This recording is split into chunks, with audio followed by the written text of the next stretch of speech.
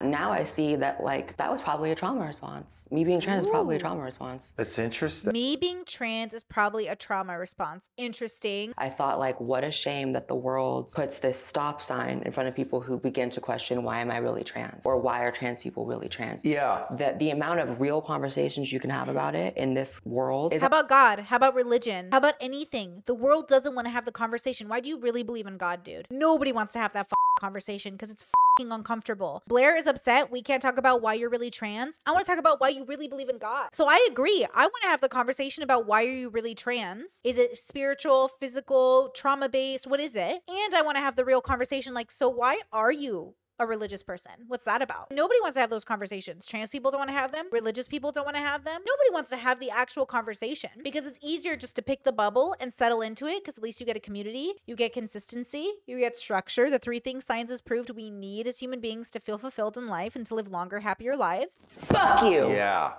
Fucker. Fuck you. Hope you fucking die, fucker. Yeah. I feel that. Ugh. Just breathe. Who are you hmm. talking to? Who is that? Hi, Dad. I because I've said this, you know, early on. I feel this like protective energy toward you. The response I want to have to that is I know it's not the correct one. It's just like I can do that, but I shouldn't have to always. You do shouldn't that. have to always do it. You know, no, you shouldn't have had to do that. Your dad should have been there to Oh, he's gonna fucking trigger me, bro. I don't like him. fucking protect you. That's his fucking job. And so just feel what it feels like. Stay the fuck away from her! Stay the fuck away!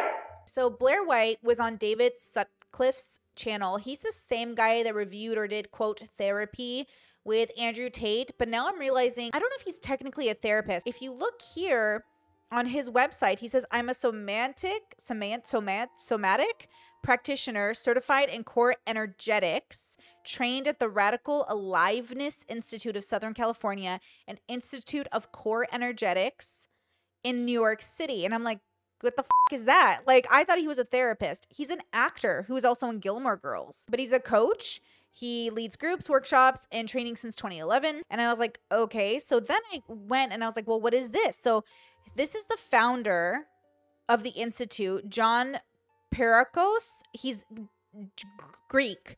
So he's from Greece and then he came to United States and became a doctor through New York. So he is an MD. And then he created this whole like energetics evolution. They sort of believe in introspection and awareness of the consciousness and sort of like the stuff we talk about. But then my, you know, what in the crystal is kind of like humming. So I'm like, what is this? I went to their website, Institute of Core Energetics, and this is our vision. We are a force for the healing of humanity, transforming negativity and fear into love. We support individuals to fulfill their life purpose. Our diverse and in- international community embodies expanded consciousness. Through our presence and work, we contribute to a better and more conscious world. Mission The Institute of Core, Energe- Core Energetics provides an exceptional training required to become a certified core energetics practitioner and facilitates personal transformation that promotes the expansion and evolution of human consciousness, values, and guiding principles. Ongoing commitment to the principles of core energetics, embodied grounded presence, accountability and self responsibility, authentic self expression, promote and honor diversity, practice inclusion, engage with respect. Okay, and then it's like, what is core energetics? Core energetics was developed in the early 1970s by the late John Pierrakos, MD. Um, he has been a mentee of William Rich and later founded Bioenergetics with Alexander Lowen. It says core energetics, which bridges body, psychotherapy, and spirituality, is based on three tenets that the individual is a psy- psychosomatic unity, that healing lies within, and that all of life moves towards created, uh, creative evolution. you guys are saying scam, cult. Okay. So they have training events. You can become certified. Okay, they have a two-year program, four-year program, postgraduate program. I don't get the greatest vibes from this. Now, this guy, David Sut- Sutcliffe, he's the one who interviewed Tate, like I said before, and that has like four million views. And this guy has like less than thirty thousand subscribers. Interesting. Blaire White went and talked to him. They call it therapy. I think they're allowed to call it therapy, but I'm a little confused at how much this actually overlaps with traditional therapy because I'm a little confused on that. I also think it's interesting that David Sutcliffe is more right leaning, like he does my, more right wing politics. And he was even quoted that he would have smoked with the people who uh, raided the Capitol on January 6th. So he is right leaning. He does have right leaning politics. He hangs out with Andrew Tate and Blaire White. And I think that's interesting. Now, disclaimer I've worked with Blaire White in the past, and I have nothing bad to say about how she treated me or our working relationship was really, really good. All these years have passed, and I've always had a very positive relationship with Blaire. Um, I don't talk to her now, obviously. We just did an event together years and years ago, so long ago. But I have a very good impression of Blaire, even though I disagree very strongly with most of her opinions. Um, she and I don't agree on most things because I do think everything is like a bubble and everyone's having a different lived experience. I think Blaire's lived experience is always valid, and I want to give her space to express that experience, which I think we're going to learn about here. But again, I don't think David Sutcliffe is a therapist, right? Like, I'm a little confused on what to call him. I guess a spiritual coach. And so I'm a little confused about that, right? So I've said if it's not an accredited university, it's a bit sus to run with the label of therapist. Okay, and that's why I was confused because I swear when Dr. Kirk Honda reviewed him, he called him a therapist. I called him a therapist, but now I'm wondering if Dr. Kirk Honda even realizes because he uses the word therapist. Um, David does. So David, well, have you been to therapy? Do you like therapy? And then that sort of insinuates that this is therapy. So I'm a little confused. Like I'm a little confused. And now, of course, they talk about diversity, and on their website, they're like all about inclusion. Izzy says new age right leaning gurus are having their moment right now. Reminds me of the Russell Brand, bro. You know how I talked to Rashad about this? How the right is the counterculture right now. The right is pretending to be rebellious as if they weren't the ma- majority oppressors for so long. And now that the left is having more of a momentum, the right is pretending to be counterculture and they're talking about spirituality and they're going into like quote unquote therapy practices. And honestly, I'm not mad about it because if this is the right's version of getting in touch with themselves, like who cares? The left has crystals and witch girls. The right can have spiritual gurus too as long as it gets you closer to like knowing yourself and the consciousness. But let's see what we learn today because I think that's kind of interesting that the right is starting to embrace it. But that's what I mean. We're not that different, are we? No one's that different, guys. Whether you're conservative, conservative or liberal or leftist or progressive, whatever you want to call yourself, okay? One side has crystals and astrology and witches, and the other side has spiritual gurus, coaches, um, quote leaders that they can follow and listen to. You know what I mean? We're all the same at the end. We're looking for tools to have a better relationship with ourselves. I do think it's interesting though when you sort of brand yourself, whether more left leaning or right leaning, to have a specific kind of audience. And I think that just again pushes the narrative of bubbles, which I think is within reason. But that's the thing that I will always find funny. Have you have you done any therapy before? Not in my Okay, so right out the gate, have you done any therapy before? Which sort of insinuates this is therapy or therapy adjacent. This was recorded January 4th, 2024. my adult life recently. Right. Like scattered throughout my life. My parents took me to a therapist, or my mom did, uh, when I was young. Like observed a lot of, I guess now that I'm thinking of it, really like bad issues I was having as a kid. What issues? Uh, I recently talked to her on the phone, and she was kind of, we're kind of opening up about the past in my childhood now because I had a super bad upbringing, and uh, I'm finally in the space to kind of like look at it. So now I'm more interested in doing therapy and like learning. I'm on neuroscience a lot lately, like Right. learning about how the brain works, learning about repressed memory. I wonder how they're going to feel if they start examining like we're biological creatures. Like, you know, it's always interesting. Again, the right has become, especially with Andrew Huberman becoming more popular, very into neuroscience and all of these things. But then I wonder if they'll go, they're going to go a step further and maybe look at Robert's work or maybe talk about that, how we are evolved animals on this planet most likely or evolved biological creatures. And then I wonder how they feel about free will. I wonder how they feel about all those narratives. Now, I and you have talked about free will a lot. So I believe in a concept of free will that I think is more within reason. And then, of course, there's this idea that like we are still a product of our biology that I think is really within reason as well. So I wonder if they're willing to have those conversations because I think at the end of the day, if we could acknowledge that we're all going to be different forever, then maybe we could find a little bit of like acceptance in others well understanding that. Because again, that idea that people can change is also what forces people to resent people because they think like you could be someone different. But like, can you be someone different? And how much different are you really? You know what I mean? Like, how much different are you really? You know? Peanut Butter says, don't tell the right about John Vervaeke. Bro, John Vervaeke talked to Jordan Peterson. So there's some overlap, but see, they might not love Vervaeke as much as Jordan because Vervaeke is trying to give balance and Jordan's like full on anti the left. So, which I've also experienced recently, and uh, just kind of understanding the past to get a better grip on the present. Yep. So, yeah.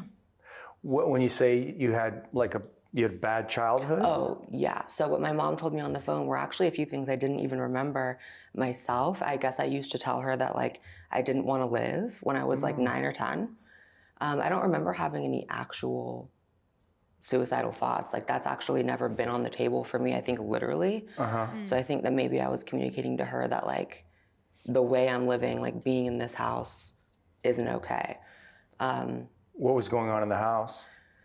A lot, a lot. Oh my God. So, You grew up in uh, Northern California, a small town. very small town, Northern California. Brothers, sisters. I had a half brother, Uh huh. and uh, my mom and my dad. Blaire looks great. I'm just going to say it. She is looking mighty fine. Everything looks great. She looks great.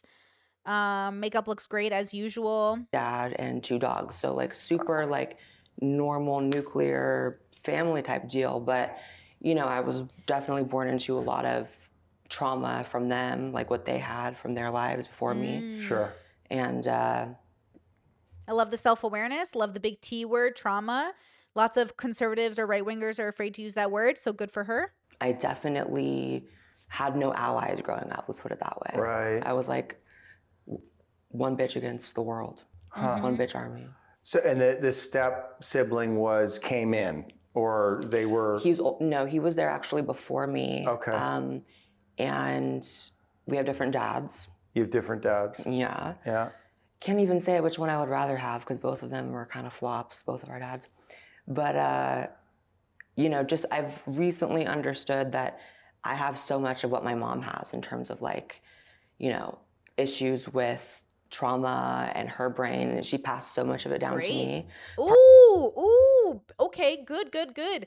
I mean, last time we reviewed Blaire, I think we reviewed that she was having like a good introspective moment on the Joe Rogan podcast.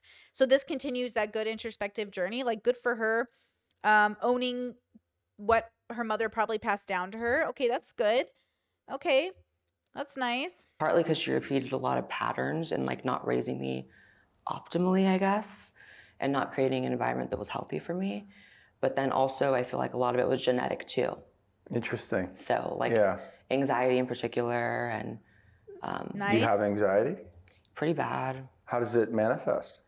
Uh, well, it's recently started in the past few years manifested as like panic attacks, which I never knew Oh. It was like a physical, physiological thing Mhm. until I actually experienced one. I always thought like, oh, someone's just really stressed out, and it's like an actual thing that happens where your brain is obviously telling you you're dying. And that's what happened. Like how? Yeah. How, Yeah. how is it when you have a panic attack? What actually? What is this set? I just got to know what's happening here. Is this like a bedroom? Is this like for the orgy later? What is this? There's lots of pillows and lots of mattresses. For me, my brain simulates like stroke-like Love that language for me, my brain. Love that. symptoms, breathing issues. It'll make me feel like I'm having a heart attack. Like the first time it happened, um, I was with my fiance, and it was the first time I ever experienced like any See, she has a fiance. They're still not married? feeling with my heart. And I was like, what is that? And I was like, I have to go to the hospital because it started feeling like it was failing. Mm. Um, looking back, it was just me being super overworked and stressed and, you know, Overworked and stressed. yeah, and just having anxiety and. Is there any meaning that you you've you've made of it, or just over stress? Um, definitely, there's a, that there's a lot to understand about what got me here, which is like honestly such a beautiful life. As much as I can harp on like the negative things I went through as a kid, like I love my life now. I've really become the exact person that like childhood me needed, Nice. like in many ways. That's great. Um, I've actually corrected a lot of patterns I was born into from my parents and my family. And uh, that's part of the reason why I'm kind of a loner in that sense of f- family. But I really do like my life now. Did you feel alone in your family Super. And alone in your town? I guess. I mean, you're obviously Super. you're different from a, a Yeah. very young age. Yeah, and everyone saw it, even before me, actually. Everyone saw it. Yeah. That must have been. How was that? It was twofold. It was painful because I endured a lot of bullying, but also I wouldn't take it back for the world because I learned so much from it.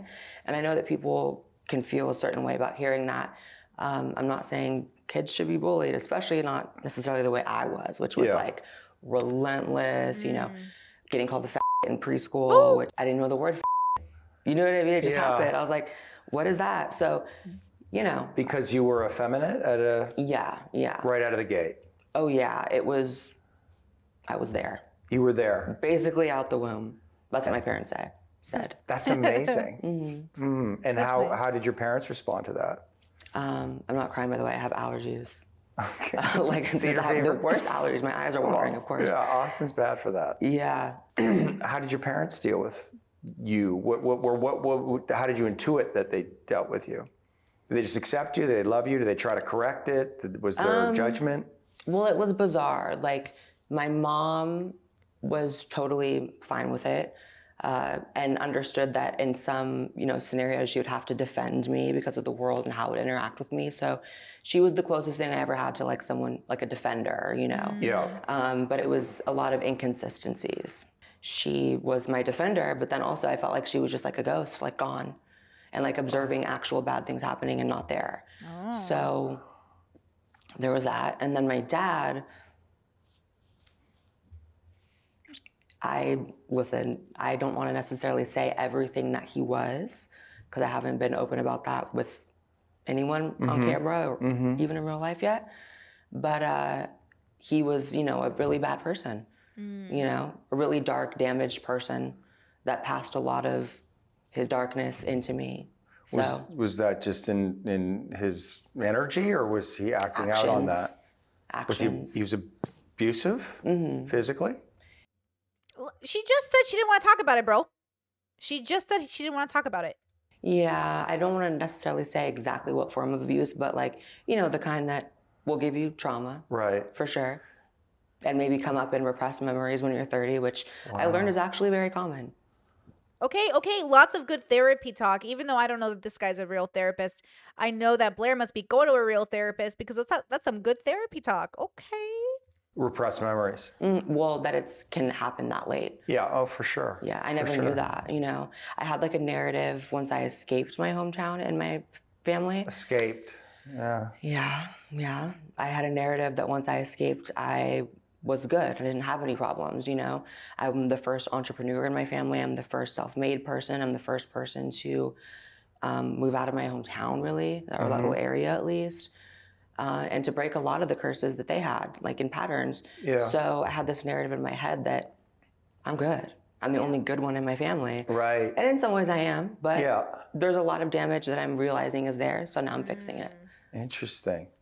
So, I mean, let me kind of frame what I've heard so far, and you can you can tell me if it feels accurate. And you can stop me anytime. I like run my mouth a lot. No, you're it's great. Run your mouth. I'm good at that. Does anyone know if Blaire's a Taurus? what is Blaire? What's what's her astrology? When's her birthday, y'all? Figure it out. Um, so you grew up, you knew right away, or maybe you didn't know, but you were different. And your mom supported you, and your mom also wasn't always there for you. She was a ghost, you said, and your dad was abusive and dark. So when I hear that, it sounds scary. Yeah, yeah, and that's only about a third of it. You know, That's like a third of it. He was also involved in gangs, so there was a lot of like scary oh like people coming in and out of the house as a kid, and Wow. you know, you you got to remember, I'm also not just any kid. I'm also like, I was always very small, very You know what's interesting? And I think this is always going to be the conundrum for a lot of people to accept is like the people who take the more independent route will identify with whatever group promo- promotes and accepts that personality into their bubble. So if the conservatives have this idea that they're more independent and they're less focused on community and you know they rely on themselves then like naturally a person with this story who has the narrative in their head that they did it all on their own they're going to follow into that bubble, right? Same with the reverse, which is somebody who's like always wanted a community, somebody who never had a community and they felt like they couldn't do it alone and they needed one, is probably going to end up in a bubble that is forming around that type of community. Okay, so she's a Virgo. You guys are saying September 14th, 1993. Thank you, Discord. Um, if you're feeling anything, it might be because she's a fellow earth sign. Let's go. I don't know much about astrology, but from what I'm learning briefly in terms of categorization, I'm wondering what the overlap is between people who are like independently minded and then people who aren't. And by independent, I don't mean to insult people because I know a lot of people are very, you know, um, uh, I think offended when I don't identify them as like very independent, but I don't mean to argue that like that's a bad thing. Lots of people, some people are dependent and some people are independent. And I I mean that in categorization. Totally neutral. I'm not moralizing it. Blaire has this like independent energy. It makes sense to me that she would then end up in like a conservative bubble more than a progressive one because there is like a different kind of pressure in each bubble. And of course, I ended up in neither, though obviously more progressive. Just like politically speaking, I think both are just toxic little cesspools of bubbles for true introspection. I think true introspection does not happen in either progressive political bubbles or conservative ones, but enough introspection can occur to give you a sense of community, whether it's an independent sense of community or community sense of community. So, you know, there's something to this that I think is interesting. If I'm going to very much like a, you know, weaker energy growing up, which is interesting because over the course Ooh, CJ, great point. Like some people who are entrepreneurs and other prefer to work for others. And even in entrepreneur bubbles, some people who are entrepreneurial like to work in groups and other people like to work on their own. You know? SB says, what exactly do you mean when someone is dependent then, like community based? Um, just within this context, like dependent and independent could mean different things within different contexts. But yes, in this particular uh, conversation, I mean to identify the sort of like independent person who could rock solo if they had to, like a t- team player versus not a team player. I don't think Blaire is much of a team player, but I know she gets along with people. But she seems like like sort of similar to me. I get along with lots of people, like most people I meet get along with me, but I don't want to be on your team. Like I don't want to be in your clique. But a lot of people want a clique. They want a clique very badly. And so like I don't want a clique. And I think to them they find that very strange. But they have to remember like lots of people make it in the world by not having a true clique, by just being you know, but that doesn't mean I don't have friends. That doesn't mean I don't have loved ones. That doesn't mean I don't have people I love to collab with or work with. I just don't want to be a part of your clique. You know how there's like cliques on the internet? I don't want to be a part of your clique. I just want to come in and say hi. But I don't want to be like like if I watch certain YouTubers and I love watching YouTubers with cliques, there you're like you have to be there. Like you ha- you are obligated to those people. And I just want to be able to quit my job tomorrow. I'm like very I just want to be able to do whatever I want tomorrow. And you can't do that when you're a part of a clique, guys. So that's what I mean. Like some people they want to do what they want to do tomorrow and other people they want to they want to have to think about their community first. I don't want to think about my community first. You know. So in my life, it's just expanded and expanded. And now I look at how much actual power I have in the world in terms of, you know, millions of people watching me every month and, you know, an audience that is so loyal and, you know, just so much I've been able to accomplish. I'm like, that power just expanded somehow. Yeah. You know, but how, yeah. how is that? To The- be uh, famous, to to have all the, these viewers and, and all this power and influence, and, and to he's an actor. He was on Gilmore Girls, though I don't know if he was ever famous. have people looking at you and asking you questions and wanting to talk to you, and your words carry a lot of weight and meaning, and you're engaged in all of these big cultural controversies. How, Mm. how is the experience of that for you? I mean, it's the honor of my life. I love that it happened. It was accidental. I'm not one of these people that set out with that as like my goal. Mm-hmm. You know, I just put up a random video that I expected seven people to watch, and not Start, my Wait, wait, wait. So if you said identity versus tribe, I feel like okay, yes, I agree with that. I think in context, it reminds me that like I have my own tribe. So I have an inner circle, but we're so independent even as an inner circle. Like we all just want to do our own things. That's the kind of tribe that I have. I have like I always say it's like a one piece tribe where one piece everybody is very independent even though they're together. They're not dependent on one another so far in the series. I'm like, I don't know what episode I'm on, but like almost 600, I think. I don't know. But they don't, no spoilers, please, in the chat. But they they don't really like, they're not dependent versus like some other animes a lot of the characters are very dependent and they always hang out with each other and they never allow the other person to like do their own thing because it's almost like a threat to the group. I don't want to be a threat to the group because i spend time away from the group. You know? Ooh click might be a good word. Like i guess like yeah. Again i love having my besties. I love my friends and family but at the same time like if any of my friends and family get in the fucking way of me making a decision i'm gonna get fucking pissed like, do not cockblock my joy in my one lifetime. Thank you. And I think sometimes when you're part of a clique or a tribe or whatever you want to call it, you do have to think about that. That's why it's so difficult and exhausting, but also some people thrive in it. Some people prefer it. Like, I know so many people who try to like buy houses in the same neighborhood as their besties, but eventually those besties like move on or do other things or wanted like a different climate or maybe health, you know. And some people feel a way about that. I see those little like tiny home villages, and people are like, Brittany, you would love living there. No, I would not. They're like, but you can all live in tiny home like neighborhoods and all be. I don't want to be part of your little clique. I don't want to be part of your gang. I don't want to join a gang. I don't want to join a gang. I just want to be a good community member, but I don't want to join a gang, you know? So it's interesting. Like, it's just interesting to know what category you're in. Or maybe you're like, again, I love to bubble hop. I love to visit my communities. I just don't want to be a part of it. You know, I used to want to try, but obviously it didn't, it made me miserable. So I'm not moralizing it either. If it doesn't make you miserable, then you're exactly the person to do it, right? Life just, oh my God. One I, video? Is that how it happened? Mm-hmm. Wow. Yeah. See, this is so interesting on YouTube. One video, and then that's it for some people. But for some people, it doesn't work that way. It's not one video. It's like you have to make a lot of videos. I wonder which video it was for her. And then you have to stick to a sh- a script, which I think Blaire does really, really well. Like you know what to expect when you watch a Blaire White video. So I think that's probably comforting to the audience. You know what I mean? My form of being a public figure is incredibly unique in the sense of like there's not exactly a bunch of right wing trans people running around. In fact, there are almost none. Uh, hi, Caitlyn, but you know, Caitlyn is like 70 and was yeah. different, way different than me. Yeah. Um, so it's been really interesting to navigate too because there's no blueprint. Like I'm not a podcaster TM that has like a oh this is the career trajectory of a podcaster. I'm like mm. really there's no blueprint. I'm finding out as I go, but I mean it's been amazing. But it also parallels my childhood. I was very very polarizing as a kid. Mm. Really? Oh yeah, every single person in my school in my hometown had a very strong opinion about me. There was almost no neutrality.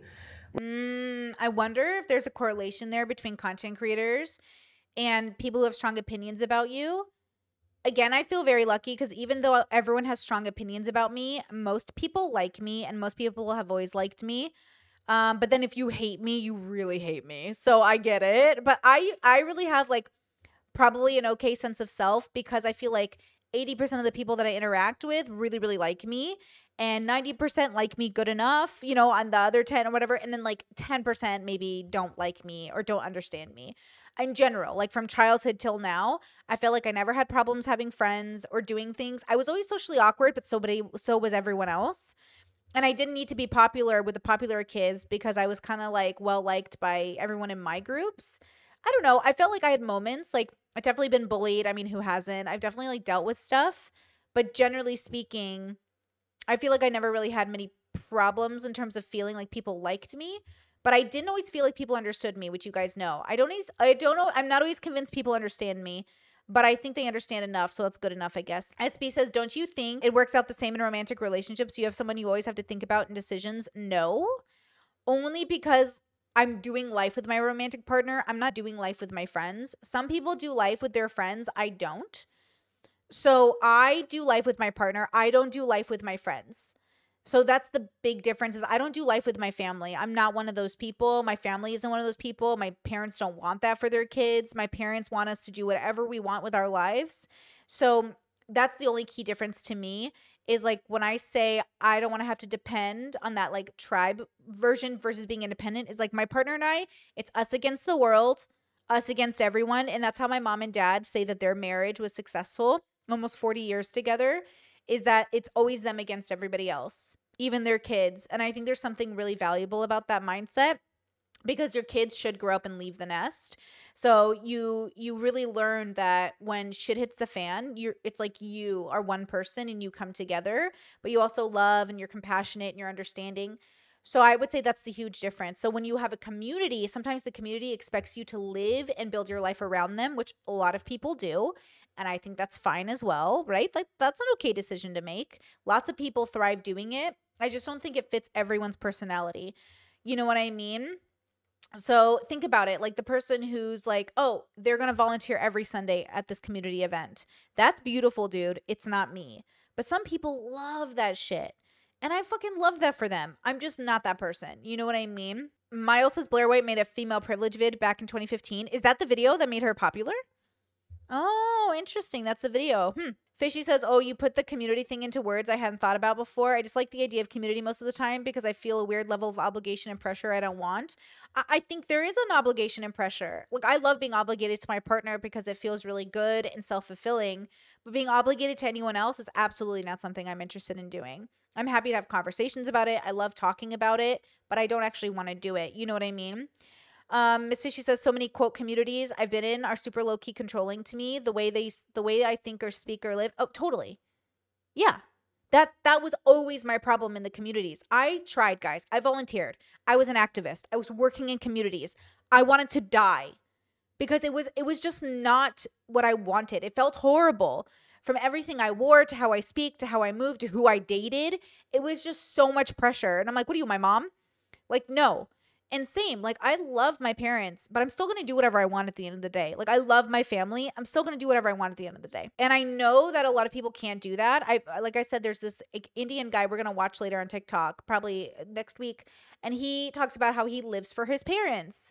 And I think that's fine. I meet a lot of people that are willing to do that. Like they're willing up they're willing to like give up the love of their life for their family. They're willing to do things you can do that, but bitch, I'm not about to do it just because you're doing it. And then sometimes those people will like moralize it or be like, you don't love your family because you're not doing it for them. Um, you don't love yourself.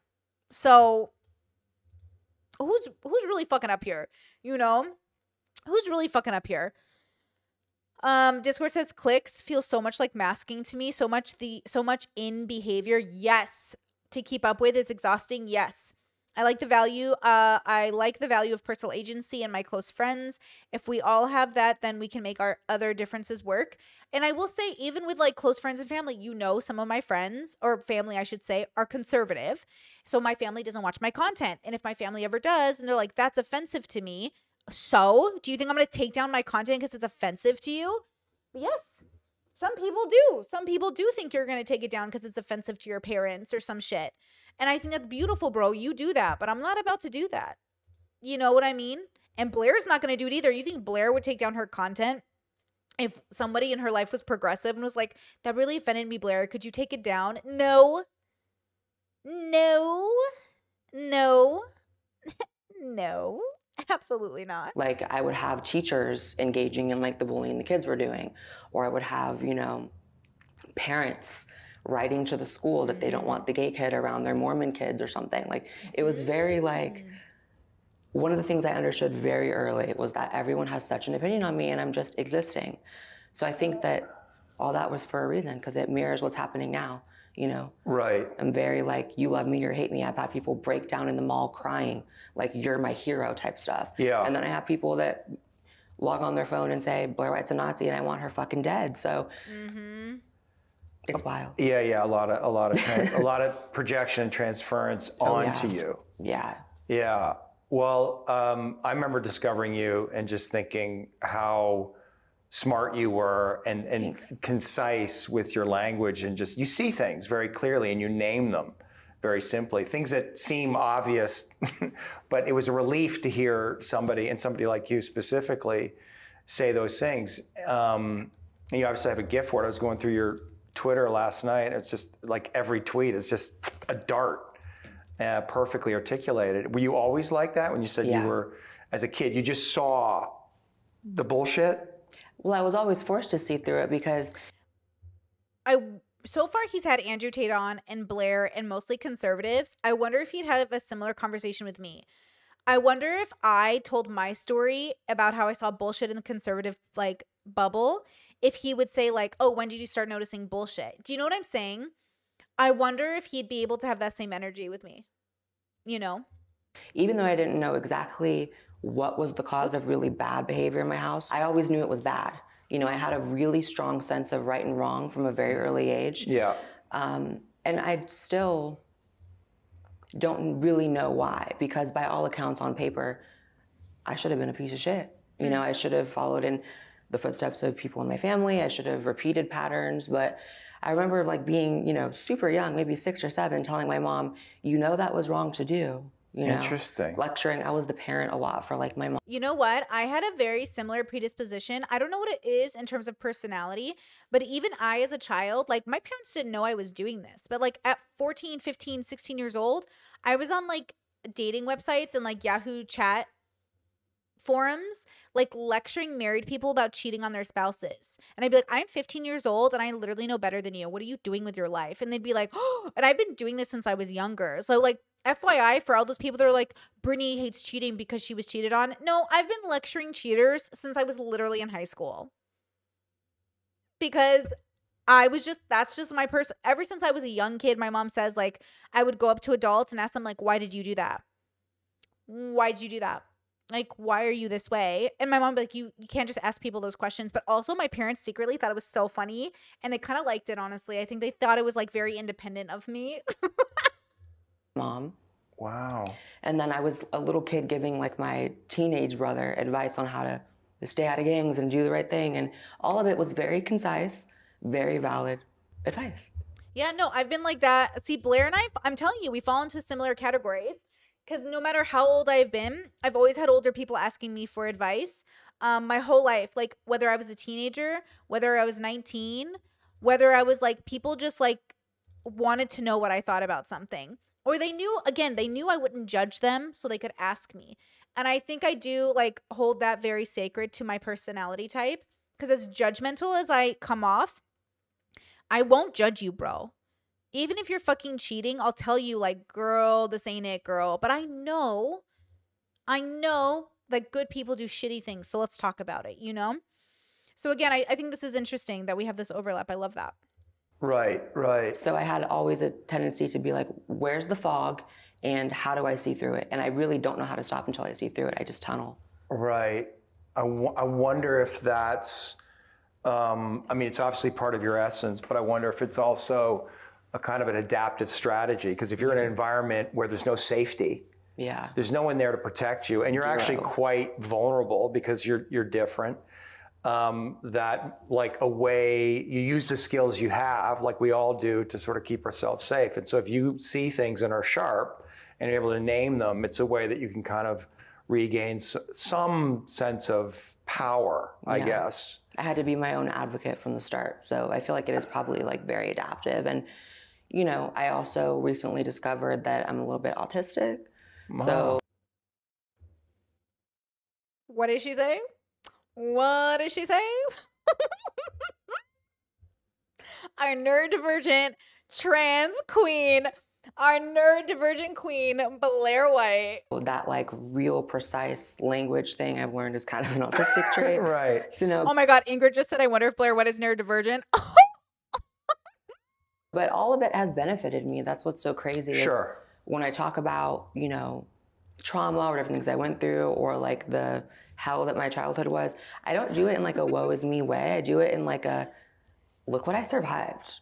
Like, Yeah. holy shit. Yeah. And just understanding that, like, even though I survived it, no human leaves it unscathed, that type of environment. Yeah. So, I'm telling you, to be a content creator, you kind of got to be a little divergent. Like, you got to be a certain type of content creator, a certain type of content creator.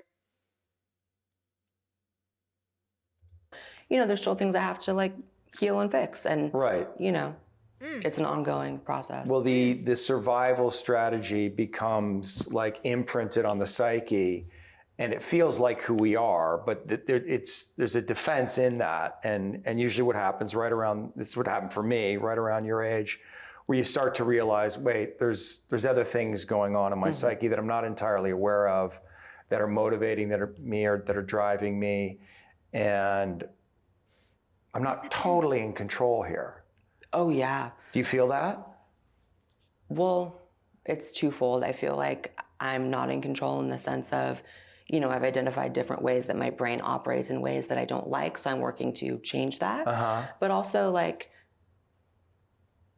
I don't know, this is going to sound loony, but I also have always since a really young age had an inherent understanding that like nothing's really real, like as in the world. And it's not to say nothing's without or anything's without consequence, but like there's some sort of orchestration that I don't even need to beat myself up to like understand happening. Mm-hmm. And there is like a version of me that's not necessarily right here that is pulling the strings and not even in a manipulative way, but like a I got you way. Like I've always is that god maybe.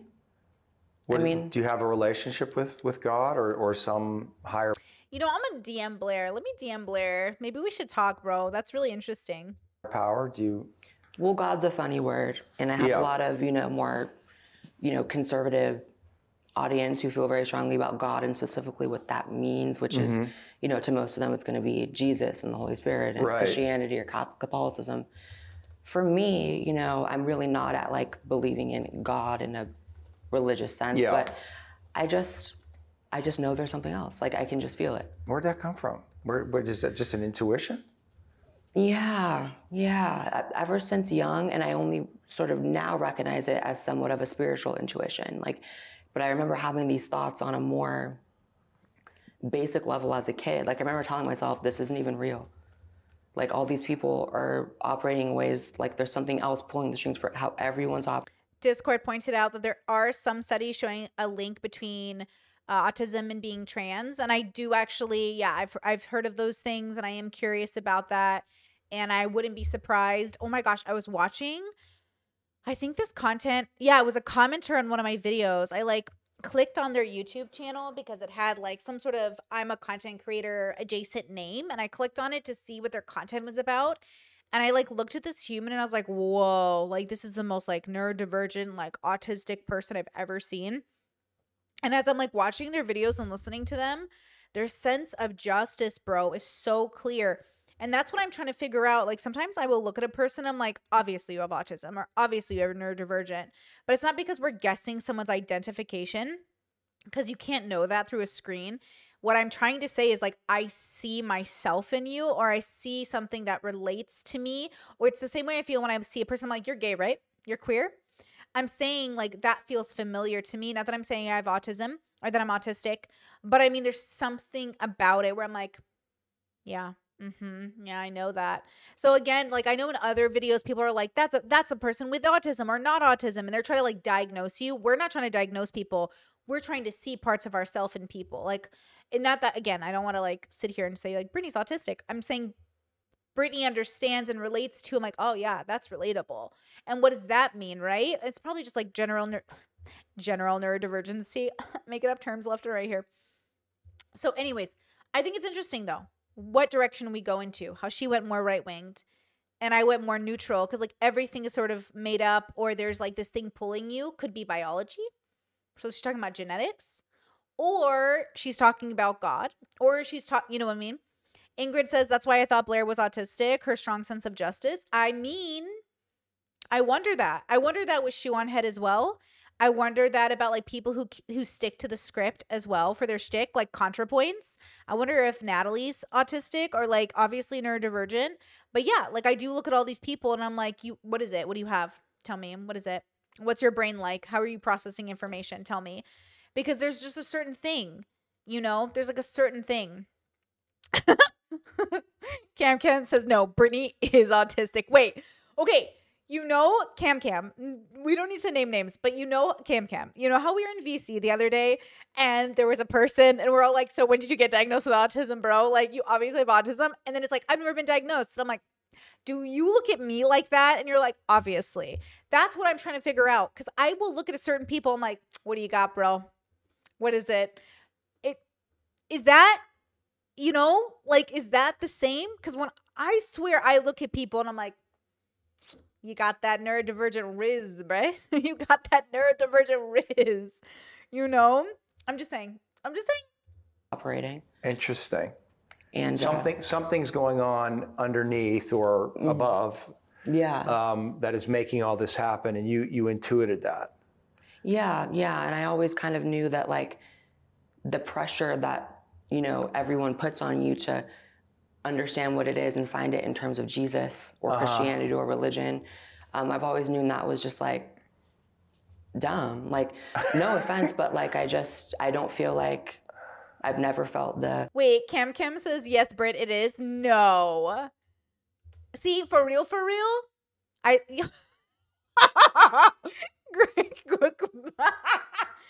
Gracie says, "I thought you were already diagnosed." Guys, I will. I will literally get callers that are like, "I have autism too," and I'm like. I'm not diagnosed. Like, and you know what I mean? Like, again, I, I probably, right? But also, maybe not. But also, maybe, I don't know. But it's like, yeah, I'm, fuck, I'm dying. Whoo, I'm dying. urge to like I need to nail it to this religion. It's always like whatever's up there is so beyond my comprehension that there's no way I need to beat myself up understanding it. Just like an ant wouldn't need to beat itself up understanding humans. Right, right, right, right. But it's something to do with me and all of us, and there's some kind of some connection between all of us. Yeah. I just, it just, uh, uh, when you talk about all this stuff, and I think about you as a little boy in this town, um, it just, it must have been, I don't know, were you lonely? Like, Um, isolated? Like, what, like, Yeah. like I'm, I'm different. Like, you know that, oh, right? yeah. Like, you're different. Mm-hmm. And wh- how did you make sense of that? Like, what did you do with that? Like, what did, what did your mind? Did you beat yourself up about it? There's something wrong with me. I'm not okay. I wish I wasn't this way. Did you No. ever have those thoughts? Mm. I've never related to people who, you know, experience some of that same maybe like judgment about their sexuality or behavior or whatever. I've never related to people who take that on and then beat themselves up or think they're the problem. Right. You know, the whole like Uh, what's her, what's her astrology sign again? Does that match up? Somebody, eh, somebody educate me. Shoot. She's a Virgo. Do, is that normal for Virgos? Like, not to take it upon themselves? Is that a Virgo thing? the, the entire idea of like I'm the problem here. How am I the problem? Like I knew I wasn't in control of the way I walked, Right. Or that my voice didn't drop, or Right. that you know, I knew whatever they were calling me, you know, fat before I knew what the fat word Yeah. was. I was like, there's no way this has anything to do with me in terms of I'm not the reason you're this ugly right now. You know, for real. I was like, this is such ugly like animal behavior. I always looked at it like they're literally like animals, like they're operating on more like beast like vibes. Right, right. But nobody was there to, I mean, I guess your mom to a degree was there to support that for you Um, to some degree. Like you had some support. Never like explicitly, like we never talked about, like I never came out Did you feel loved as a child by her. by her? Are you angry at all about? I Mm. mean, I guess your mom, maybe, maybe your mom, but your dad, uh, he was abusive and Him, I don't have any grace for. Um, I don't really know why? Just because of Um, because he abused her.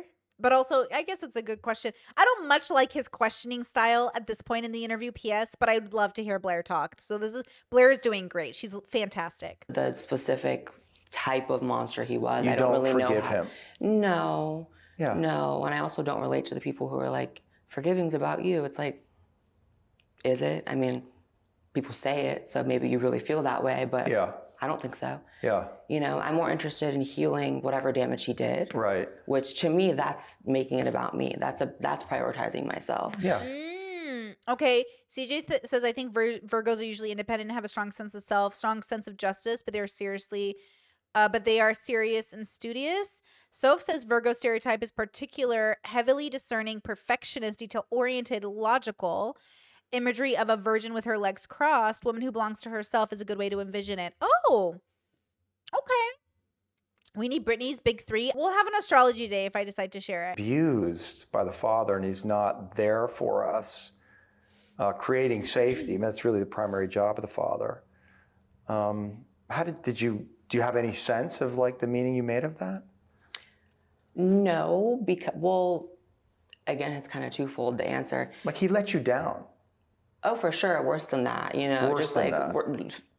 failure, flop, monster, evil. But you know, a lot of it, a lot of the actions on his part were actually buried deep down in my psyche. So they didn't start coming up until about 29, 30. So in one way, I didn't make any sense of it. But then also, what's really fascinating about that is like my body always knew that he was like a demon. Like Uh-huh. not in the literal sense, but you know, bad to for me to be around dark, like I said. Because I remember, you know, the only real memories I have of him are always hating him but not knowing why. Mm, you always hated him. Yeah, he'd walk in the room and I would tell him like, you know, get the fuck away from me for no reason, completely unwarranted. And in fact, the last thing I ever said to him, this is gonna sound crazy, is I hope you get cancer and fucking die, you fucking cunt. I was like Girl, she really got to let go of that girl. It's not good for her skin. Though honestly, Blaire's skin is fabulous, so maybe it is good for her skin. 17 or 18. And uh, it was triggered by him asking me to take the trash out. And I just said that from the top of the stairs. And he looked at me with basically a knowledge that he deserved it. Like he didn't even fight back, which was interesting. He knew. hmm I think, I, I believe. And then this is actually the crazy part. Two weeks later, he got cancer and died. Oh, Out oh damn. Oh damn. Out of nowhere, full body cancer. So Wow. I don't know what that means, but the I said that to say that I never had a logical, concrete reason as a kid to hate him, but I always knew I did. Well, you no, you had logical, concrete reasons Whoa. to hate him. Did no, you yeah, not? but the repressed memories, I didn't actually growing up remember what he had done to me specifically, and it's a oh. very specific thing he did. So I just always still felt the So she was angry with her dad, even though she couldn't even remember why she was angry with him, but she knew. And then he died, and then she had like repressed memories come to the surface. And then she had like that realization of like, okay, no wonder I fucking hated you. Interesting. And then he died of cancer. Damn. the energy of what that action was, and it made me hate him forever. And he was very deserving of it. So Interesting. You know, you know my whole thing on forgiveness, right? It's for yourself, not other people. Like people who hold on to their anger for other people. It's interesting because then they're not accepting that like that was that person's journey. And yes, other people's journeys come into contact with yours. And it can be horrible or awful, but like they're on their journey. And like that's what's so difficult because it's not about justifying people's bad behaviors. It's about recognizing they exist because that is their journey whether you like it or not it's one of my favorite things to watch is um there's this clip from bad friends or whatever it's called what's it called horrible friends what's it bobby lee and um ginger's podcast i forget what it's called Some societies, like Koreans, they might have a god complex, but they don't have a history of oppression, oppressing another group of people. Each other, right? Are you fucking out of your yeah, mind? what the fuck? You, What do you mean? You don't think Asians had fucking? They didn't oppress. Koreans, Koreans didn't have slaves. We didn't fly. Did Koreans fly- have slaves? Yeah, Google that. I Yeah, because. I think that's fucking wrong. Somebody built them pyramids. It wasn't just somebody like you know we're gonna all Yeah, we Korea had the longest We were unbroken about chain. the- we were kidding Korea about the had the, Korean- longest unbroken chain of slavery of any society in history, spanning fifteen hundred years. Fuck off. That's not what it says. Zoom it in. My eyes are blurry. Go Zoom back, it in. Go back. Carlos. I want to read it. All Read it out loud, you I wanna- s- uh, piece you of fucking- shit. Get close. All right. Korea had the longest unbroken chain of slavery of any society in history.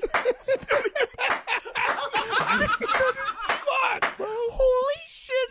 You guys are oh fucking scumbags. We're scumbags, scumbags. We're fuckos. dude. That's insane. Insane. That's super insane. But who? Who did we enslave? Find out. Yeah, who did we enslave? Well, a caste system. First of all, you fucking enslaved your own fucking people. The Well, Nobi. that doesn't count. it's like this idea that um oh my people are clean of sin or my i'm clean of sin or uh, any of us are clean all of us have done something whether as individuals or as communities and so there's this idea that like oh like my people have never done anything so that idea right that narrative in our heads that's why i say like forgive because like they're just us on a different journey now of course you and i as individuals be like we would never do that yes Absolutely. But could you have not done it? Like I I had this discussion in the VC. I don't remember why we started it. It was about like whether or not you could stab a baby. Like I could never stab a baby. Like I understand how to stab a baby. I'm not an idiot. I know how to do it. But I couldn't do it. And like there are people on the planet that it's more within, like it's absolutely within their ability to stab a baby. I think that's interesting because I could literally not I think my body would like reject itself. I'm pretty sure like I would reject myself. You know what I mean? I'd probably stab myself first because like why would you ever need to stab a baby? But I think there are people on the planet that could kill a baby because there are people on the planet that are more than willing to a baby. And if you can a baby, you know what I'm saying? I could not do it. But I wonder if I escaped some sort of like genetic coding or I wonder if I escaped some sort of biological evolutionary like process. Like did I was I just lucky? Was I just born one of those people who like couldn't do those things? You know what I'm saying? Am I just lucky? And the other people are fucked because they were actually born with like an ability to do those things? I don't know. I don't know. Interesting. What I, you know, he, he did something to you that was dark and scary and uh, painful, For sure. And you now live with that, and you're you're becoming aware Mm-hmm. that that's inside you, the the impact of that, and it's unresolved, and it's having an impact on your life today. Is that fair? Yeah, it's it's had a huge impact now that I have more clarity on the entirety of my life. Mm. Gaming says, I believe everyone is capable of that type of thing, just depends on the situation. Yeah, that's not my lived experience. How do you know that? Like, I can't believe that because I know from lived experience that it's not possible. Like, there are just things I cannot bring myself to do, though I've been given opportunities. And like, I just can't do it. Like, I just can't do it. I reject it. Like, my body physically rejects it. But I think not to not to stab somebody. I haven't been I haven't getting I just meant like random situations. Like, you know, someone says, like, oh, anybody would cheat if given the temptation. I don't think so. I just don't think it actually is the same for everybody. I just think we're having different lived experiences where some somebody, that's true. Like for some people, if they're put in the right situation, they will cheat. But for other people, they just won't ever do it. I truly believe that because I, I have such a specific lived experience and I know I'm not special. So if I'm having this lived experience, that means other people are having the lived experience, right? I can't be the only one, you know? Um, but it was only once those memories came up again that I could kind of see that, oh, that's why I do that. That's why my brain works like that. That's why. well, hold on. Gaming, we're not talking about the same thing. You said you've never been pushed to the limits of your humanity. I could stab an adult. That's easy. I'm not stabbing a baby. What part of your humanity needs to be pushed where you have to stab a baby? You've never been starving, I assume. I have been starving. But what does that mean in context of living in America? Like, what do you starve for? A couple of weeks, a couple of months? There's food everywhere in this country. You don't really starve, you know?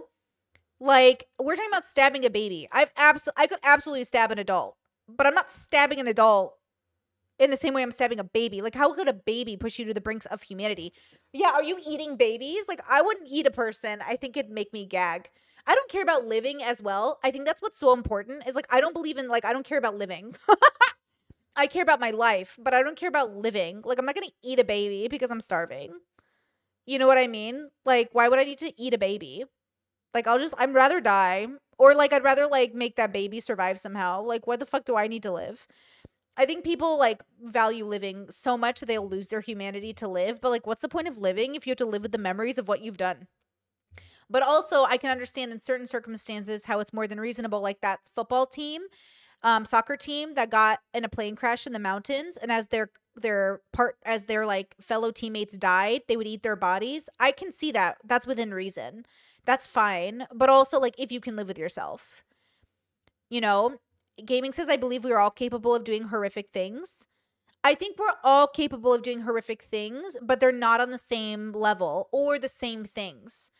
So I agree, like, you can do things, but I don't think they're like, first of all, I don't think cannibalism is awful or horrible. I think it makes so much sense to eat your teammates who have died. Like, why wouldn't you do that? But also, like, I could understand not doing it. You know what I mean? Like, I could understand not doing it, but also, like, why wouldn't you do it? They're dead. But don't kill them so you can eat them. Like, that's crazy. So I wouldn't kill someone so I could eat them. But if they died, I would probably eat them. But also, why would I eat them unless I was willing to live with myself for eating them?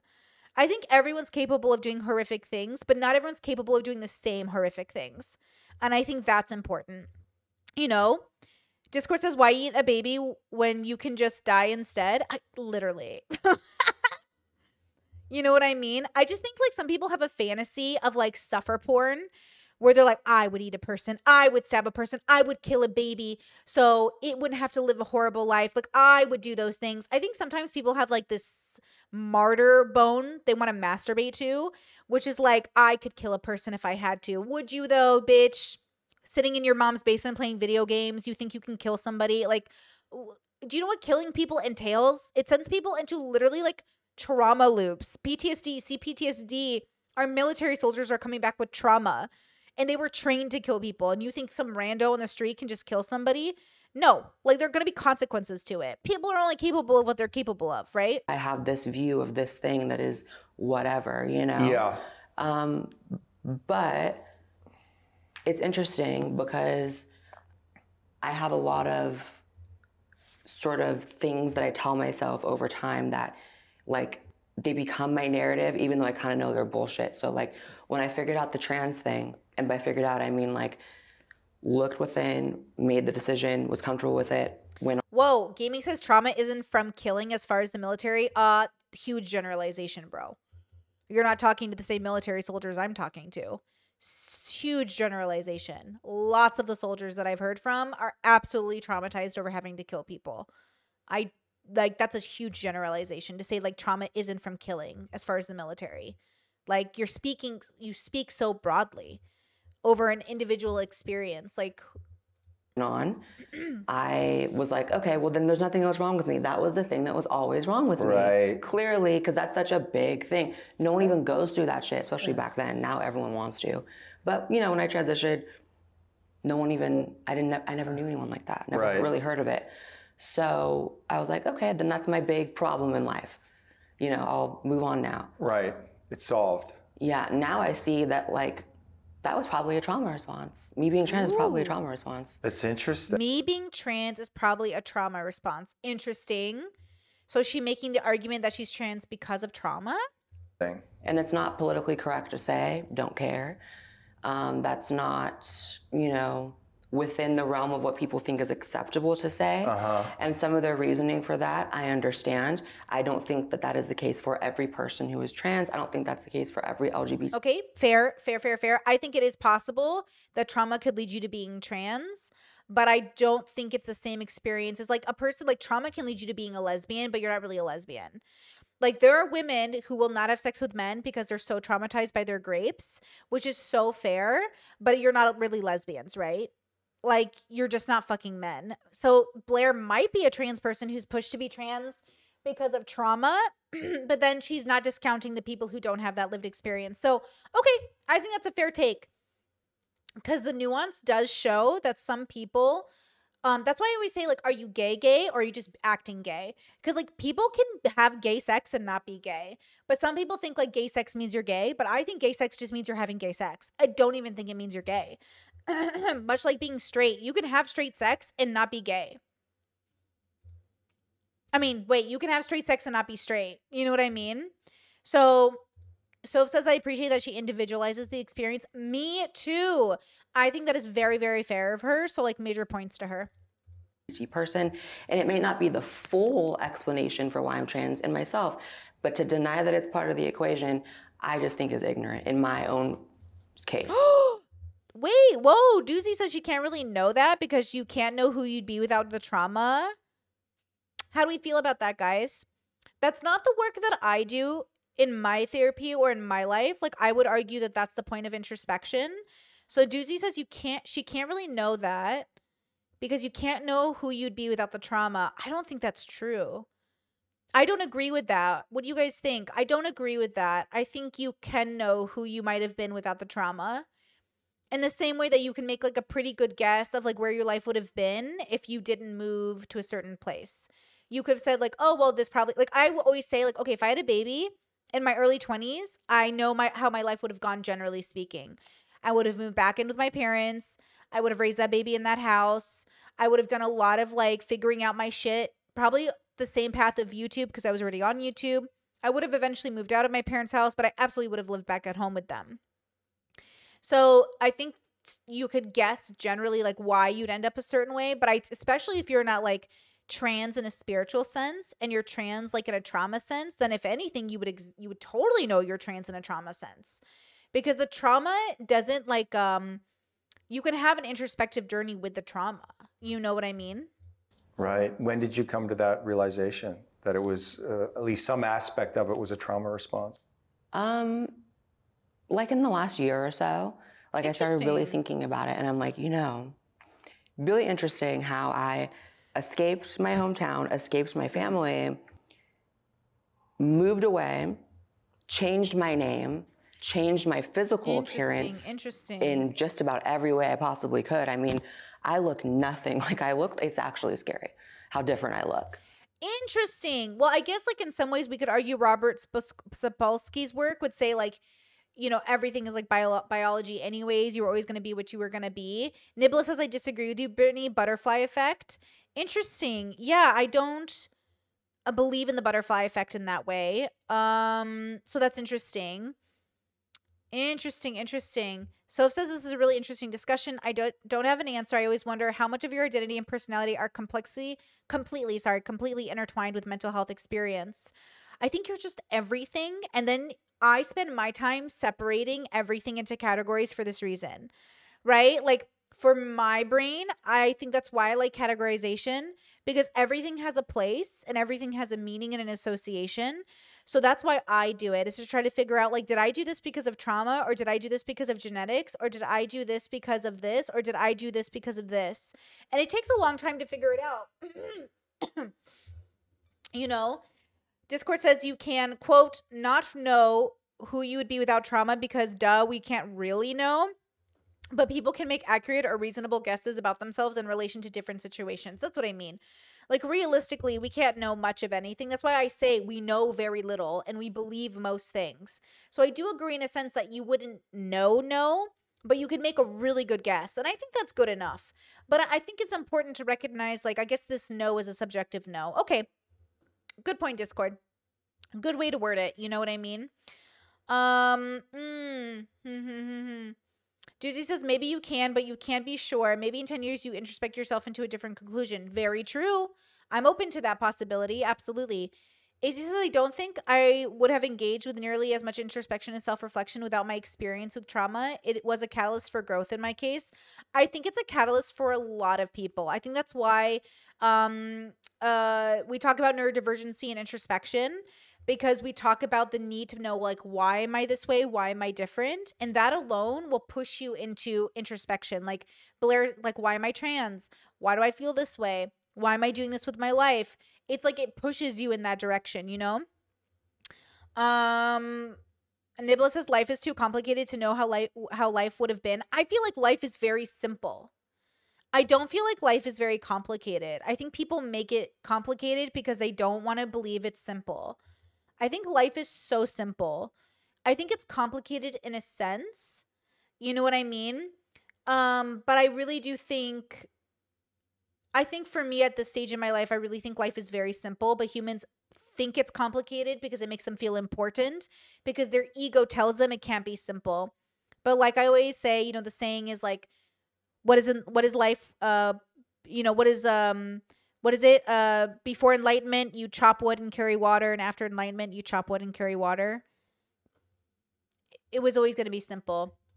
Doozy says, I think a with a good therapist, you can know better, but she hasn't done therapy. I think she's done a little bit of therapy as a as a kid, but not as an adult.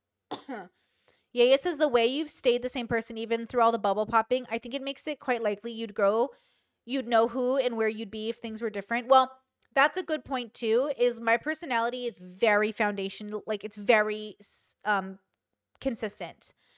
So you know what I mean. I feel like I've known myself my whole life. I've just tried to figure. I've tried to like fill in the gaps and know myself more. And you're right. Like I've always been the same person since I was a kid. I've just changed belief systems and radically changed how I see the world. But my personality is the same. So there's only so many options or places my life would have taken me.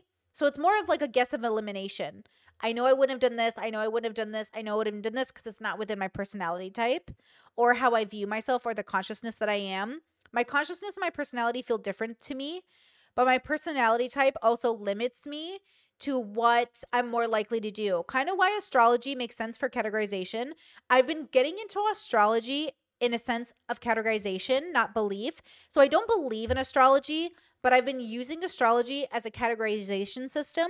How much did these astrologers actually figure out how to categorize human beings accurately? And it's actually pretty on point.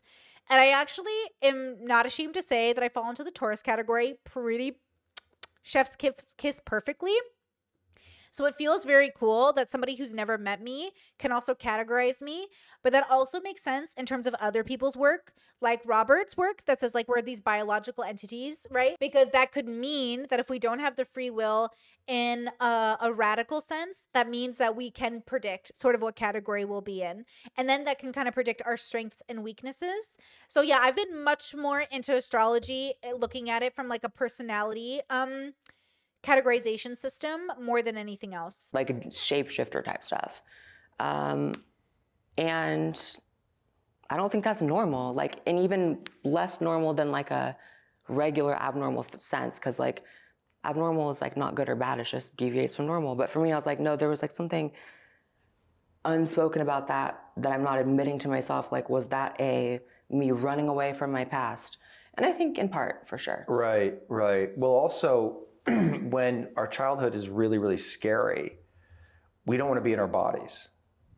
Like, we don't want to be in our actual bodies because it's not safe to be in our bodies. And we have all kinds of ways that we, we leave. And so maybe there was something about you want, not wanting to be in your actual body or you wanted to change your body in some way. Does that track Yeah. for you? Yeah, I mean, I don't think that it's the full explanation. Sure. You know, man, I could really get in the weeds here. You know, there's a lot of stuff in water now that feminizes people. Yeah. You know, Oh my god, the birth control and water thing is so overblown. It is so overblown. It is such a conservative talking point, but it is so overblown. It is so overblown. Hey guys, I don't know how to tell you this. You need to stop worrying about birth control in your water and start thinking about all the bullshit in your fast foods and in your bags of chips. And eh, hello, are you eating your vegetables? Are you actually eating fruit from the stores that have a bunch of pesticides on it and everything else? Birth control in your water is the least of your fucking problems. and you can kind of just not even need to look at studies for that. You can kind of just observe, Yeah. right, the world around. Why are we pretending like the world just all of a sudden became feminine? Do you, have you ever heard of the Roman Empire? Feminine as fuck, bro. Have you ever heard of the Greeks? Feminine as fuck, bro. Why is everyone pretending the Roman Empire wasn't feminine as fuck? Hello? Was there birth control in the water during the Roman Empire? Was that their problem too? TJ says, Do you think the universe chose to have certain people born in certain months for a reason? No. I don't believe any of that. I don't think there's any universe that's in control of anything. I don't think there's a larger consciousness. I don't believe in any of that. I think we're literally as significant as the the butterfly or the bear. I just think we're like alive and we're living in the universe and the universe is also alive, but it's also not significant. I don't believe in any higher power, anyone doing anything for any purpose. I don't believe in any of that. around you. I'm big on that. Like, I don't always need to study. I can see things. Yeah.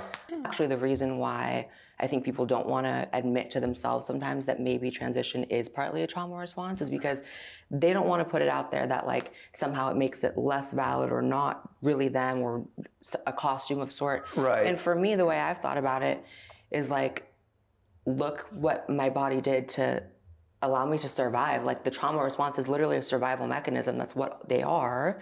So my body did this crazy elaborate thing and I'm still here and I'm the only successful person in my family and I'm the you know only person who's even began to look at these toxic patterns they all have that I mm. broke. Right. It's like to look at that and be like that means I'm not actually Blaire or something.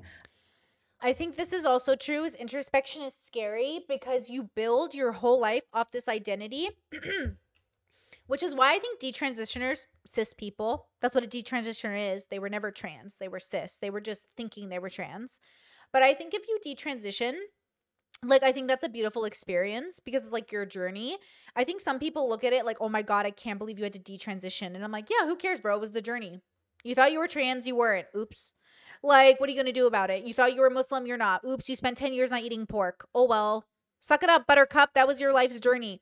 Like, have fun with it. Embrace it. Say that was your journey. If Blaire ever detransitions, cool. That was her journey.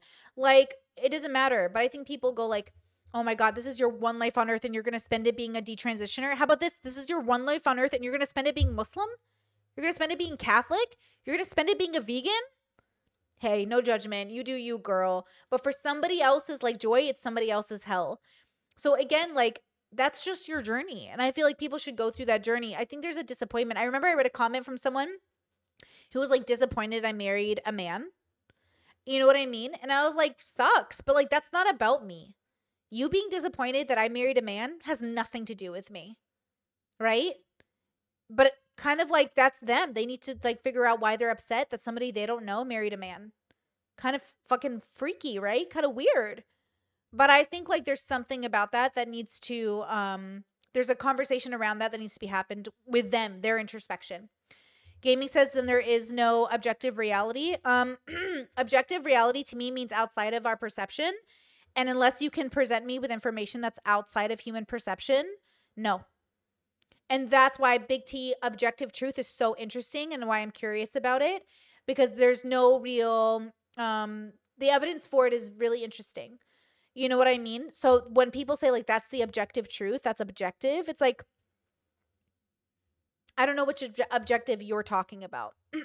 when go- people say God is objective, there is a God, and a billion or 2 billion or 3 billion people say, "Yeah, God is absolutely real." And they say it's objective, like what objective are they talking about? They're probably talking about the one where it's like a lived experience and the majority is experiencing it and so they know it's real, or they're talking about the individual experience and so they know it's real. But like, what does real mean at that point? You know? I'm all of it.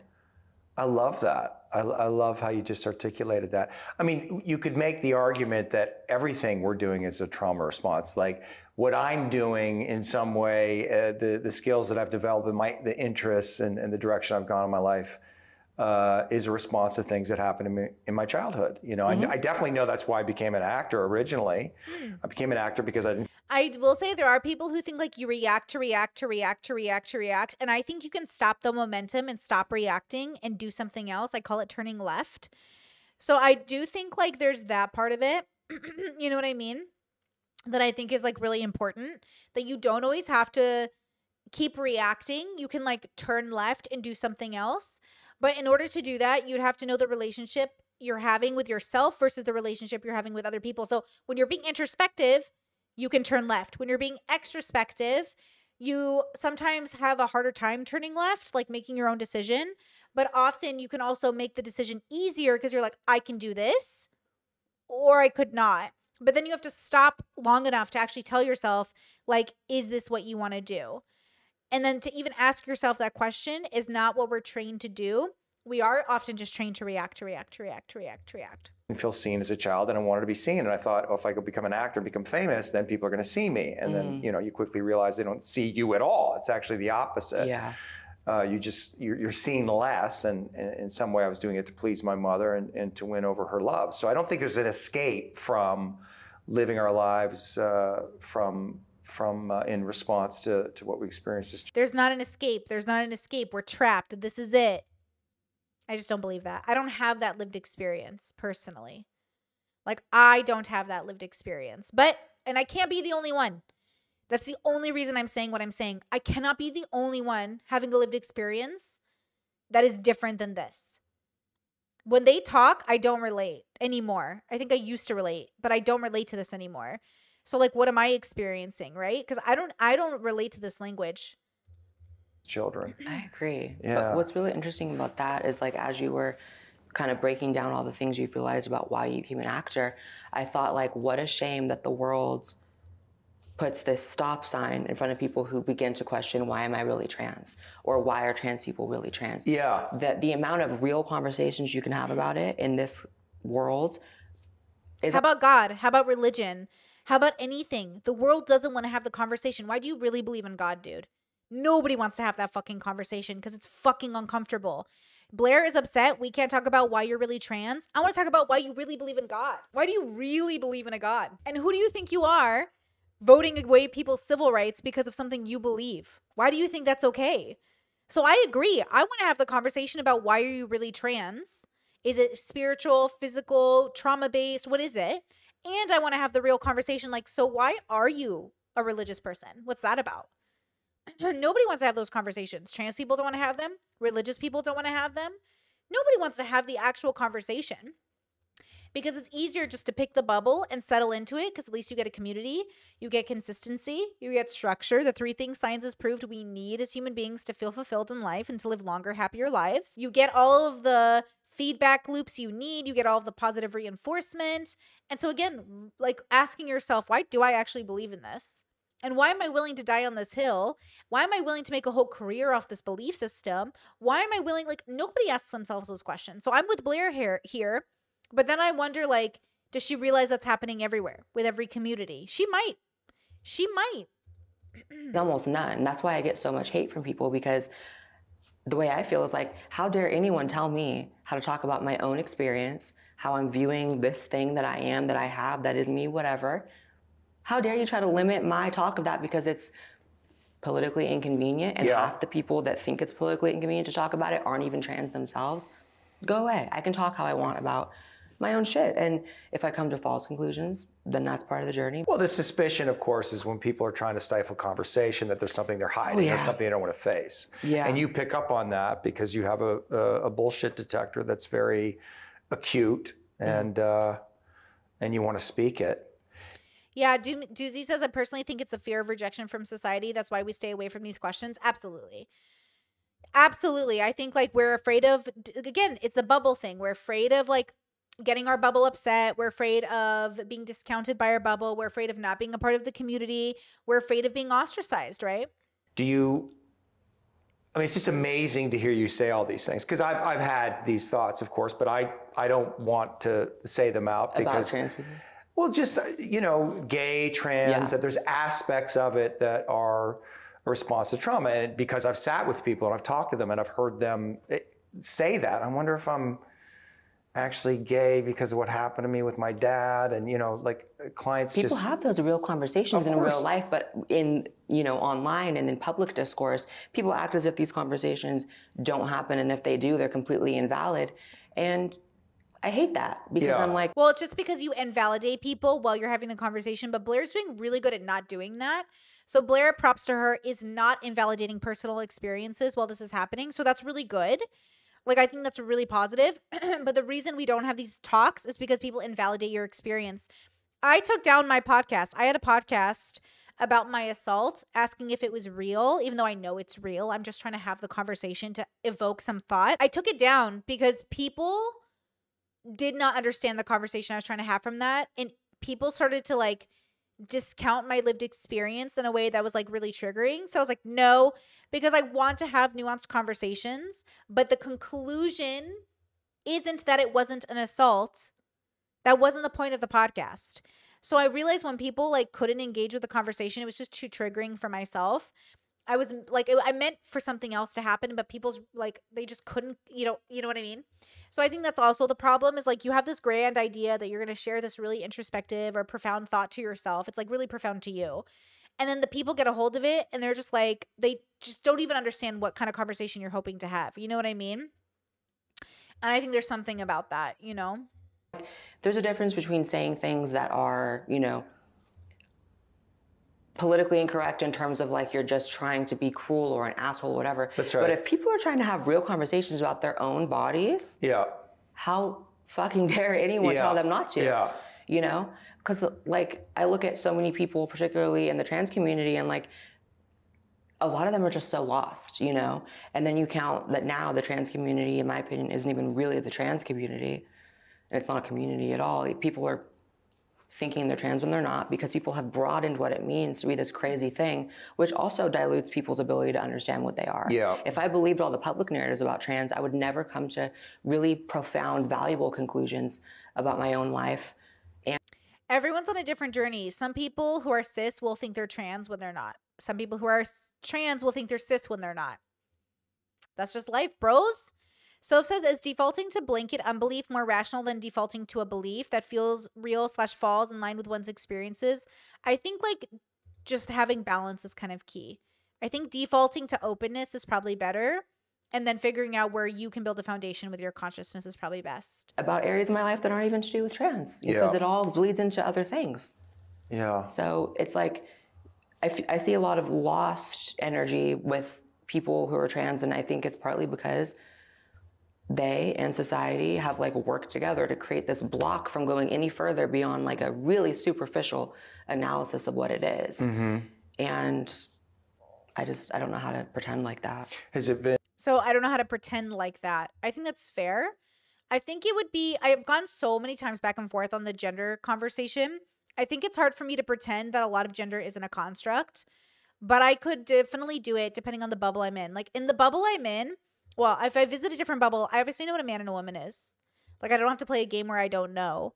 But then the truth is, is when I see certain people, it's the same with gaydar or the same with neurodivergent dar. Sometimes I see people and I'm like, you're not a man or a woman, are you? What are you? I'm getting I'm getting something. So I think there's something about that as well where you can look at certain people and you're like, I'm not really getting binary. And it's not about fashion. It's about energy, which is too woo woo. So I'm not going to use it as evidence. I'm just going to say, like, it's intuition. And intuition is like an individual lived experience, as I think is gender. I think gender is a lived experience, and then gender is a social experience, and then gender is so many other things. Just like what being a woman is, or like who you are, like who you really, really are. Like you really, really are. Like the person you are at work is different than the person you are at home, right? So, okay. you know what I mean? The person, you know, those are different people, and that's how I think about gender. The gender you are in public is different than the person the gender you are internally. I just think those things are different. Other people don't get to decide what you are. Right? Like that's not how that works. Assuming you're like reasonable and rational, like other people can't tell you who you are. They can only guess who you are by judging a book by its cover, which I as a child was taught not to do. And yet here we are. You know, which makes sense. I'm not discounting it. I'm just saying it's kind of ironic. uh, painful for you to be demonized in the way that you've been demonized and judged and hated? At certain times, but um, That's a lot to hold. Like you hold a Yeah. lot of negative transference. It's a, it's a, lot of projection that's put on you, and you're you're just a person, you know, Mm-hmm. relatively uh, young, and, and you started when you were very young, and all of this energy is coming at you, and that, that must have been a lot to to handle. yeah. Also, you know, I just turned 30 and I've been doing this since nice. I was 20. 30 is a big year, especially in a woman's life. So like the difference between 23 and 30 is like wow. And Right. then, you know, that's about as close to like, you know, the way that child stars grow up in front of people as you can get without being an actual child star. I mean, 23 is a child, you know, Yeah. looking back and especially, you know, now seeing my life for really what it is. I mean, I was just like alone in Los Angeles in an apartment, you know, with my fiance obviously as well too, but like no real family Wow, she's been with him for so long. family, no real guidance. No one ever showed me what's right and what's wrong. So I've made a lot of fucking mistakes, but like publicly, you know? And Yeah. so at certain times it's been hard and like a dent to your ego to like be like, why is this bothering me that people are saying this? But it's a lot less now. Like it's almost never now. I've really come to understand that any public figure, but especially someone who represents so many intense things like I do to mm-hmm. people, we are just mirrors to people. Like they see what they want to see. Yeah. They see, you know, what they expect to see. They will use the persona of you, the identity of you that they have or they perceive however they want. And it really has almost nothing to do with you. That's right. Uh, Ru- Uno Reverso, Spider Man meme. we do this to everyone. We do this to everybody in our lives, and we have to work really hard not to do it. We do it to progressive leftists, we do it to conservatives. We look at people and we form an idea of who they are because we judge a book by its cover. Right. Um, so if people now get mad over shit that I say, I know that everything I say is how I truly see things. Mm-hmm. And I also know I'm not some asshole who holds, holds on to things forever and makes it my identity. My beliefs are not necessarily my identity. Mm-hmm. You know, My beliefs aren't necessarily my identity. Okay, interesting. like I can change. I can change. My beliefs aren't necessarily my identity. Okay, well, the, I love the fluidity. I've changed a lot, literally, physically, mentally, Yeah, everything. Like yeah. a lot of changes. Yeah. Who protects you? Um, Do you need protection? In some ways, but in other ways, you Do know, you maybe want protection? no, No? no. I've actually come to understand part of what I was talking about earlier, like that orchestration that is there that I'm not necessarily fully like cognizant of, but I know it's there. Yeah. um, I know that I have me in some other plane or some other thing, you know? And maybe that's just my own fucked up way of like processing that I've always felt unsafe and never had real protectors like that. Yeah. But I also believe that there is a higher self. And I believe that you can tap into how that higher self is actually guiding you. Mm-hmm. And it's only going to guide you in directions that are positive Mm-hmm. if you Okay, Miss Spiritual Blaire White, let's go. actually listen to that voice Yeah. and Introspective Blaire White. separate it from all the other voices. And someone like me has a lot of fucking voices. Like, not in my own head, but I mean like people around Yeah, me, the world, about you. you. know, public figure stuff. So, learning how to tune into that voice, me up there, Yeah. that only knows the right things to do, that's been really good. So, That's amazing. yeah, and you know, it's it's been like I said, a really strong parallel to my childhood in the sense of I've always been treated this way. My earliest memories in life are like understanding that like everyone is either gonna love me or hate me, and it is what it is. I but you know it's when you're talking, I have this impulse Mm-hmm. to like like hold you. Like I want Don't touch her, bro. You leave her alone. She doesn't want your hugs. I want to like hug you, like like some protect I feel like Blaire does not do hugs. protector comes up in me uh, because I see that that little boy and I see Oh, he's gonna trigger me, bro. I don't like him. I fucking don't like him. I don't know. He gives me weird fucking vibes. all of this energy coming at I'm you. sure he's a good person, but like,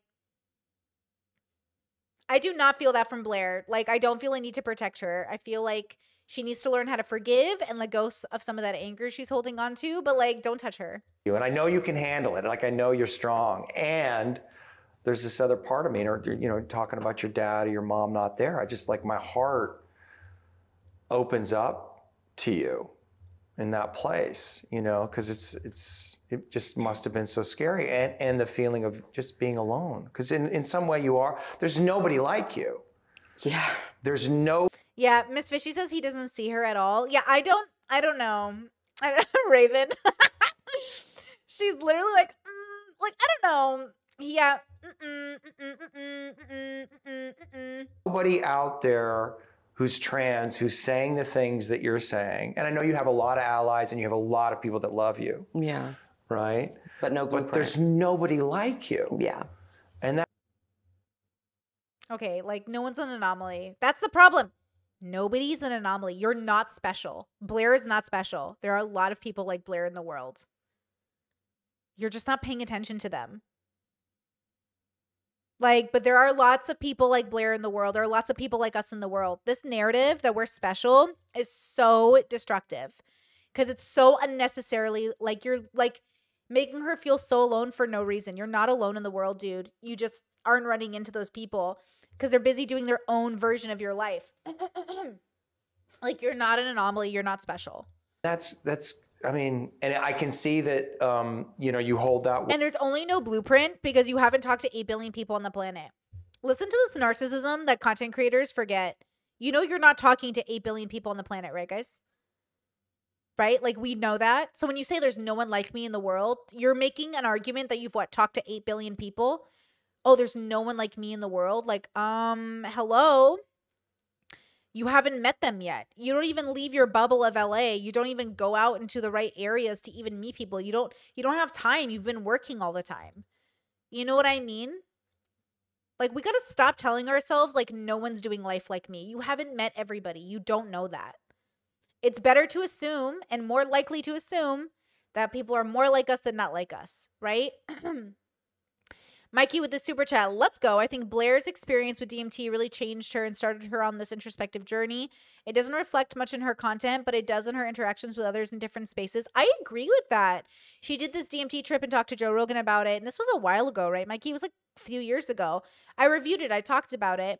And I remember thinking like, oh, Blaire is different. You know, like I said, Blaire was always very like she's been very nice to me in the past when we've worked. You know, we've only done like an event or two together. I remember one event, and she was really really nice to me. So I have nothing bad to say about her as a person. I don't love her work, but you know what I mean. Um, yes, CJ says, I feel like we're unique and not very unique at the same time. I feel like we're all one of a kind, but no one is special. Like, I'm a Brittany and there's no other Brittanys, but I don't think that makes me special just because there's no one who's Brittany. I just feel like uh, my life is very, like, I could map my life onto somebody else. But that's why, you know, sometimes you guys will call me or we'll talk in chat and I'm like, oh my God, this sounds just like me. And it's because, yes, our lived experiences are similar enough, but then the uniqueness, I guess, comes from our consciousness being unique, like our soul or whatever you want to call it. But at the same time, like, is our life really that different from other people who are in our categories? Probably not.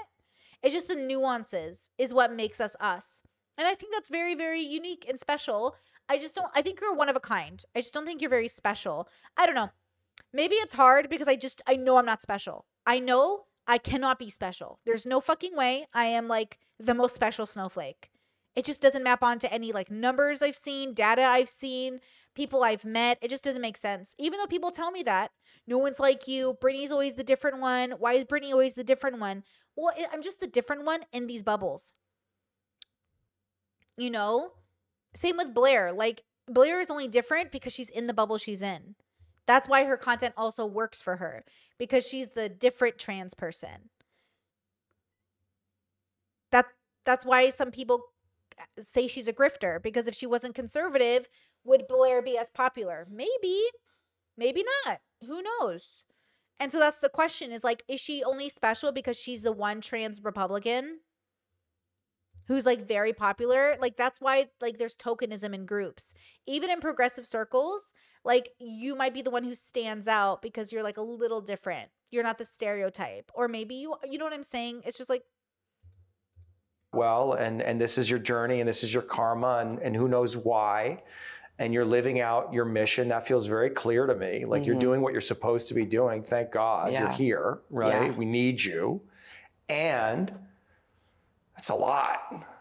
It is a lot. So i've learned to give myself grace and like pace myself. Like you know i don't beat myself up over you know things that maybe my lower self would perceive as like a failure or I didn't nice. accomplish that or accomplish that because nice. sometimes I'll just like think it. Blaire is reading a book. She's watching a YouTube channel. Who's she watching? She watching me? Like she is she's talking about higher lower selves, therapy talk. She's talking about like mm-hmm, mm-hmm, mm-hmm. or I'll remember and sort of reminisce over just the past eight years, which is how long I've been doing this.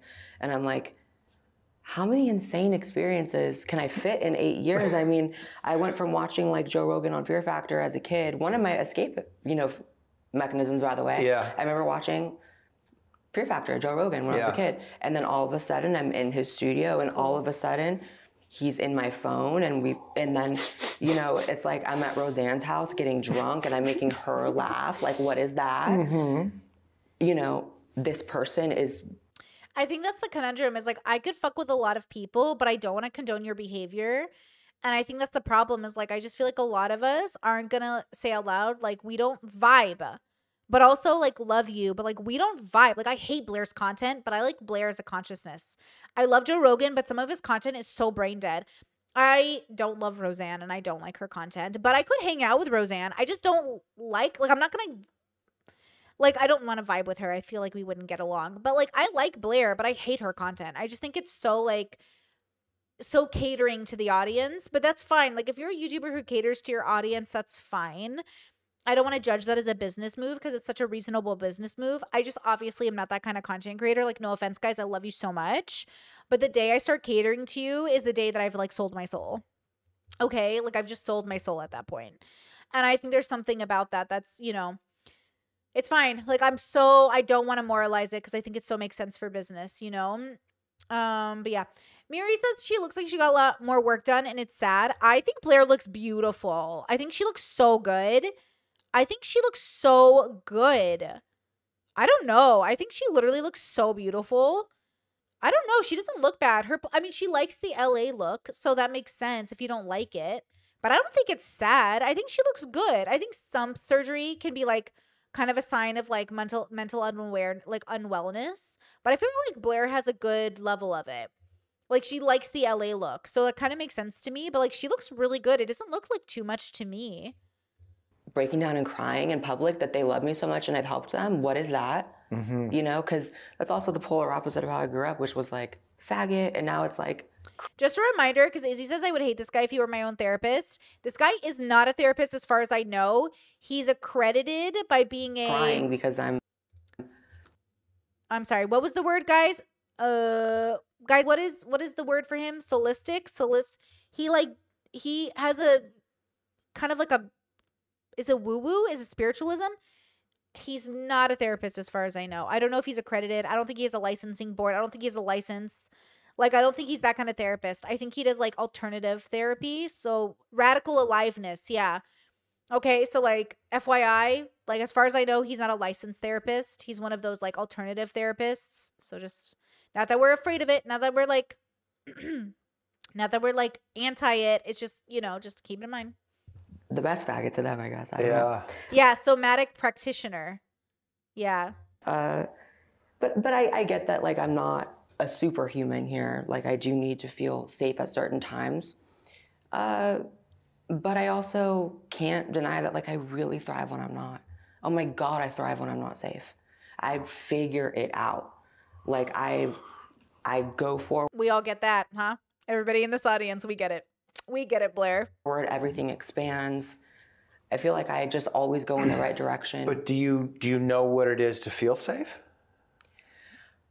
Like take a minute with that because Yeah. because it, I, I can imagine you may not even know what that feels like if you didn't grow up with Yeah. it. Probably not perfect safety. Right.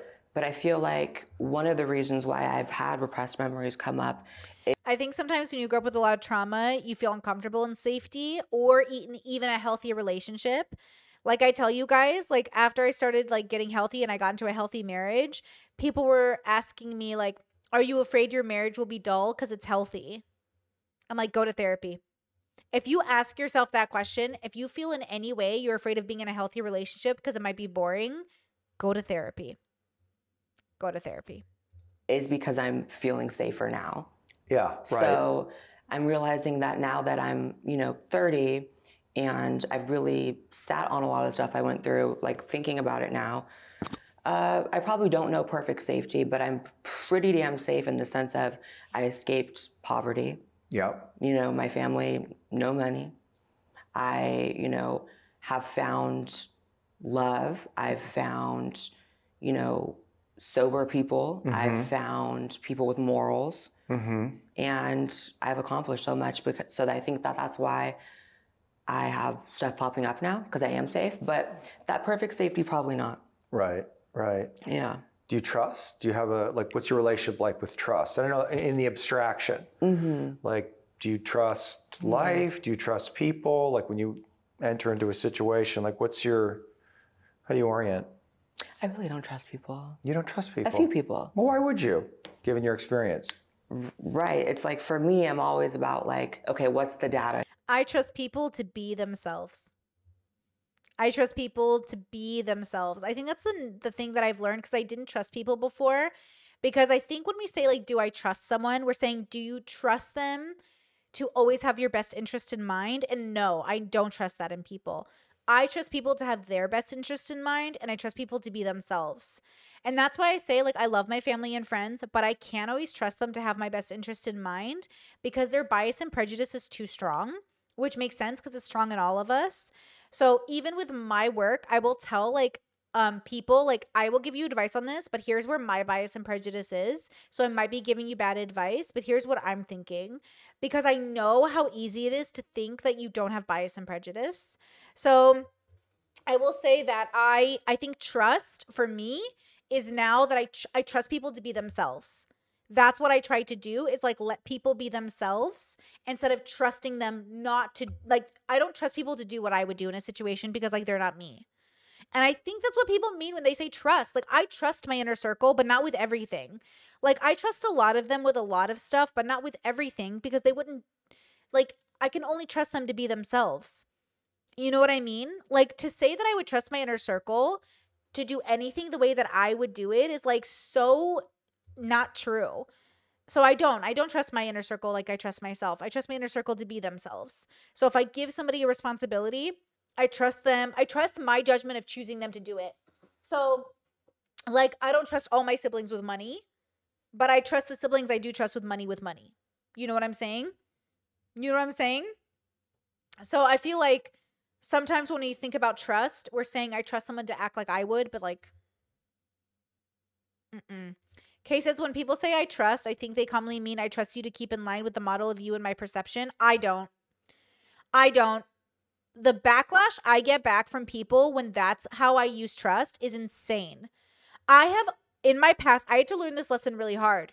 When people would say, I trust you, they meant I trust you to act the way I would act. Because I had to learn that the hard way. Maybe it's just my bubble, but in my bubble, I got punished for assuming people would because like people don't see me. So when they say like Brittany, I can't believe you did something. They're saying I can't believe you didn't do what I would do. And I'm like, why do you think I would do that? So I don't think so. You know what I mean? Like I don't think in my lived experience that's what people mean. I think they mean that I expect you to act like I would act. But I love that that's your experience. You know what I mean? Hannah says people think trusting someone is trusting that they will fulfill your expectations. That's my lived experience. So my lived experience is that people say, I-, want you to fulfill my expectation of you, which has nothing to do with the real me.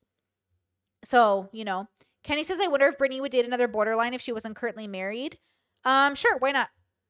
Yeah, I've never had a problem dating somebody with borderline. If as long as they've gone to therapy and they're working on it, like I don't care. Um, Soph says true. The amount of time someone has taken it upon themselves to represent me, ugh, it can be totally incongruent with what I've what I'd want is well more than I'd like. Oh my god, bro, so frustrating. That's my biggest pet peeve is when people think like, oh, I know people that know Brittany, so I must know Brittany. No. If you asked my mom if I'm gay and she says no, do you really know Brittany? No. If you ask my bestie, "Oh, this is do you, is this true about Brittany?" How would they know? They only know the version of me in their head.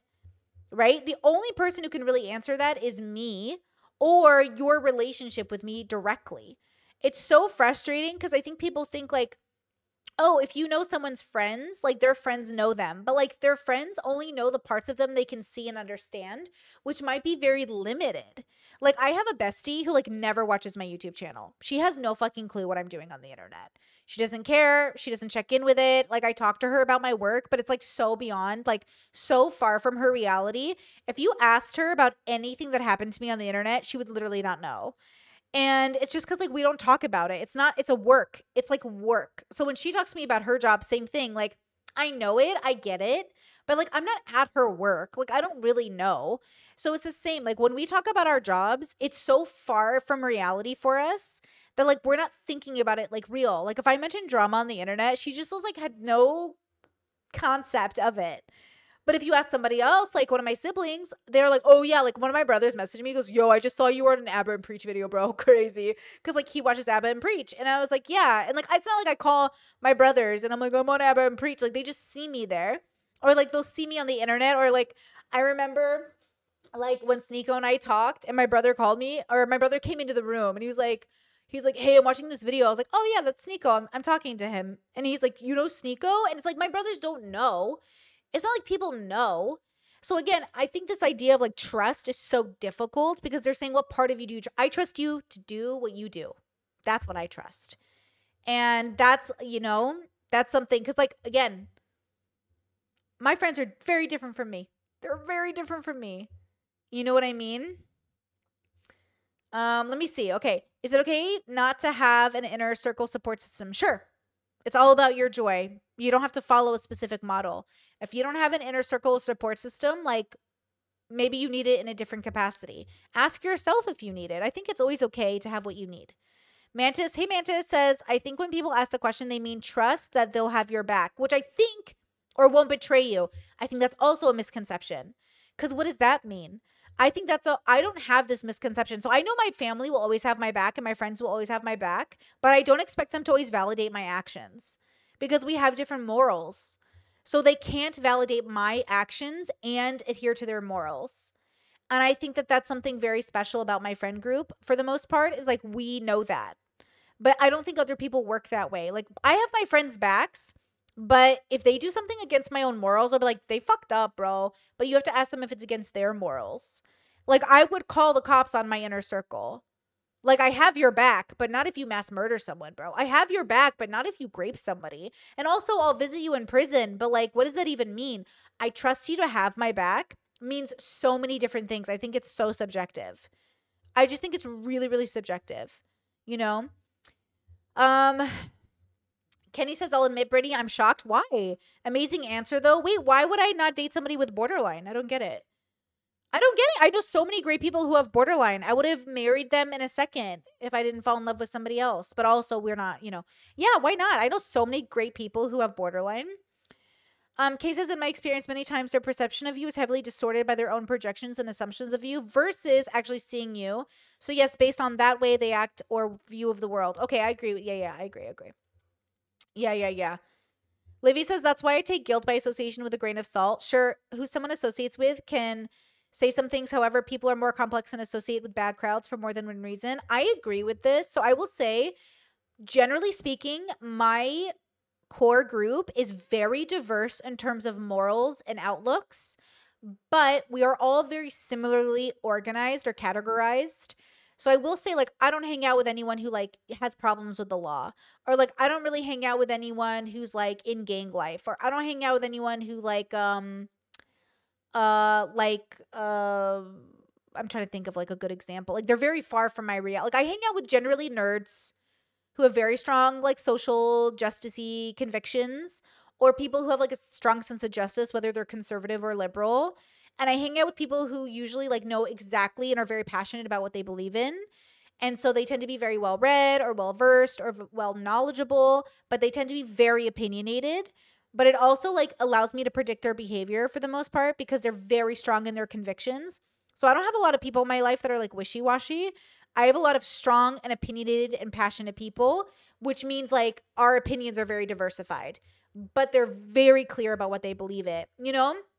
Something like that. Like I'm trying to think like but they don't they don't make they don't have a lot of problems.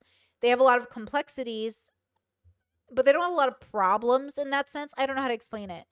Um, so I think in that way, like sort of like similar, but yeah, I don't want guilty by association because, like, no offense, I love my friends, but I do not want to be associated with them. Does that make sense? Like, some of my friends do things that I would never do. And I don't want you to think because my friends do it, I would do it. But at the same time, like, we're totally different people. So if you're going to judge me on what my friends do, I think that's kind of fucked up. But yeah, some of my friends are very like, like, sometimes when they do things, I'm like, I cannot believe you decided to do that and tell me that with no shame. Holy fuck. Ingrid says, so autists? Yeah, basically. here. Am I irrational for having trust issues, or am I just going off of data that the world has very specifically and kindly packaged up and handed to me since I was four or five years old? I think it's probably a little bit of both. And also, like, a lot of people don't see me as like a human you know, when you're a public figure, Yeah. you're objectified in that kind of way. Yeah. And then being trans, it's also a fetish for a lot of people. So a lot of men objectify me. True. Uh, also, I think uh, objectification has also happened. Um, even even if you're not a public figure, I think it happens in our world a lot more. Like that whole "don't judge a book by its cover." I don't think we do that anymore. I think we judge books by its covers explicit like im- like implicitly but explicitly like we do it all the time now. So I wonder if that's what's changed as well. Huh. Mm-hmm. And uh, if you are a fan of me, you're objectifying me. If Yeah. you hate me, you're objectifying me. If you meet me organically, perhaps, and we become friends, you start to objectify me somewhat when you learn that I am a public figure. It's just a very, there's no one that doesn't do it to some extent. So, Objectify you. yeah, I, I have, I've actually had one panic attack where I got back from a big, um, like social function, and I started feeling like, oh my God, no one even sees me as a person, Yeah. you know? And it was a social function with people who liked me. Mm. It was people who were open to me being there, and it was a work social hybrid thing. And I was like, my God, the way everyone interacts with me, I can just see it in their eyes because I'm also a little autistic, so I pick up on every little, you know, micro facial gesture. Is she literally saying she has autism or she's just using that as like a You know what I mean? it's like they're not really looking at me. Like men have like a specific look at me that's not quite there. Women do too. It's just I don't know. Mm-hmm. Maybe I'm not wording that so No, correctly. no, that's very clear. You you feel objectified by the world, by everybody on some level. Yeah, I just have a very clear understanding that when people are talking to me, there's a lot going on simultaneously in their head. Whether it's I've never met a trans person before and Yeah. now I am, which is big here in Texas. That's and a lot of people's like first interaction with trans people. Yeah. which is great. Love it. Um, you know, like I'm always just seeing it that they're not fully taking me in Mm-hmm. or fully. And how is that experience? So you're, you're this. The, this is your world. The, the world that you live in is you walk out into the world and you meet all of Ripley says, I thought autism caused an individual not to be able to pick up on facial uh, faces. She's confused. Well, honestly, that's the conundrum. So they say that people or autistic people don't pick up on facial expressions or social cues, but I would argue, depend on depending on the autistic individual, I would say people are like autistic people are more are better at picking up on social cues. Like I think people with autism notice things more than the regular person, but they say it out loud, which is what people make, which is why people go, "Oh my god, you're so autistic." Does that make sense? Like sometimes they can't pick up on the social. So here's what it is: autistic people don't pick up on the social metagame that's being played by people. They actually are just operating on like what is. So I feel like autistic people literally say like, "You look upset." But the metagame of Normieville is you're not supposed to point out that they're upset. So I would argue that neurodivergent people or trauma people or people autistic people they're actually very good at picking it up but they don't know they're not supposed to say the thing out loud because the metagame that normies are playing is we pretend that the obvious isn't obvious and we don't say it. The game is you're not supposed to actually say the thing out loud but it is happening. So then when you say it out loud they're like oh my god you're so autistic. But but the autist is picking it up. Like that's what I'm saying. Like the autist is pi- they're absolutely picking it up. So I would argue that the normies are the ones who play the lie games and the normies are the ones who want people to lie about things and not say things out loud. Because there's like a thing they're doing. You know? So these people and nobody actually sees you. Yeah. How is that? Well, it was the source of a panic attack. So that- Right, that, you- was about a, a year ago or so, I think. Or actually, no, under a year. Um, but one thing I'm really big on is once I experience, you know, panic over something or an emotion, I start to immediately, once I'm like in a calmer state, unpack it. And I try to take it down to the lowest common denominator. by the way, the fact that she mentioned autism like three times, I would just be like, So are you autistic? Did you get diagnosed? You know?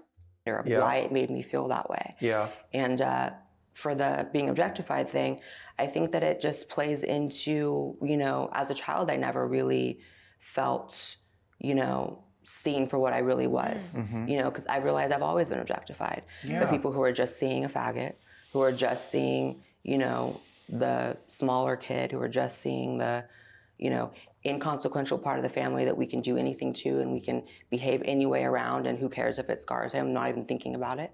You know, that's a form of objectification. Like mm-hmm. you're like a wall.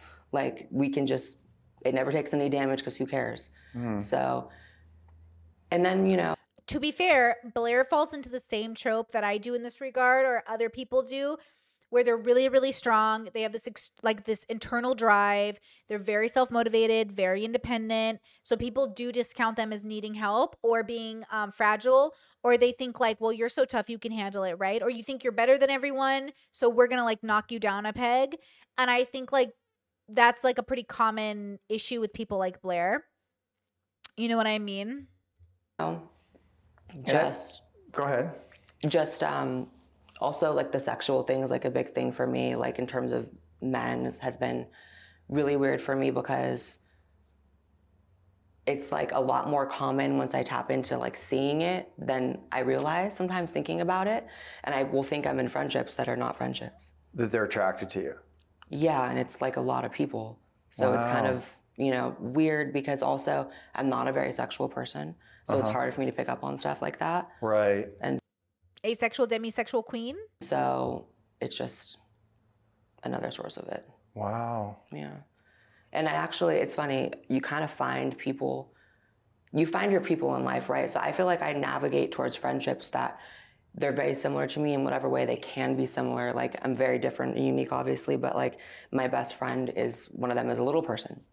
So like he understands being a freak, Yeah. being seen as different, the fetishization, the objectification, like they have that as well. Yeah. And you can imagine what kind of really dark people fetishize smaller looking people who look Uh-huh. like children sometimes. So he was going through a lot. So we've had really deep talks about it.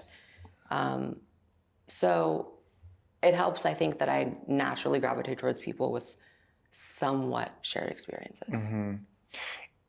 Yeah. In in the so you you had this experience of really seeing that you were being objectified by everybody, men and women, and even the people that that love you, and then that led to a panic attack. Yeah. Um, so something powerful was activated, you know, from your history that caused all of this emotion to come up. What what do you think you needed there? Like, what do you need in the place where you get? If we can say that a panic attack is some expression of fear, is that fair to say? Yeah. Like terror almost. Yeah, even if it's childhood fear you don't really know is there, Right. that's what it is, in my opinion. Um, so I think that what I did, because I'm a lot better from that now. That stuff doesn't panic me anymore. I've really accepted this is just part of my Mm-hmm. life. That like that's how a lot of people view me. Most people. Yeah. Um, Were you And I've- crying huh? in the panic attack? Are you crying? How's it Um, I was. It, I start having difficulty breathing. breathing? Yeah, and I, I think I cried as well, actually. And I, I, I remember saying things like, um, "There's just so many hands all over me all the time, not physically, but you know, feeling like everyone's trying to like get a specific interaction out of me at all times, like trying to mold my presence into what they want, sort of thing." And Yeah. you know, and kind of just up in my shit, frankly. I mean, just up in my business. Right. And uh, that can be hard when you isolate, which is I do that a lot. And what do you want in those interactions? Like you're not getting what you want, and it's causing you to have a panic attack. Like what, what, what? In the perfect scenario, how do you want to be seen? And what are people not seeing that you'd like them to see or understand? Well, I like to believe, even though I know it's almost never the case, that like my interactions with people, they are actually hearing me and not just playing a video of mine in their head that they've watched or, you know, You know what's so strange? And I'm realizing it while I listen to Blaire, but also just like relating it to the space in general. It's so interesting how deeply we want to be like seen and understood. But then the content we make is about not seeing people and not understanding them. I can't watch Blaire's content. It's just so dehumanizing. And I just feel like every time she makes content, she's not seeing people for who they are. And if she really did see them, she wouldn't be able to make content, which is like the irony. Because when you see people, you can make content, but you make more nuanced content, which does well, does less well in terms of business. So it's funny like how deeply like people want to be humanized. That's why I say like when I see a conservative, they're just like you and me, bro. When you see a progressive, they're just like you and me, bro. And because I know that, I can't help but say, okay, what bubble are you in? What do you need? Because I listen to Blaire talk, she's saying the same thing we all say, which is like, yeah, I'd love for you to know me, the consciousness, and not a video of mine you saw. I would like you to know me, the consciousness, and not just a video of me you reacted to on the internet. But also, do we want that at work? I want that less, to be honest, as an individual myself. But she reviews a lot of people that she purposely takes out of context so she can like make make a video about it. people hear things said about me obviously i always that's always running in the back of their head i know that so what i need in that moment i guess would be or what i want would be and it's not it's not realistic is to kind of transform back into like private blaire or like not like spectacle blaire Yes. or not like you know physically this way blaire like almost to not even be there i don't know how to word But it you're so funny on YouTube. yeah That's the Yeah, problem. Like yeah. you're so good at it. Yeah. And I want that. yeah Like I want that part of you. I want to be with the part of you that I think Blaire needs to stop wanting other people to see her though. I think one of the best things you can do is stop wanting people to see you um to some extent because like maybe they were never meant to. I think I see it more of an honor when people can see a part of me cuz I'm like cool. But having that expectation I think is like a mistake. You know what I mean? So I think that's a big part of it is like people can only see what they can see what they can see and expecting them to see a part of you like when you can't even do it for other people i think is the mistake that's what i'm saying like i am you and you are me we are all blaire blaire is all of us. Blaire can't see parts of other people in the same way other people can't see parts of her. So that's it. Like at the end of the day that's the reality. You cannot ask people to do things that you can't do yourself. It is it is so unfair.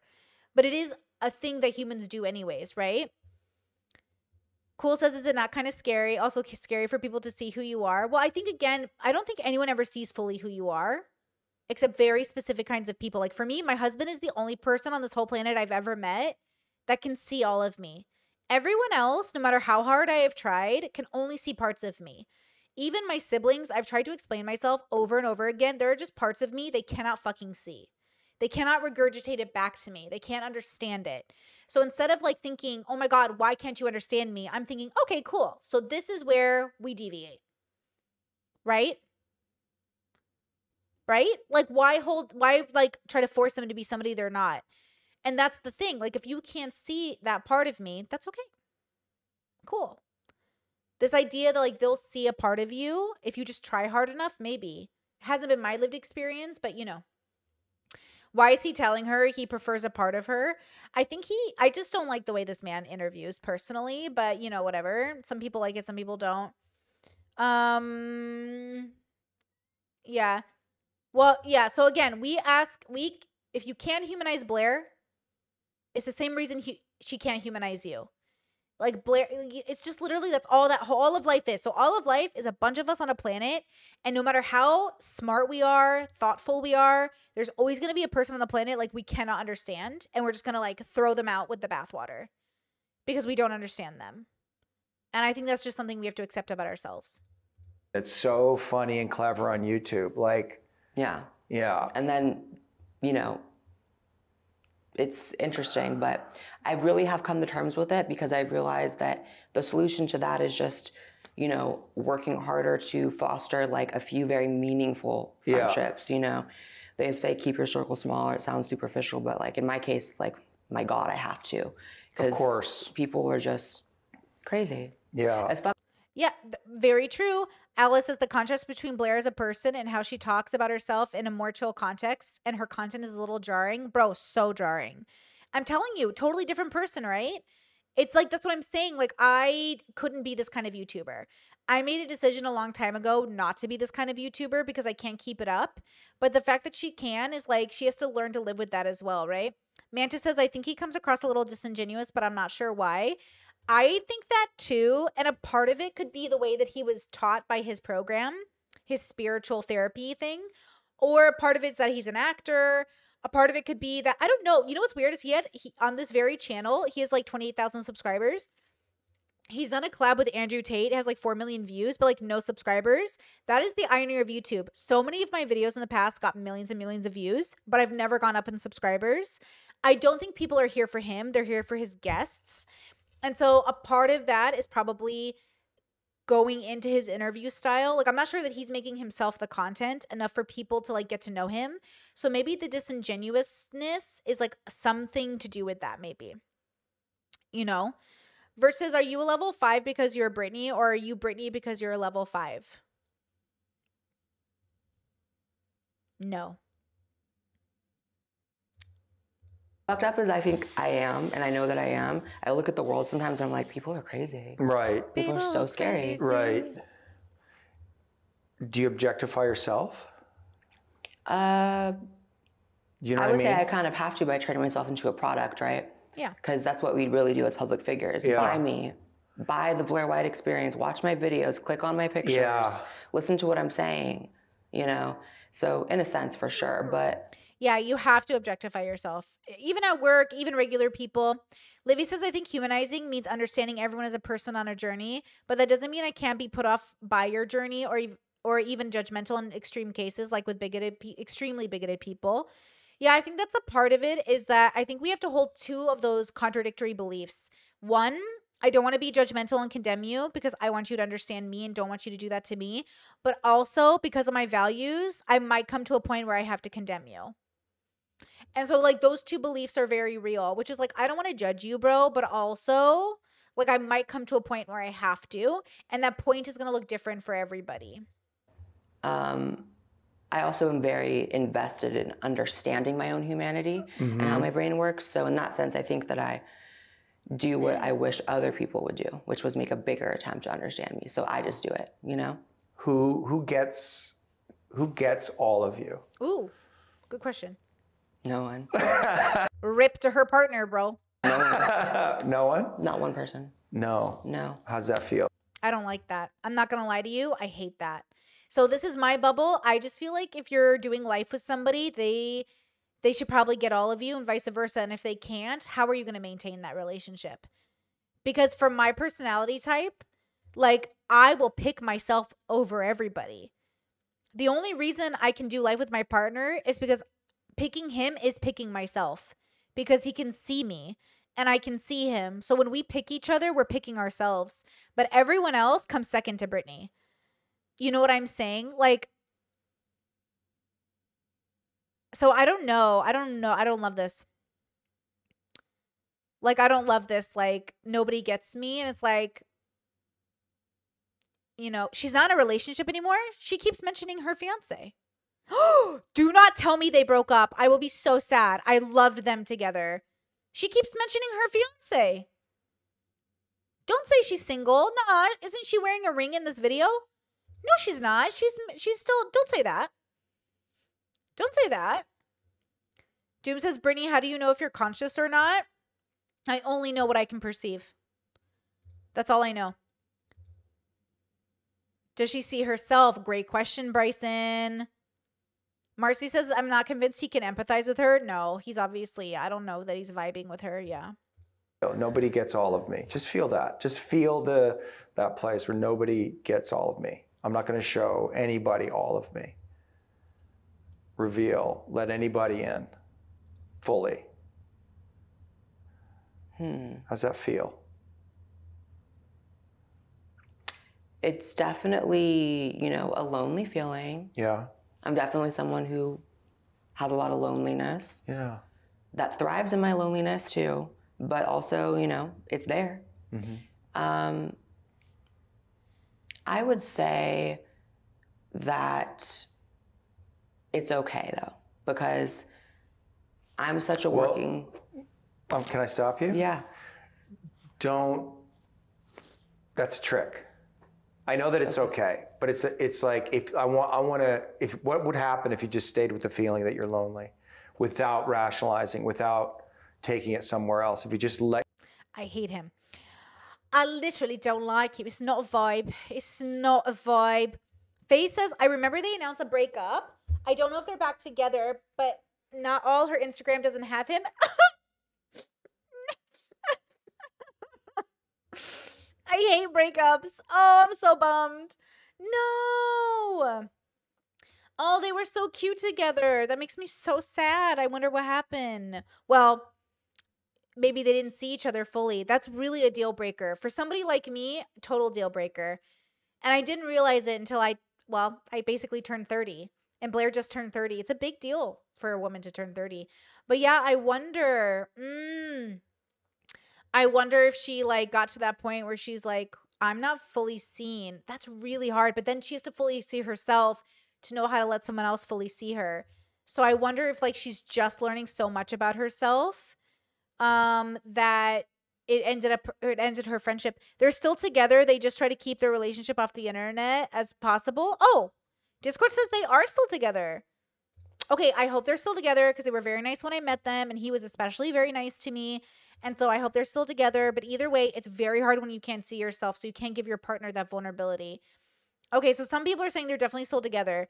Okay, okay, okay, okay, okay. They're just trying to be private. I love that. CJ says, Do you think she understands the meaning of thriving? I mean, does anybody? Right? Does anybody? You know what I mean? Let yourself land and be with hmm. this place where it's like you're lonely, you, you don't trust, you don't want to let anyone in, you feel objectified. Like just let yourself Is she zoning out or is she meditating? exist there and see what happens.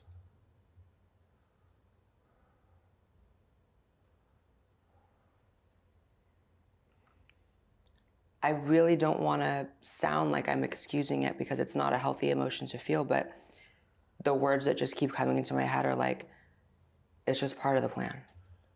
Like it's just part of, it's part of how I get there. Uh huh. I don't know if that makes sense. That makes sense. How, I it's how I get there. You accept it. It's how everything beautiful has come out of my life. Everything beautiful has been born out of that feeling. Yeah. So Is she just going through that comedian uh dilemma? Like, who would I be if I'm not healthy? And that's the truth. What I always say if you become introspective to such a degree that you find healing and peace, you might end up getting rid of all the things you've ever built because it's all kind of meaningless in a way. So, do I like feeling it when I feel it? No. But I also understand that like everything positive I have was born out of it. And I also know that, you know, I swear people think this is probably like loony talk, but like this is just how it's supposed to be. And it's because he wants her to cry. I definitely think he's trying to get her to be clickbaity. And the host is definitely trying to get her to be more vulnerable for a good uh, a good episode, which I think is fucked up. I have a destiny that is so much bigger. And, Yes. And and, Yes. and me getting there entails every bit of what I'm experiencing. So I try to let myself experience things, you know. I try to Ah, Rock says this is a lot of soma- somatic stuff, sitting in your emotions and exploring how they feel and how they feel in your body. Unpack it and and and live with it in the sense of like let's see what I can create from this. Let's see where I can go from this. Mm-hmm. Because I've gone to some like crazy places from it. Yeah. Like my life is unrecognizable. That's the biggest thing no one will ever understand about me is how unrecognizable I am now. Not just physically, that's one thing. That's the most superficial, but right. my life was before. It's that's part of why I'm like nothing's even real because there's no way that I'm living this life when that was my life. That's right. Mm. Yeah. She had a huge bubble pop, it sounds like. And the bubble pop made her more aware of like nothing's even real because like you can always bubble pop again, which is pretty true, right? I really think like that's funny that she knows that about herself, but not about how other people experience gender or experience life. Like nothing is real except we all put our foot down. So when people ask me, like, Brittany, what do you think about this? I'm always asking, do you mean me, the consciousness, or do you mean me, the citizen? Because me, the community member, has a different opinion about things than me, the consciousness. And I think people don't understand that because for them it's the same thing, but for me, they're totally two different things. Like, they're just so different. So I think maybe Blaire is having that kind of, maybe that relationship because a lot of people in the bubble I grew up in, those are the, the same thing maybe she's realizing like you know what i'm something happened something happened she had a bubble pop something happened. Do you think it's possible for you to because you have this belief it's this is part of the plan this is just what my life is and there's something bigger operating and, and that's mm-hmm. your intuition and and I, which I believe that feels that feels very real. And like is there a part of you that feels it's impossible for me to ever get what I want in that way like emotionally to be seen to be understood to be felt to be known I think so. you think it's impossible. Mm-hmm. So just br- go to therapy go to therapy breathe and just feel this. Like it's not impossible. go to real therapy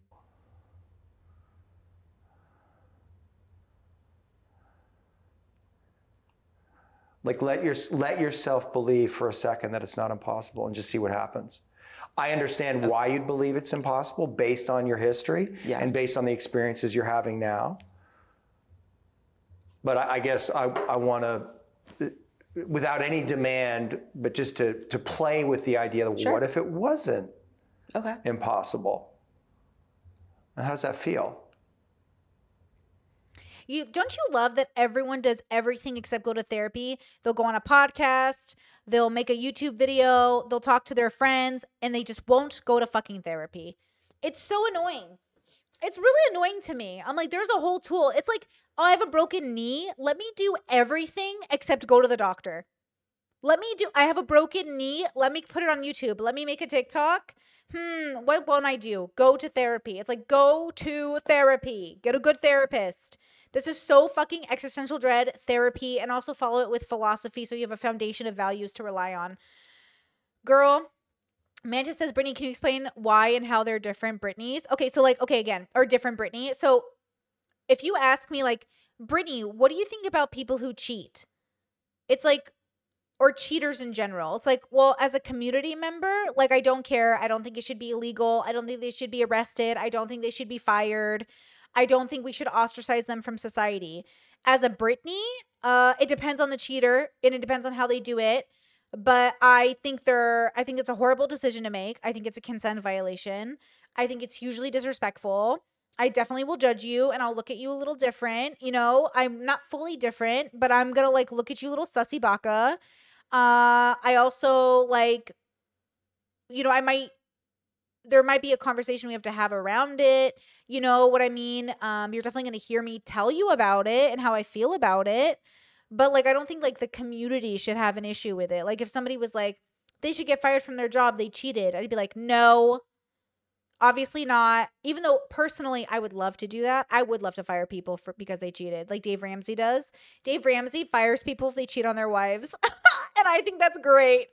As a Brittany, I think that's great. As a community, I think it's probably not a good idea because I think you can be a bad husband but really good at your job. But I think that that's the problem. Is like I think those things are separate. So that's what I mean. You know what I mean? Like I don't think we should like as a society ostracize te- te- cheaters, but I think as individuals we have the right to be like, "Hey, this isn't okay and what you've done is like really bad and this is a detriment to your kids and your family." And we should be talking about that. You know what I mean? So I think we should be talking about that. But that's Brittany's values. So Brittany's values are not society's values. I live in Croatia. They're anti-gay and anti-weed. I'm happy to be a good community member here. I won't sit here and like ruffle feathers, but like my own personal life, of course I'm pro-gay and pro-weed. But like I'm not going to come here and make a mess of it. You know what I mean? So you know, Alex says they used to stone cheaters. Exactly. Livy says so citizen is what it means for the community and consciousness means just for yourself. Yes, my consciousness, my my ego, my my perception of self is me. And then there's the community member part of me that's like I it's not just about me. Right? Like they're just not about me. Raheem says, Why can't both your thoughts be congruent, overlapping each other because they're both correct perspectives for different circumstances, morals versus laws? Because personal morals shouldn't reflect laws. People do pretend that society's ethics should ref- like ref- like reflect the law, and I think sort of, but not really. Like the collective is often incorrect. So, you know, like everyone has a different relationship with these things, but again, for myself, like I I don't care what most people do. Like I remember my brother got into it with me over like should trans people be in schools? I don't give a fuck. I don't give a fuck. Like I don't give a fuck as a person or as a societal member. But they feel like you have to give a fuck, you know what I mean? Or like drag queens at schools. Like I don't know. I'm indifferent. Maybe it could be wrong, maybe it could be right. I don't give a fuck. Like I don't really give a fuck. You know what I mean? But like what does that mean? You know, or abortion. Like I'm not the biggest fan of abortion, but I don't care if people have abortions. Or war. I'm not a big fan of war, but I know people are going to go to war. So it's just like whatever people, you know what I mean? Like people just decide what society they want. Or like I'll pay taxes, but I think taxes are like criminal the way they use them. Or like I'm happy to be a good community member. Like I don't always want to wear my seatbelt, but like at the same time, I make people wear their seatbelts because it's the law. You know what I mean? Also, it's good for safety, but like I don't always wear a seatbelt. Like I always take off my seatbelt as I'm approaching my house, even though that you know what I mean. But like I don't know. Like I just I just think this idea that your uh, your community always reflects you is just like a privilege take. It's just like you that means you've been a part of the majority for so long. As a minority, like how could the majority, how could the world ever reflect your values? So of course it's different. You know what I mean? Dooms, I'm not sure what you're asking. How is your perception of you you? I'm not sure what you're are you asking an introspe- like introspection would be my answer, but I'm not sure what you mean by that. You know what I mean? Um Livy says, Do you think people's trauma can bleed into their consciousness or core selves, or is their trauma purely a reaction from our animal brain trying not to be hurt? Um do you think people's trauma can bleed into their consciousness? Obviously, or core selves. I think I see trauma as like something that like sludges over your core self and then you like wipe off the sludge. And that's the trauma. So the trauma, the illnesses, the processing stuff, I feel like it's mud over the consciousness and you just got to wipe the mud off and maybe collect it in a jar and put it on a shelf or wash it away completely. Because sometimes if you can't get rid of the trauma, you just like put it in a jar and put it where it belongs. So that's how I see it. So I, I think like your trauma blocks the view of your consciousness from seeing things in the most clear way, um, in the most whole way, even yourself, especially yourself. So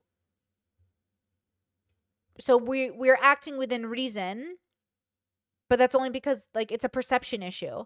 Like before I knew I had borderline, I thought I had anxiety and depression and that was it my perception completely changed the moment moment I was diagnosed with borderline. I was like, "Oh, okay." Now I now I understand there's mud on my windshield and I've got to clean it off. No wonder I've been struggling to drive. Like no wonder I've had a hard time. No wonder I keep getting into car accidents. Damn. I've had mud on my windshield this whole time. I just thought that's how the car came. You know? Doom says I don't really I don't even believe in introspection anymore because we literally don't exist. If everything is just happening, then so are we. I'm not my brain because I'm aware of every everything that produces it. Yeah, I think that's like I don't believe you because you're in the comment section asking questions about introspection. So you don't believe that. But if you're just happening, then like I'm glad you've decided to just happen in my comment section.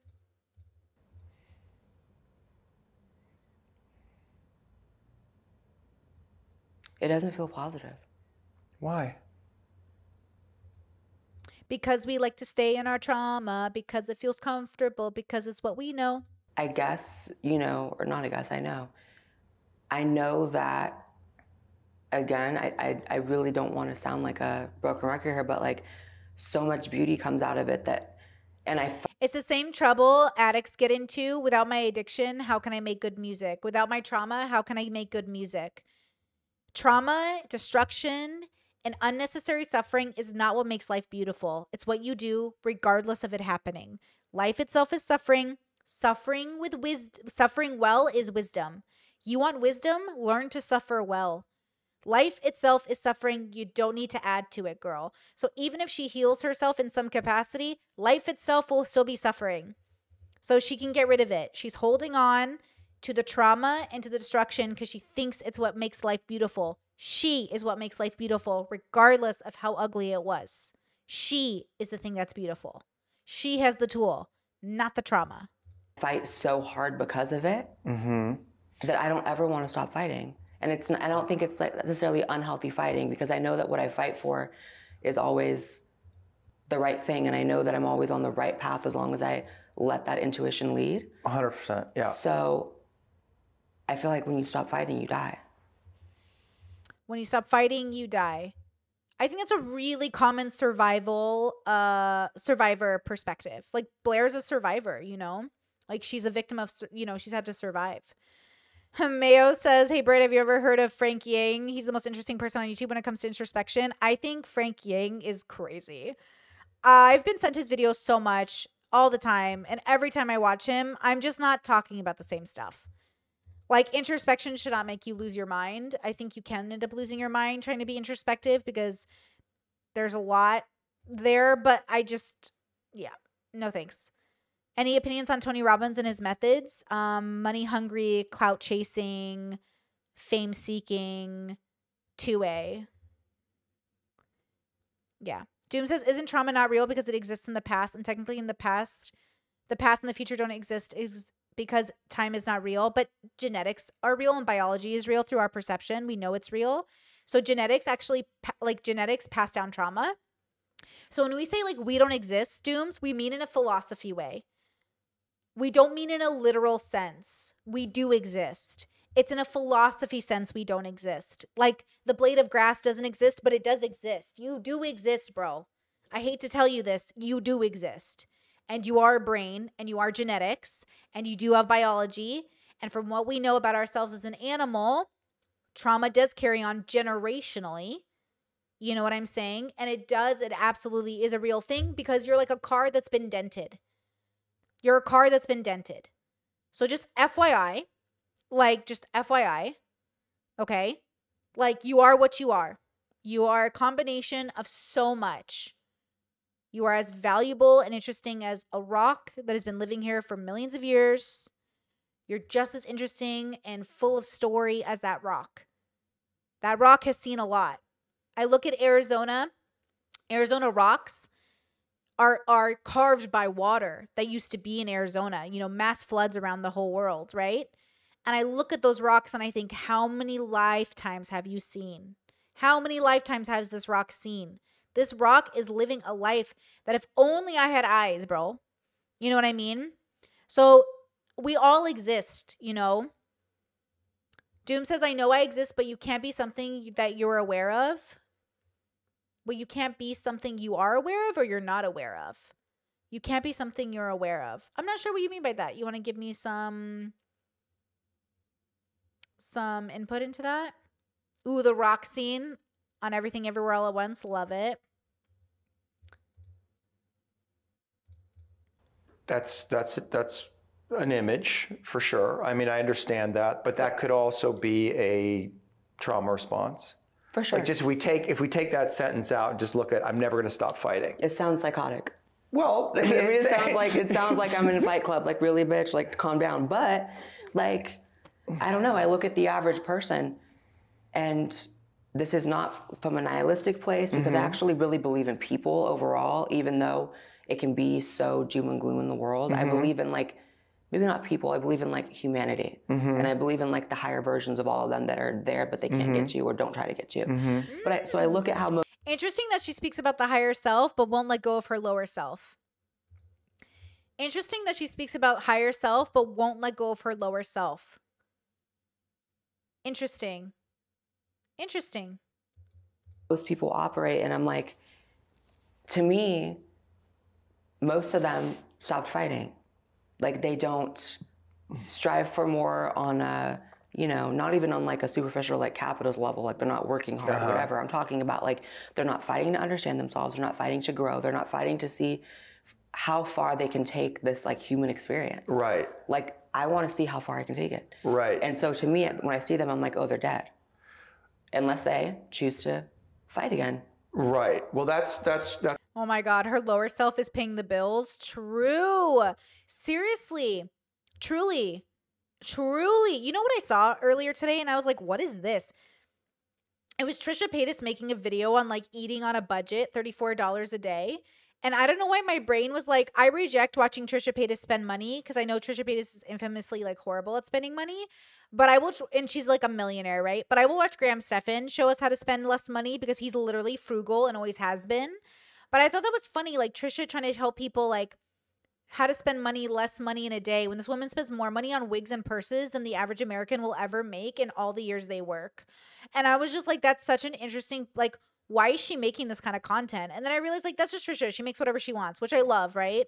But I was like, yeah, that's like an interesting, interesting, huh? Now, to be fair, Trisha isn't as Trisha is definitely operating in like a mid self because her lowest self is like crying on a kitchen floor talking about being a chicken nugget, and we haven't seen that in years, so that's good. But it's definitely she's not her higher self yet. Blaire knows about the higher self, but I don't know what that means for everyone. You know what I mean? So it is it, it is interesting, but I think she's going through the same conundrum comedians go through. They're afraid to lose their edge, their like trauma because that's where their work stems from, which is true. Healing often affects your bag, bro. That's I understand that perspective, and I I relate and respect that perspective. But there's a, there's some awareness that you've hit some limitation or or or some blockage where you're realizing that there's things that happened in your childhood that are going to need to be reconciled in some way in order for you to, I guess, get to the next level to keep to keep growing. That's literally how I understand it. You Yeah. Know? I felt like I hit like around four or five months ago, like this mm. weird wall. And I was like, this is weird. Suddenly, you know, this, you know, constant trajectory that I've been on mentally since escaping my childhood, mm-hmm. suddenly it's not going any further. Mm-hmm. But I knew it could. I was like, there's no way mm. that like now is when I just fall apart. Any thoughts on therapy? Does why doesn't anyone think about therapy? It's doctor for your brain, guys. Think about it as like medical professional for your brain. Jordan Peterson is a therapist. Why don't why doesn't Jordan Peterson encourage more people to go to therapy? Because he thinks it's all been taken over. Wait, wrong accent. What are we gonna do without the men? Go to therapy. Wait, don't go to therapy. It's a liberal mob. Okay, got it. But like Jordan Ther- Jordan Peterson is a therapist. Like go to a, a person who specializes in the brain in terms of trauma in your past, bros. Like so interesting, right? They'll literally make YouTube videos. Like and then to be fair though, therapy without philosophy is useless. So you need therapy to handle the trauma and then you need philosophy to like help you with a foundation for your values. Why do you do what you do? What do you believe in? What brought you here? So when you get healed, you have somewhere to land. So And healed is a process. I don't mean it as an ending point. I'm still in healing. Everyone's still in healing. There's no like end point. Like I'm not I'm don't I don't mean healed like now you have nothing to worry about, you know. Mm-hmm. I started assessing what really happened to me Yeah. and what is really the story of like my life and I also made a conscious effort to refuse to separate Blaire and Robert as somehow different people or different lives Nice. or different entities. I'm like that's so ignorant, you know. I'm I'm all of it. Oh. I'm both of them, True. Mm-hmm. you know. And it's all me and it all makes up who I am. Like Robert had everything to do with Blaire. Blaire has everything to do with Robert. True. And even saying it sounds like I'm differentiating it, but it's not. Well, they are the same person, but also Robert never knew this Blaire, and Blaire never knew this Blaire never knew Robert in a big way. Like my past self, like my husband, you guys have known a part of me that my husband has never known because by the time I met him, I transformed into another Brittany. So like I'm not my past Brittanys, but I'm all of my past Brittanys into this Brittany. But obviously, like you change. It's like with any good anime protagonist. Like Goku season one is not Goku Super. Like, okay, like Super Dragon Ball Z Super is not Goku like season one with Raditz. Like, okay, like these are different Gokus. Like, it's the same Goku, but it's different. Okay, Gohan beating Cell is not Gohan who has his like daughter and is like living his life as like a little nerd. Okay, like they're different versions of ourselves, but they're still like us, but they're different versions. not. If I could blend the word into one word, then I would. But mm-hmm. you know, And if you allowed yourself to like intuit what's where's the place to go? Like what's the work you have to do? What's the thing? No, Raheem, we are not talking about personality disorders. We're talking about the different versions of ourselves. You are multifaceted, bro. I hope you're not. Well, maybe you're not, actually. We're not talking about multiple personalities. It's a very rare condition. We're talking about the different versions of yourself, like the person you are at work, the person you were at 25, the person you are now. Obviously, I'm not 12 year old Brittany, bro. Where's the place to start in terms of looking at your childhood? Like what what if you just intuit into it or, or trust whatever comes up when I ask that question? Like like if we were to where should we go? What what should we unpack? um, definitely the long-term effects of abuse when you're really young. Uh-huh. So that includes, you know, How could you talk about being abused and traumatized and not think I should go to a therapist? Again, I really love that Blaire is aware. Same with Trisha. Trisha goes, Oh, I'm binge eating food and I don't know what to do. Go to an eating disorder specialist. Go to a specialist who specializes in eating disorders. What do you mean? What do you do? And a part of me is like, man, I really just want to give people tools. You know that thing you need help with? There's a job that is dedicated to solving those problems. There's a literal job that people created to solve that literal problem. And again, buying going to a therapist is like finding a good MD. It takes a while. Like you have to find the right therapist who's doing the right special practice to help you. Yes, it takes a second, but there's literally a whole group of people who've dedicated their life to solving your problem. But again, people think they're special and they think there's no way anyone could solve my problem. Girl, all the answers are in the universe, girl. There is nothing. Everything is out there, girl. Oh my God. Like, I am just so shocked. Here we are trauma, childhood trauma, abuse. Wow. If only there was a specialist that engaged in this type of work. Hmm. Hmm. Girl. Girl.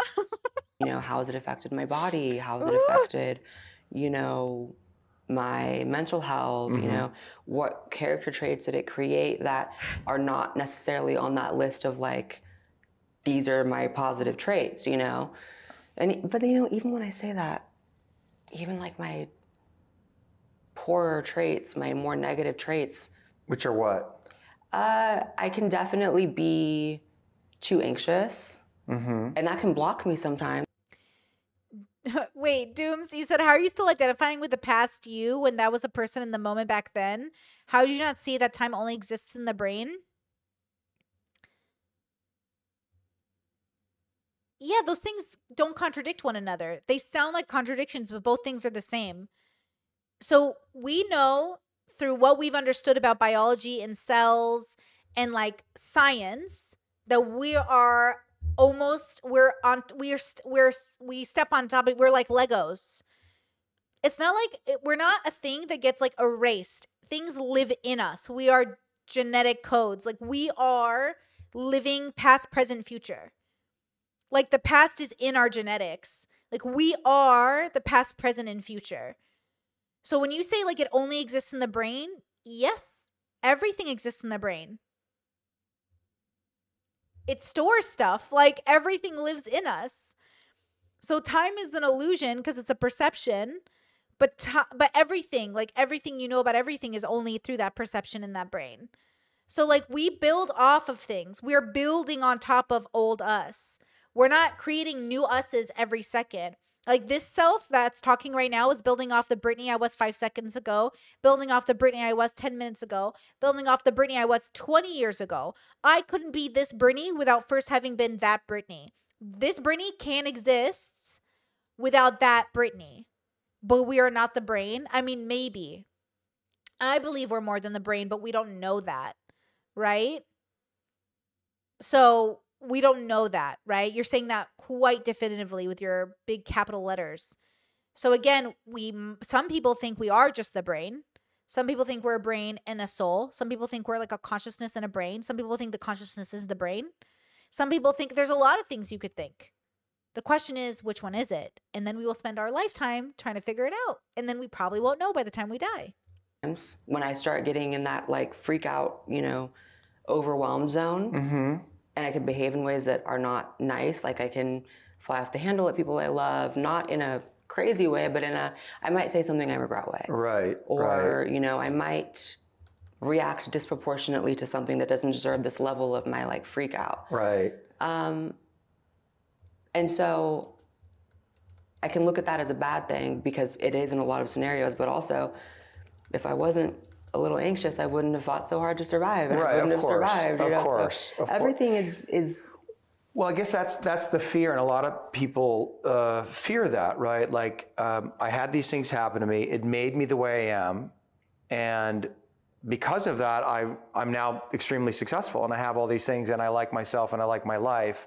And so, if I start to heal these things and and give up this edge, give up this anxiety, uh, stop being motivated by my pain, give up this anger that's you know whatever it may be that's that's fueling me.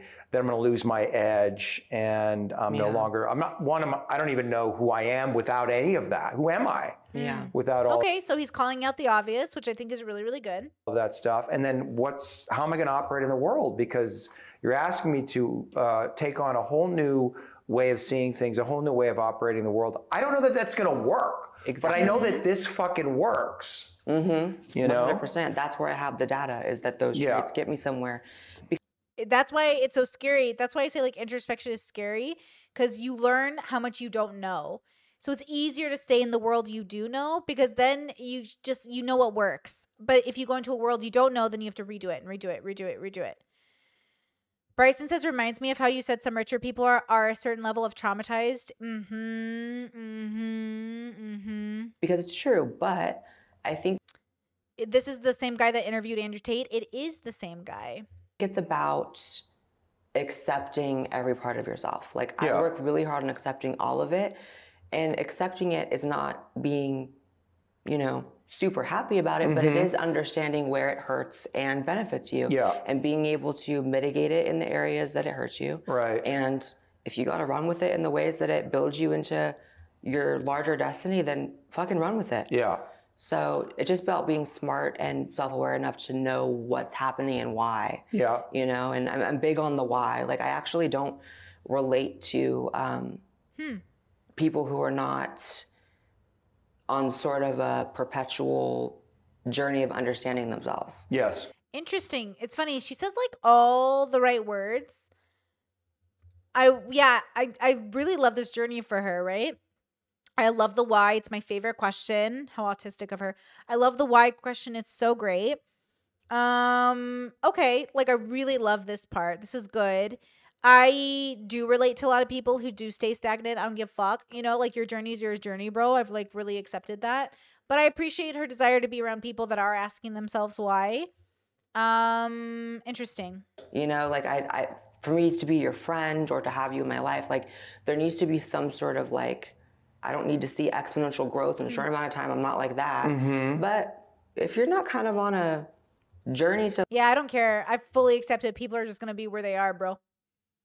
They're gonna be where they are, bro. learn about yourself and about the world around you, Yeah. I don't really understand what you're doing. I guess you're dead. Ah, that's the next step start of the journey. Realizing that people are on their own journeys and some of them look like that.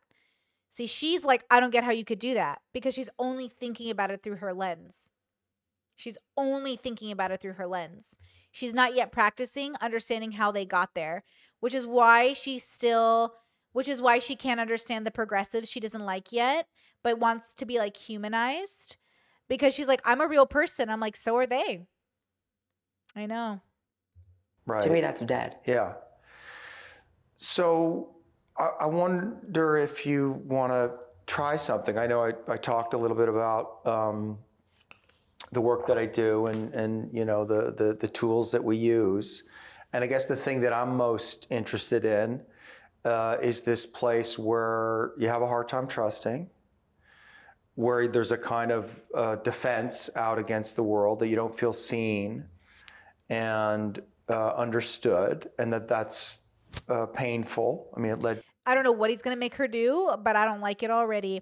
Before we jump into it, guys, I got to take a little bit of a pee break, a little bit of snack break. I'll be right back. Bryson says she should entertain some philosophy more. Politics probably isn't the best place to have uh, to have fun with the word why. Absolute agree. Politics is a game of winning and losing. It is not interested in the why. It is not interested in knowing the self better. If you know the self better, you might vote differently. And if you vote differently, you might be on the losing team after all. It's very different. It's very difficult. to a, a panic attack and you're really becoming aware of it. And I wonder, I wonder, like, if there's some strong feeling there, like some energy that says, stay the fuck away from me. Like, keep your fucking distance. Yeah, but it's twofold. I feel like that's gonna be in the comments. Like, why did you keep saying it's twofold? Because it is. because I have that like get the fuck away from me thing. Uh huh. That's like almost my favorite sentence now that I think about it. Interesting. But I also have like a pretty deep, you know, desire for a real connection. That's why sometimes it is painful that I'm objectified so much because I don't need, you know, necessarily like a. I know that I'm like solo in this life. Let's put it that way. I know that I'm solo. Girl, she had better not be in a relationship while she's talking. She, I don't know. I don't know. Obviously, you're solo in this life, for real, for real. Mm, unless you do life with someone. Oh, she maybe me. She means as a consciousness. Hold on. Solo. In the end, Okay, that's true. In the end, we are all solo. That is true. I do think she's looking for peace with her consciousness. So this is where, like, I, I'm, I'm honestly, I should hit Blaire up. I should hit her up. I should hit her up because, um, this is like where I think my work helps with people is that I do think you need a relationship with your consciousness. You need to have a relationship with your parts. You need to have a relationship with who you are. So you are okay alone. So you don't feel lonely. So you only feel like good being alone. Not that loneliness is necessarily like negative. It's just that you when I don't let me just say like this. I haven't experienced loneliness since I had a better relationship with my co- like my relationship with myself. You know what I mean? Like loneliness was when I felt like I didn't even know like my purpose, my place. But mostly I didn't know myself, right? Cuz purpose and place that all has to do with yourself. So I feel like you do do life alone. But you do life not alone. That's the wrong word. This isn't Dr. House. You do life through your perspective and in a relationship with your consciousness. And so ultimately, even when you're with people, it's you're with someone, you. So there's a by myselfness to it. But you're not by yourself always. Just at the root of it, of course, you're only ever yourself. I can't be somebody else. And I can't pretend that even when I'm doing life, my husband could die tomorrow. And I would, you know what I mean? But I think this is about knowing the self. I don't like. I don't like that. I don't like that. But I- I, don't like that. okay, okay. I don't. I don't. know. No. Yeah, individually. Thank you, Vert. We're individuals. We're doing it individually and sometimes with other people. We don't have to be lonely, but you you like I'm alone at my job. My husband is not at my job with me. I'm alone at my job. But I'm not lonely and I'm fulfilled. I'm obviously with you guys, but like no one came to work with me today. So, you know, you do life alone. But you also do life with people. Like I know my husband's waiting for me to get off work so we can spend the evening together. But I also know that even when I'm with him, you know, like, yeah, I'm still an individual. You know? Oh, Why? No. Why are you? No. You don't have to be solo in this life. Why? That's a belief. I don't. I don't believe that for you. I don't. I don't want to believe that for anybody. But I think Blaire means it in the toxic way because no one's ever known her or seen her. And she's really learning herself now. She feels like we all die alone. Like Dr. Cal- House, who's like this too nihilist, who's like, we all die alone in the end. It's like you die a singular, like individually, but like surrounded by people. Or you die individually, but like you don't have to die alone. Like, so I think Blaire has the toxic relationship with it right now, but that's part of the journey. So she needs to like have this journey. And then once she has a better relationship with herself, she'll realize like it's not a matter of it is you're an individual, but like it doesn't mean you have to like do life alone. But also, if I wasn't partnered, I would be doing life alone in a sense. Like I'd be with probably a sibling, like renting an apartment, but I wouldn't be I don't want my siblings to do life with me. I want to do life alone. In that sense, but not life without community. Does that make sense? Like I think Blaire is somewhere there where like she's there's something there for Blaire. I mean, maybe I'm having such a strong reaction because I've had that belief myself. You know, and I don't. I don't want to believe that, but Well, I'll put it this way. uh huh. I know I will always be surrounded by a lot of people if I choose to be. Mm-hmm. I know that, you know, I'll never be necessarily physically alone. I know that I'll have people that are close to me forever because I'm a very open person. And when I do let someone in, people tend to go really far in. Like they, we become good friends. Like I only have deep friendships. Yeah. But I just have to say, I mean, I, I know that reaching that full destiny is a me thing. And, I agree with that. You know, Of course. Yes. Of course. In the end, we're all alone. Like we're we we're born alone and die alone. but, I know it's that it's that lack of understanding people have of me that will bring me there. Does that make sense? Like I, I Mm, yes. Ooh, yes. As long as she has the understanding. uh, I know that that's the but there's also a deep desire in all of us to be known, to be known. Yes, but fuck other people knowing you, okay? I'm so sorry. fuck other people knowing you. Peace and love. Like peace and love. Truly, truly, truly knowing you. That is a very profound thing. And I think people pretend to know people. That's my theory. My theory is people pretend to profoundly know you, which is why it feels so hurtful when it's not true. But I think, and my lived experience, my anecdotal, my bias, prejudice, whatever, is like literally, I mean it. My husband is the only person that I feel has profoundly been able to know me um so similarly to how I know myself. But other people pretend to because it hurts their ego to think they don't. And I'm saying don't let it hurt your ego, radically accept that you couldn't. Right? That's what it's about. So I think for Blaire, she knows because she hasn't had that experience, which makes me wonder about her relationship a little bit. But also wonders how much of it is um she's unable to give people herself because or her husband her or her partner herself because she doesn't know that part of herself yet. So there's something, there's something in it. all the way through. Like to really Yeah. be known and understood. And you said two things. You said it's twofold, but I would I would say it a little bit differently. That you have a bind. Stay the fuck away from me, and I want deep connection. Yeah. It's True. a bind. And the Common, very common, especially in hyper independent people. defense says stay the fuck away from me. Well, why is the defense saying stay the fuck away from me? Because you've been hurt. Yeah. I You have get, pretty you've been bad. really hurt. yeah.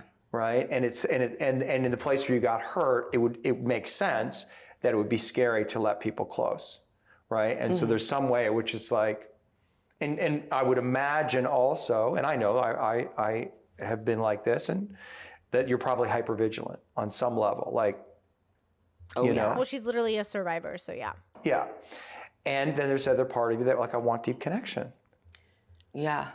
And that will sometimes ignore, you know, things that I'm being hyper vigilant about. So I'm seeing it, Mm-hmm. but I will lie to myself that it's not really there. And I end up, you know, I'm working on Right. it now and I made a lot of progress on it, but Yeah. just letting the wrong people in. you It know. happens. This is a lived learn experience. I've done this. I will continue to do it. I will continue to let people in and I will learn over time whether or not um, we could build a relationship, whether we're different or not. Because look, I never think I'm going to let a person in and I'm to, they're to be like this most amazing person. I just try to accept people for who they are. I let them in and then I see what happens. And whatever it is, it is. Like I try not to, when I make new friends, I try not to like dream of what the friendship will be because in my past as a younger person when I did that, it was so difficult to accept them for who they were or to actually see them or to even allow things to move naturally so it hurt more when the friendship broke up. But now I'm just like it is what it is what it is, girl. I love that we have this moment in time together. May it last a lifetime or may it last 3 months or may it last 6 months.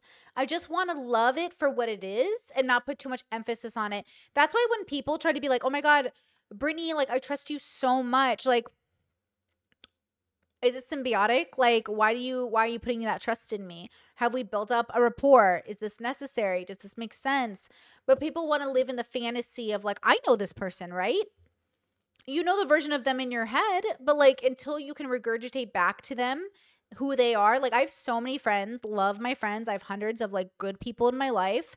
But sometimes they'll be like, I know you so well. Here's a Brittany idea. And I'm like, that's not a Brittany idea. That's your thought process of a Brittany idea. That's not my idea. That's not my lived experience. And they're like, yes, it is. And I'm like, no, absolutely not. And so again, what they're like, people only know you so well because of the tools they have to even perceive you. So it's like, that's not it, girl. But like, okay, love you anyways. It's like they're not even bad people. They're just like operating with limited tools. And I think this fantasy of like all your best friends will know every part of you is just stupid. But it's so reasonable because like the dream we sell each other, but it's like not true. Your friends will know what they can know and what they can see. And then everything else is like, oh, tell me more about that. I don't know much about that. And then we move forward with, you know, oh, okay, you know? Fishy says, What do you do if you can't be in the moment of the relationship and connection? Well, I would want to know why you can't be in the moment. What's going on, you know? What do you do if you can't be in the moment of the relationship? It probably needs a break. Probably just need a break.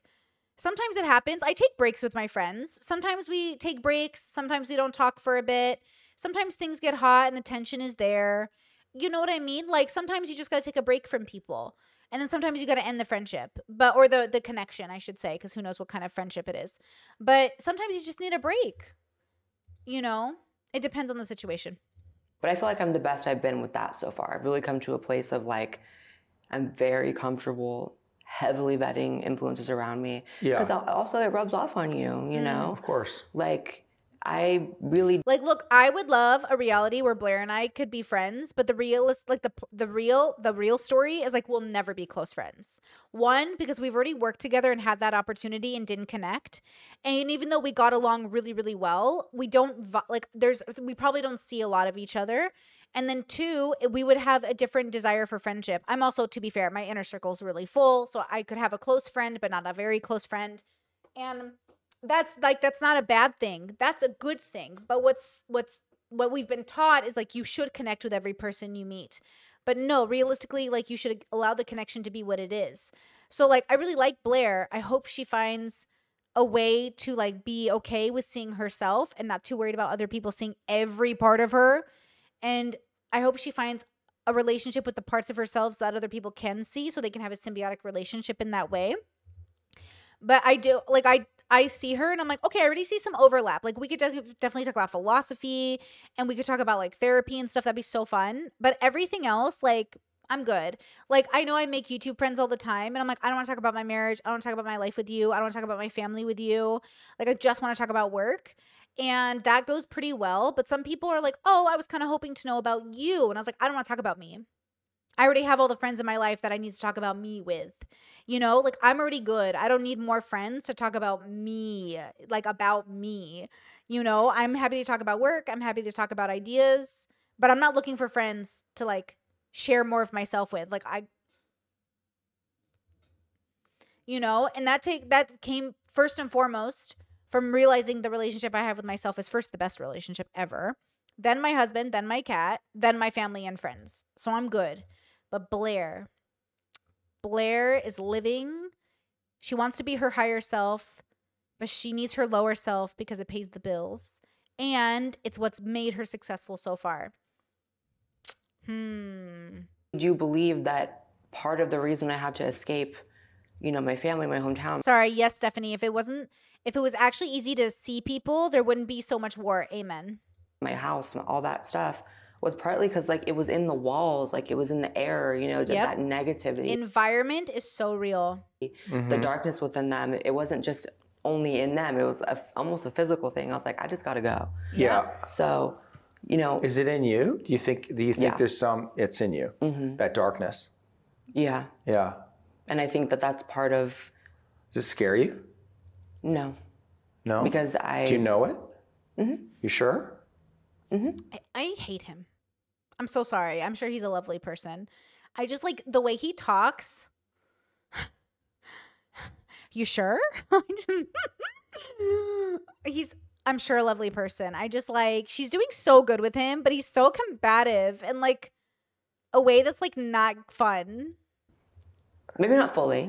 right. because I'm always right. learning. But Yeah, I, yeah, yeah. But I know that you know, I like everyone is capable of good and evil, Right. and you know, it's even on a biological level. So much of the darkness my mom passed into me. Like Mm-hmm. we have the exact same anxiety, and what's crazy is we have like very similar like childhood trauma like experiences on the literal level, like things that may have happened. Mm-hmm. And I understand that it happened to me because it happened to her in a way because she wasn't the parent that needed to be in the way of that happening to me Yeah. because it happened to her Yeah. and it happened to her mom. Oof. Yeah. So Generational trauma. it it definitely is there, but for whatever reason, and I'm so thankful I've always had this in me, I've always been able to identify what I need to shed. Like Livy says, why is he trying to lead her into an answer the way he wants? That's what's pissing me off. He's he's he's like not getting to know Blaire. He's like boxing her into like expectation, which I'm doing to an extent, but I also know it's a journey and I could be wrong.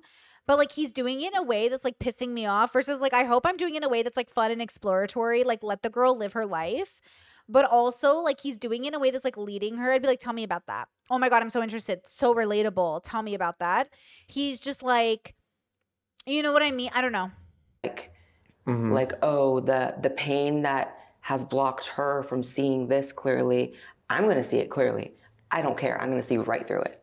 I'm going to do anything I can to see through it. Does that make sense? Yeah, of course. It's in me, but you know, like anything, Well, it's you- in all of us. yeah, but that specific stuff that was transferred to me, it's like you just learn how to hone it and use it for good. I'm, I I feel like you either heal it or you spread it. Mm-hmm. You heal it or you lash out at the world. Right. And I've lashed out at the world at certain times. Right. You know, one of the criticisms criticisms of me, and it's correct. Used to be a lot more, but it's still sometimes correct. Is that I get a little angry.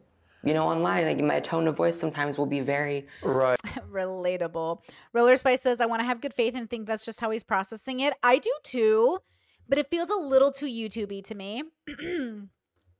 you know what I mean? Like, I think that's why I'm annoyed with him. But maybe, maybe he's just like, that's how he processes information. Right. angry, which is passion and which is fire, but also is anger. Is it is it it's anger and it's is it is there times where it's like cruel, like you're being mean In the past. in the past? yeah. Yeah. And it's not to say that I won't, you know, slip up and catch myself being that way again, but Right. I really have like made a conscious effort to really elevate the way I Yeah. talk That's good. That's good. about Yeah. things now and people now. Yeah. Um, and I also know that I have a really healthy gauge on who I'm actually aiming it at. So like Mm. I do a lot of videos on predators. yeah. if there's any group of people to spread some hate towards, I mean, I'm not going to necessarily feel bad about that. Yeah, yeah, and it just it just makes me think of your father and, and the last thing you said to him. What, what you know? I hope you die of cancer, you cunt. I said, I hope you fucking get cancer and die, Yeah. you fucking cunt. Right. Which is crazy. It's a curse. but then I always think about like, how crazy is it that he really got cancer and died two weeks later? Maybe three, but it was within the month. Is there some place inside you where, yeah, I mean, maybe it's irrational, where you feel like you killed him, Whoa. like you're responsible for? it? Oh my God. I'm so sorry. I found old gifs of Blaire and I didn't realize how much she's changed. Um, she looks great. I'm not going to lie. Like, she looks great, bro. She's like prettier with every year, bro. And also, um, no, she didn't kill him. That's not how it works. Mm-hmm. how do you feel about that? See, that's go to therapy. You can't literally think you killed a man who had head to toe cancer. You know what I mean? Like, go to therapy. Like, that's a therapy thing. That's trauma, bro. I think it goes back to like the Unless she thinks she's a witch. A Tumblr witch? power that you either learn how to hone it and use it for good. Because if I could somehow energetically do that, let's just say I did, Uh huh. that means I can do a lot of energetic good as well. What the fuck? When did conservatives get so Tumblr witchy? Are they literally all Tumblr witches now? Is that the new meta? Is that the new change? Oh my god. Are conservatives witches now? What's going on? Oh, that's right. Like I can heal people. But that, that that but how do you feel about the idea? I hear you. The that idea. like well just if if i said this thing and then my father got cancer and died and you could very easily see how the mind would say did i you know somehow i created that or Oh, i yeah, put a I've curse on thought, him yeah. and so on some level like What? in that framework it's like you killed your father Mm-hmm. and how do you feel if we stay in that framework how do you feel about the fact that you killed your father be honest yeah, I don't feel guilt, you don't feel guilt I don't maybe he if I feel deserved maybe he good, deserved to die right? Maybe he needed to die so you could be safe. Or just that was his justice. That was his karma. Right. That was what you know. Maybe, you know, for me to Wait, Colleen says yes, some of the conservatives have become new age witches. I love that for this bubble. I love that so much. Yeah, this is all trauma, by the way, guys. I hate to, like, you want to know what people do in therapy? They go over this stuff and they actually start to tackle it. It's not just an interview for YouTube views. They actually start to tackle it. That's what good therapy will do. If you right, find the right therapist who can talk to you about trauma, she probably has CPTSD, something long term, something that happened consistently over time. You know what I mean? But like, that's what therapy does. They don't just ask you how you're feeling about something, they literally get down to how it impacts you long term. You know, there's totally different kinds of therapy, medications. You know what I mean? So, again, like, this is what therapy does, but this isn't therapy. This is a YouTube interview from views. This isn't where you go to actually tackle years and years and years of trauma. Raheem says, "What did Blaire wife's Blaire Blaire's father do to her for so much am- animosity?" We don't actually know the specifics. She doesn't want to share, but let's just assume it was really bad. expand into everything that I needed to be, his job was done, even if his job Right. was to cause the trauma that did it, right? Like, Yes, see, Bryson says, "I see what you guys mean now." On the whole, trying to make her cry. I swear he's trying to get her to react for the views. I swear. that was his path in life was to lay the framework for his child to become everything that I've become and I'm going to become. Do you miss him? Mm, no, no. Sometimes, you know, it's funny, like right after someone dies, I feel like people have a tendency to sort of like rewrite history and suddenly like they're a great person, even if like they kind of weren't. Yeah. Yep. And so, you know, I fell into that, you know, right after he died for a couple years Sure. where I would hone in on in my mind like a few good memories because there were a few good memories. Yeah. And I sort of used those very few things to sort of paint the entire picture of his presence in our relationship. Mm-hmm. And uh, that was false, you know? Yeah. So now that I've gotten older, it's like, no, no. What would it be like to let your darkness like come out and be seen and expressed? Like here now. Like if I were to, what do you mean? Like, Like feel like like express.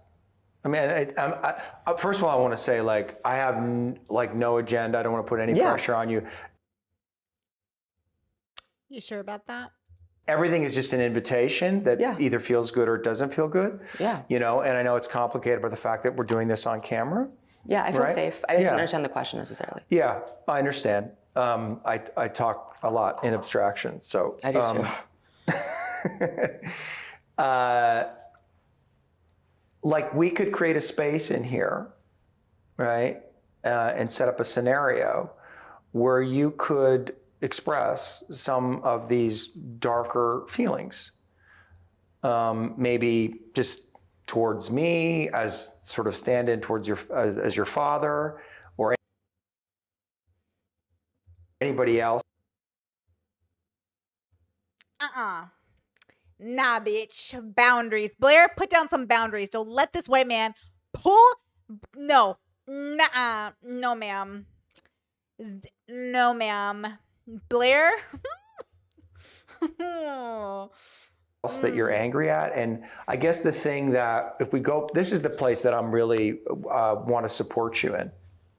And let me explain why.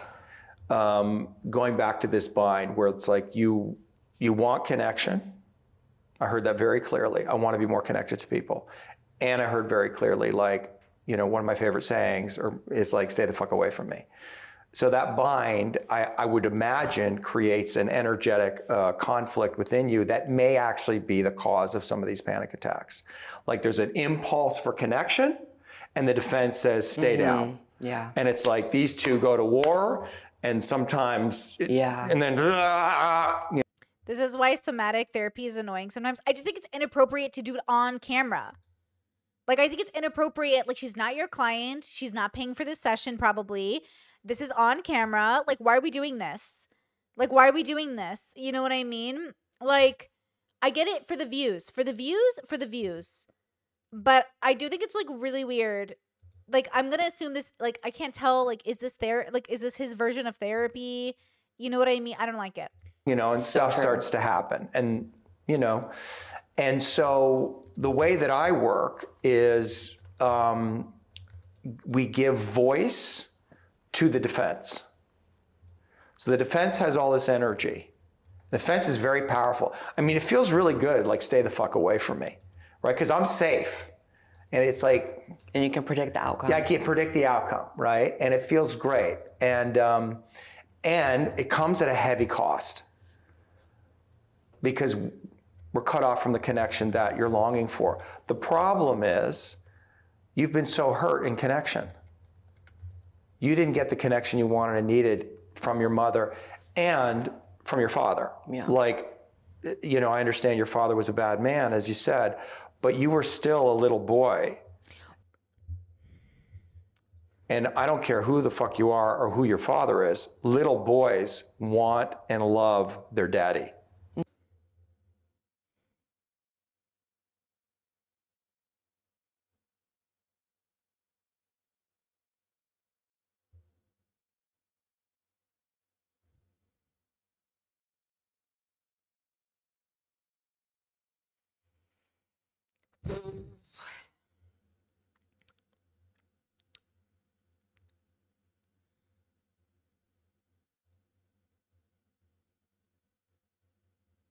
Uh,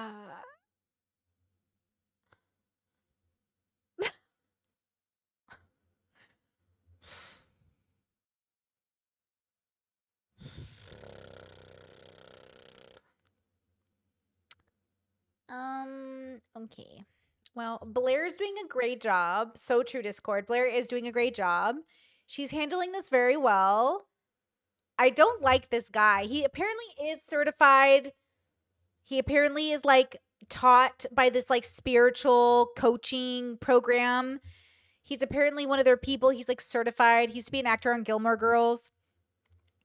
I don't love this. I I know Blaire is deadpan right now. I feel like she's like screaming in her head. I could be wrong. Um, let's see what happens. Sage says, I think that's how Blaire refers to herself. It's not that. It's I mean, I know Blaire is going with it and like she recognizes that her past self is also her future self. It's the fact that he brings it up every time and never navigates like other parts of her consciousness. And then the whole like daddy thing is just like not a vibe for me personally. I'm icking out because it's my ick. Maybe Blaire likes it. Let's see if Blaire likes it. Maybe maybe this speaks to Blaire. But I don't like I would not want to be talked to this way personally. hmm And you didn't get that. And you had to cut yourself off, I would imagine, from that place inside you that wanted and loved his father. And I would imagine that that's fucking painful. Yeah, yeah. I, I struggled with, you know, even before I had the repressed memories come up about what he did and what he was, I would always feel like I was crazy for hating him because if you literally had the memories blocked out of what makes him that super bad person, mm-hmm. because it was like day and night. I mean, only I would have experienced the things that mm-hmm. made him the bad person. Mm-hmm. Um, and so I would feel like, why do I feel this way? And I would feel like a bad person myself. Like all this hatred I have for him that I can't even pinpoint why. Now I can. Yeah. Um, but that was also born out of pain, obviously. That was Yeah. me trying to figure out like why the energy between us mm-hmm. was like that. Mm-hmm. And it sucked. Especially considering, you know, the way I grew up in school was like no allies there. And then you go home, no allies at home. Mm-hmm. So it's kind of like, how the fuck do I figure out Yeah. safety? Yeah. Yeah. Uh Impish says, and isn't he trying to get her to take her anger out on her? Yeah. Um, as like the father figure. Yeah. So like that's the part that I'm like, is he trying to piss her off? Because he's pissing me off. And I know you Big D said y'all are making this weird. We're just like, this is how we would feel if somebody used this technique on us. That's all we're expressing. Is like, I would not, I don't feel this would not be I would be annoyed. I'd be like, hey, you're pissing me off because like you're making it weird. Like you're being weird, I guess. You know what I mean? Yeah. And I figured it out in like the craziest, most elaborate way, which still blows my mind. I mean, it's just crazy to think about like how different in every fathomable way my life is from back then. I figured out almost everything, other mm-hmm. than a few character traits and brain problems mm-hmm. that I'm now unpacking. Mm-hmm. But you know, I know I have abandonment issues for sure. Sure. That's a big one. And that's one of the patterns that I am working on fixing is, you know, I was born into abandonment issues. I have them. So I leave everyone. You leave everyone. I shut Big D says if he said father instead would that of daddy, would that be better? No. I feel like he's trying to piss her off. Like I feel like he's trying to get a reaction of Blaire and it's pissing me off. I don't think that's appropriate to ask a person you're interviewing. Like again, I don't know what this is. As a viewer, I don't know what I'm watching. I personally do not watch a lot of people get very vulnerable on the internet because it's uncomfortable to me. You know, if it's real shit, if it's real shit, I don't put it on the internet. Right? So like real shit, like you know, sometimes you're desperate and you put real shit on the internet, but like, okay, is this like a session or is this an interviewer? Is he interviewing her? Then why is he asking her like you know what I'm saying? Like he keeps saying like you don't have to do it, but also like that's also appealing to Blaire's desire not to be weak and so not to back down. So I kind of feel like he's doing it for views. It doesn't feel authentic or safe to me, but like that's just me. Everyone has an opinion. Like I like Dr. K's work, but I don't really watch his interviews with a lot of people. I only watch his interviews with certain people because sometimes like I don't like the whole like I don't know, I don't like the way he did his old interviews. But his new stuff is really good. So it's not that he said daddy or whatever. It's like a combination of everything he's been for the last hour. I just don't love his interview presence. You know what I mean? Hannah says, I think it's supposed to be a therapy session, but it feels like manipulation. Yeah, maybe. Maybe it is like because Andrew Tate, it was supposed to be therapy. So maybe that's his shtick is that he does a session with them on stream, which I don't love, or like in an interview. Yeah, Blaire White gets vulnerable. It's like, okay, I don't, I don't know. I don't love it. Yeah, I don't really love this video, but I don't love him. I love Blaire. Blaire's doing great. Shed everyone. Don't go. Yeah. I'm Don't trying go. not to. Yeah. Ugh. Just Into abandonment issues, I have them. So I leave everyone. You leave everyone. I shed everyone. Don't go. Yeah. I can't. This is not my vibe. I I I I don't know him as a consciousness, so I don't give a like I'm not judging his consciousness, but like the person he presents as creeps me out. I'm getting the worst vibes. Like I genuinely could not work with this human. He makes my skin crawl. And that's no judgment of him, bro. Like, okay, I'm glad you're also getting that vibe because like I can't like is it just us? Are we the problem? Like he just gives me the weirdest fucking vibes. He makes me want to like hide. He makes me like so grossed out. Like, are you a predator, bro? No, I take that back. That's I'm on live. I'm just kidding. taking that back. But it l- feels like that. It feels like mm, no. He feels entitled. I think I hate entitlement. He does feel a little entitled. I think. I don't know. I don't like it. Okay, I'm glad you all hate it as well. Thank you. I'm Don't trying go. not to. Yeah. I'm really trying not to. Just feel that. Just feel that. Don't go. Stay. Just see what happens inside you. If you really stay present with me and you just feel that. What happens inside you? Just say whatever happens inside you. I don't want you to go. Stay with me. it sounds like begging to me, which is pretty fucked up. I know. Yeah. Why is his tone creepy? Why does it creep me out? Is it me? His question style is so attacking. Is that what it is? Like, what is it? Is it us? Are we the problem? Are we? Somatic work is so awkward when it's a public forum. I'm so uncomfortable. Bro, I don't like this vibe. Kay says, I'd like to know how so many whys to be able to recontextualize this more positively. Well, I just want to know, like, like, yeah, what is it that like we hate about it, but like some people must like this? I mean, he I think he seems like a ton of therapists. My therapist was not like this. My therapist was so grounded.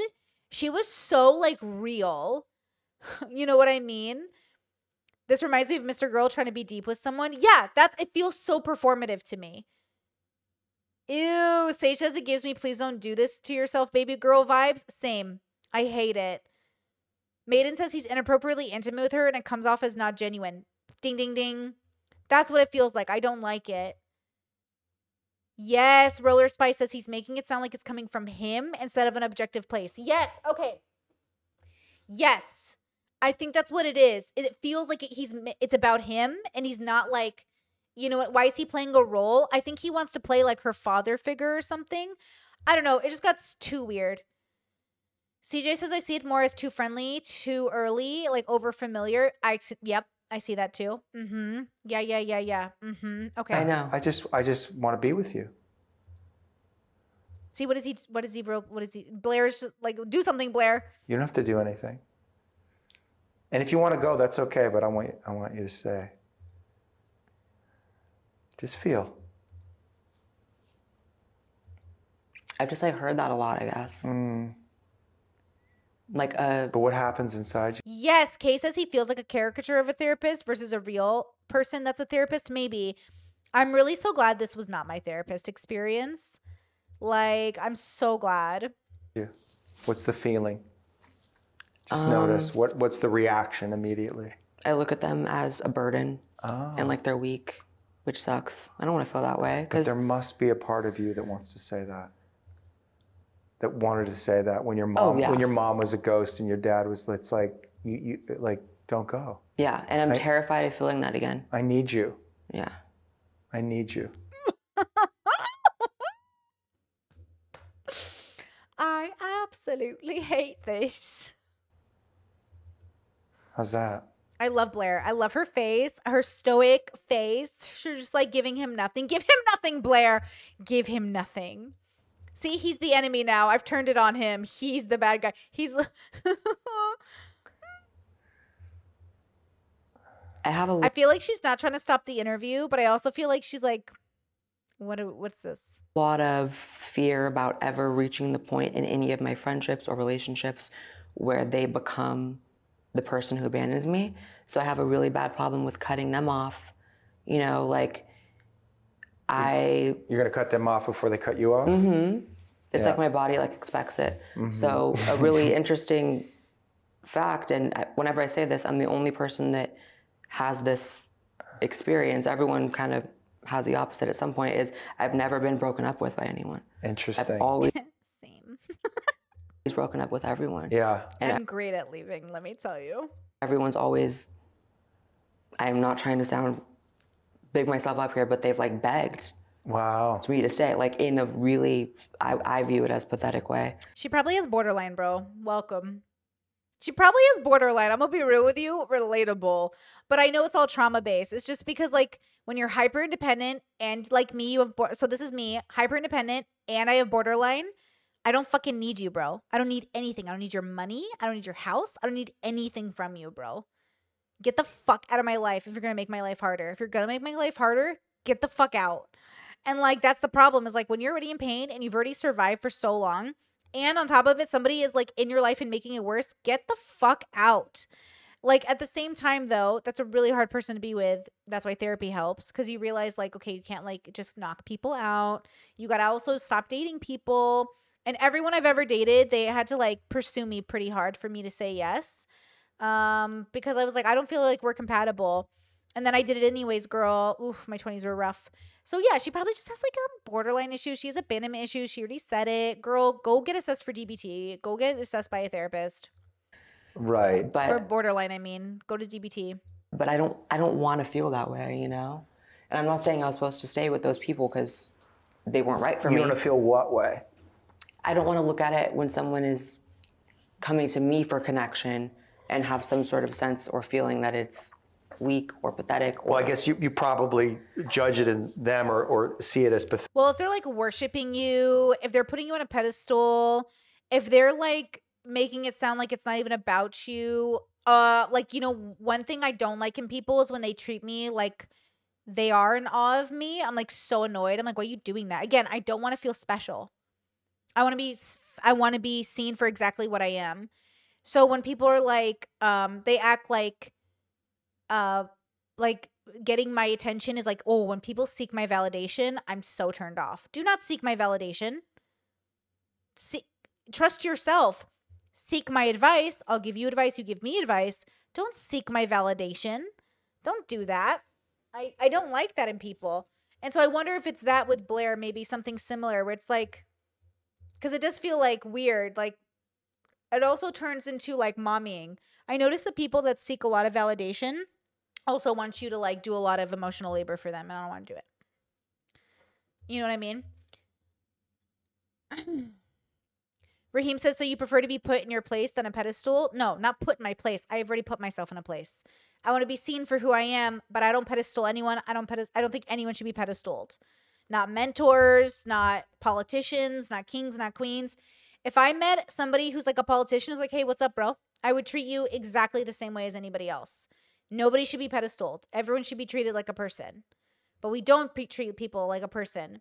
So no, I don't want to be put in my place. Okay? I'm already in my place. I put myself there. No pedestals, you know? You know? Pathetic and weak because maybe you see that part of you as pathetic and weak. Yeah. That your your need, your your desire for connection, like makes you weak and pathetic. That makes sense. Yeah. Yeah. Because it is something that I always feel insecure about expressing. What? Uh, that desire for to be liked, to be loved, to be stayed with. Like, you know, I've been told by every boyfriend that I'm very cold. Oh. Like, Mm, borderline. I'm gonna call it now, sis. Go get some. Uh, go get an assessment for borderline. Yep. Mm-hmm. I recommend it.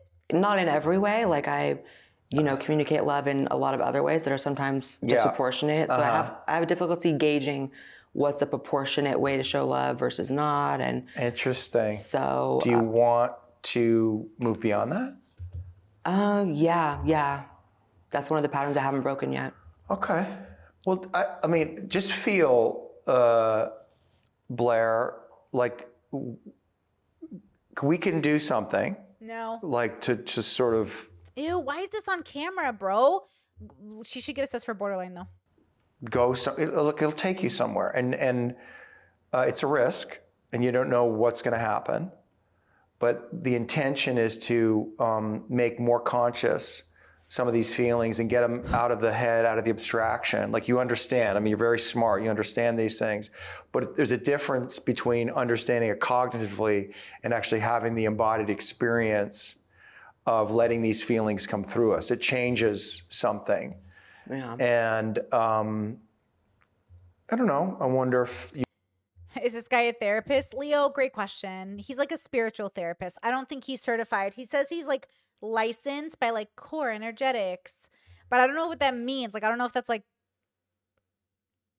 is that like a accredited? Is that like a licensing board? I don't know how it works. Is he a license? Like, is he a therapist? Like Dr. Kirkanda is a therapist or Dr. K is a therapist? I don't think so. I think he's a spiritual therapist, um, from my understanding, but I don't know. you want to try something just to see what happens. Sure. Would it be like the physical activity or okay? Yeah. What does it entail? What's the love it. data on this first? Well, well, so I just don't want to like data? I don't want to like embarrass myself either, you know. Well, let me let me say a couple of things. Okay. I'm not going to let you embarrass yourself. Okay. right Liar. and if there's something that happens that you don't like like i'm not like you can say no to that Yeah. right like my intention here is just to um, help you reclaim parts of yourself that got lost Okay. you know and whether we were the cameras are rolling or not this is a fucking risk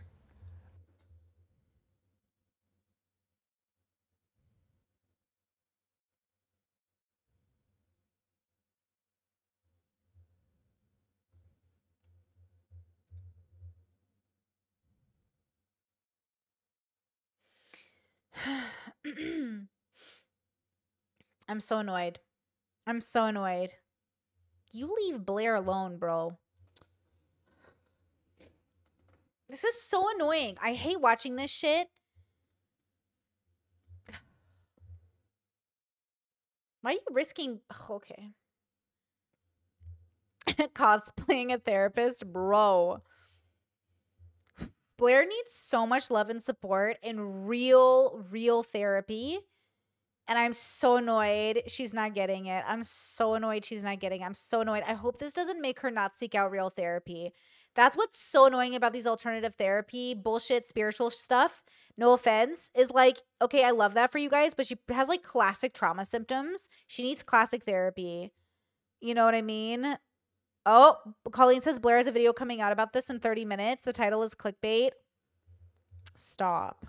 it's scary it's scary as fuck to get up and hit that i'm going to ask you to hit that block like come down and hit the block and say all of these things that you hold back but to really feel this place where it's like stay the fuck away from me like i or i will fucking kill you like i hate you dad like stay the fuck away and really feel so that you can feel how strong that is and the reason why we do this is because if we allow that defense to come all the way through, that energy, we allow it to express it, right? Well, you can imagine what happens. Here's the defense, right? It's holding down, it's holding down. But when we express it and it come out and we surrender to it, let it go, it creates space for the feelings underneath to come through, right? That place where we actually are longing for connection. And so I'm not going to lie to you, like it, it you know, it, it may not happen today, but it'll happen. It'll happen eventually if you keep allowing the yourself to express that defense. And there's part of it that's dark. There's part of it that's mean. There's part of it that's cruel. How could it not be? Yeah. Right? Of course, of course. It's like stay the fuck away from me, or else, or else what? Or I'll fucking kill you. That's what. That's in all of us, right? But underneath that is this deep longing for for for love and connection, which is who you are. This place where you're cold, you're not cold. That's just your defense. Yeah. That's just your defense. Yeah. And I bet everybody who in rela- is in relationship with you, they know that. And they're trying to get to your heart and you won't let them. And I understand why. And I know this inside me. I got a dragon over my heart. I say it to my girl all the time. My dragon heart's out. Like, just give me a minute, you know, because I got so fucking annihilated. And so sometimes it takes me a minute to like let people in. Yeah, that's what it is, yeah. When I start to get deep, too deep into things like this, and I really don't want to, my therapist would never push it. He's just pushing and pushing. I can't. That's the only thing is like, I don't think you can work these things out by rushing them. I think it takes time and your body has to get into it and you have to move through it, you know. And yeah, maybe she needs to hit something. Maybe she needs meditation. Like maybe she needs less violence in her life. Maybe she needs, like, she could need a lot of things, but I feel like to get to know like i don't know if they did sessions before this i don't know if he really knows her i don't know if this is their first time talking there's so many things that i don't know but yeah i'm not the biggest fan of how he does his practice like if this was a therapist i was working with i probably wouldn't have stayed the whole session or maybe would have stayed but then like bailed i don't know i also to be fair i don't know how working with men is helpful. If her trauma was from a man she might need to go to a woman for a therapy.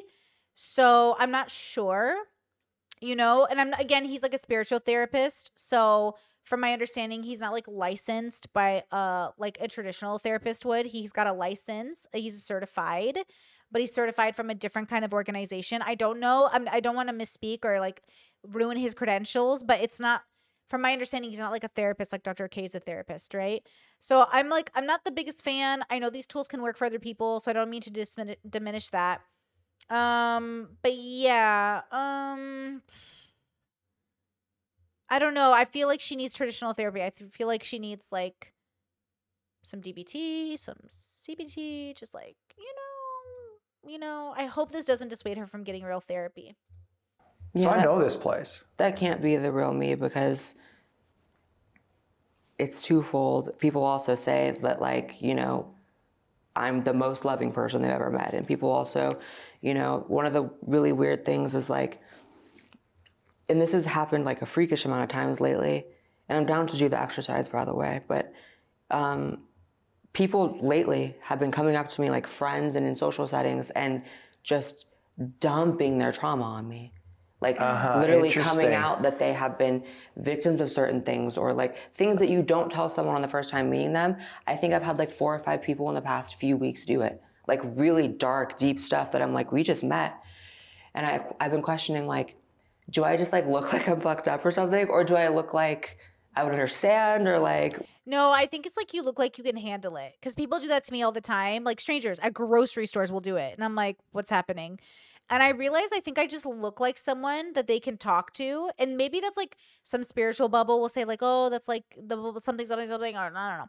But yeah, I think it's like when you look like you can handle shit, people want to give you shit to handle. is it the objectifying thing they think they're talking to a wall or something Yeah. um, I, I would like to think and maybe it comes from a place of ego and not reality is that what they actually see is someone who's like survived fucked up things Yeah. I would hope that that's the energy they Yeah. see and that's what makes them feel like Yeah. let me figure out how to do that Yeah. I've seen you change. I mean, since I, I don't know when I discovered you, probably five or six years ago, and um, and as I've followed you, I've seen I've seen you change. I've seen you soften. I've seen you, you know, grow. And so something, yeah, something's happening for you. You know, you're you're more available, and I think you want to be even more available. yeah Yeah. Here's the problem, right? The, here's the bind. like to get to the other side, you have to give something up. Okay. Do you know what I mean? Yeah. You have to give something up. And that thing that you have to give up is the thing that kept you safe your entire life. Oh my God, you're right. And and and what we have to understand, and the mind the mind won't go there, right? You can't you can't like rationalize your way through this. You don't need that anymore. You can keep yourself safe in other ways. You're not a little boy with a scary daddy and an absent mom. Like you're an adult and you can actually like keep yourself safe in different ways. Now you don't know how to do that yet. You're going to have to learn how to do that. But there's no way to get where where you're going without giving up that thing. And it doesn't happen in a day, you know. I mean, and it's not that the defense goes away forever. Like it's always there. But we're not free. Otherwise, we're trapped in, in some old paradigm that we don't even understand. We're really being run and ruled by the things that happened to us when we were when we were young. And so really what we're fighting for in this moment is freedom. And you're so right. Like what you said about like the trajectory you've observed that I become more available. Mm-hmm. that is what I want. Like that's been like I feel like my ultimate destiny is to be the most available for people. Like mm-hmm. Hmm. Mm-hmm. in terms of my like public presence in the world, like I mm-hmm. want to heal everything I'm interested in fixing. I want to fix everything. I want to be there for everyone. Which is also that weird dichotomy that like stay away from me, but I want to be there for all of you. So you're right, it is a block. And it's the only not the only, but it's one of the only things I still have to really shed Yeah. to keep fucking going. You're so right. Wow. Yeah. Yeah. So we've got it. We've got that's got like we can end things- right there. we can the end things- right there, right? So we've got the interview. So just know that, right? Oh, like we've got a great interview that's I think your fans are gonna love, and it. it- you'll- Okay, so it was an interview. Super weird interview, bro. Really weird interview. opened up, and we could take it to the next level, and we can choose to use that or not. You I'm know, down to whatever. try and let's film it. And yeah, let's film it and see what happens. Because that's But we- also me being available for them. Is is seeing whatever yeah, happens from that. Yeah. Is there anything else you wanna you wanna say before we do that? Is there anything you need? No, just well, I guess overall it's a lot of things I need, but in this moment, um, I'm just thankful we even talked about this because it well all of the things we talked about because you know one of the Okay, wait. First of all, Raheem says he's a good therapist. I don't even know if he is a therapist. You guys are kind of super wrong, but I forgive you all for your mistake. He might not be a therapist. Like, that's what I'm saying. I don't think he's legally a therapist. Like, but no matter how you have a relationship with people, this might be a tool for you. It would absolutely not be a tool for me. Like, I do not like his presence at all. But he might be good for some people. So we're not saying he's bad for all people. But that's the thing is like, is this a vibe for you? It would absolutely not be a vibe for me. But also, I do not think he is a real therapist. I think he is a, like, I'm not sure. I'm very confused on his credentials. I tried to read up on it, I tried to understand it, but all of it is like a special school that was created. But it, like, I don't know that any of it is like traditional therapy. So I'm not even sure if he's allowed to call himself a therapist. I'm not sure if that's legally allowed. I don't know. I don't know like the rules around his practice. I don't get it. One of the issues I have with being in, you know, politics and doing political commentary is that the conversations are never super deep. Like it's always like an assessment of shallow issues and never anything behind it. And uh, that's why I was so ready to do this because I was like, a deep conversation, please, like, please. So I'm just glad we did it, and I hope people learn from it. Um, and this is probably like a self-defense mechanism, but just putting it out there, it's like none of this was like a "woe is me." It's all it's all about empowerment for me. Of course. it's just growing and expanding and you. See, she's doing the thing, which is totally fair. Like she doesn't want to be vulnerable, but that's the problem. In order to heal, you have to be vulnerable and then it can be empowering. You have to be you have to strip all your like defenses away, become the least empowered and then become the most empowered. And that's the problem with introspection and healing. But like okay, you know what I mean? using that fucked up shit. Yeah. I, I really, well, one, I appreciate you doing this. I think it's incredibly courageous and vulnerable to sit and and uh, and to answer these questions and, and be willing to go there. And um, I don't know, it's like it, it's just, to me, it's just another testament uh, of your courage. I mean, you're a courageous person, and uh, you just keep demonstrating it over and over again. So thank, Thank you. Thank you for, for facilitating it. Yeah. That was good. I love that. All right, let's let's play. Okay. I really I hate everything about his let's play. I hate everything about his language. I don't know what it is. Like everything about him, like no. Like I'm nah. God, my therapist was so good. I had a real therapist. She was amazing. She was so good. She was just like the best. Oh, she was so good. Do you want to? You don't have to. No, I do. Yeah, I do. We'll have the experience. We'll film it, and then we'll see. Yeah. Blaire is so high femme, bro. That's what I'm saying. What kind of girl has a brush with her? Blaire. She's like so high femme. I could never be this feminine, but I love that for her. She's so pretty. I love that. How they fit? Okay. Mm, they'll fit. Just because when when you hit, um, you can get blisters, and so I'll, I'll just Oh. show you. Um, Okay. you just kind of bring your feet together. Mm-hmm. and you just hit samurai style, like right over your head, and then just come down. Oh shit. right? Okay. And um, the intention of it is is really just to help us express held back energy, emotions, right? It doesn't have to look a particular kind of way. And what happens is when we start hitting, right, and we hold a lot of energy, you know, in here, especially like anger back here. Yeah, I'm all right here, my chops. Right. And so this will kind of start to release it and then feelings will come up. The, the, the thing to remember is just try to keep yourself as grounded as you can. Okay. And well, we'll we'll do it a couple a couple rounds just so you can get the feel for it. Okay. But the first time, just just hit and you want to let out some sound. That's the important part of it because Okay. it's you can see the difference between like like I'm holding through here and when I make a sound, more energy comes through. Okay. And it's I understand it's really vulnerable. It, it definitely is. but that's what we're here for. Yeah, just see what happens. Just see what happens. Okay. If yeah, just try it out. You'll get the feel for it. Okay.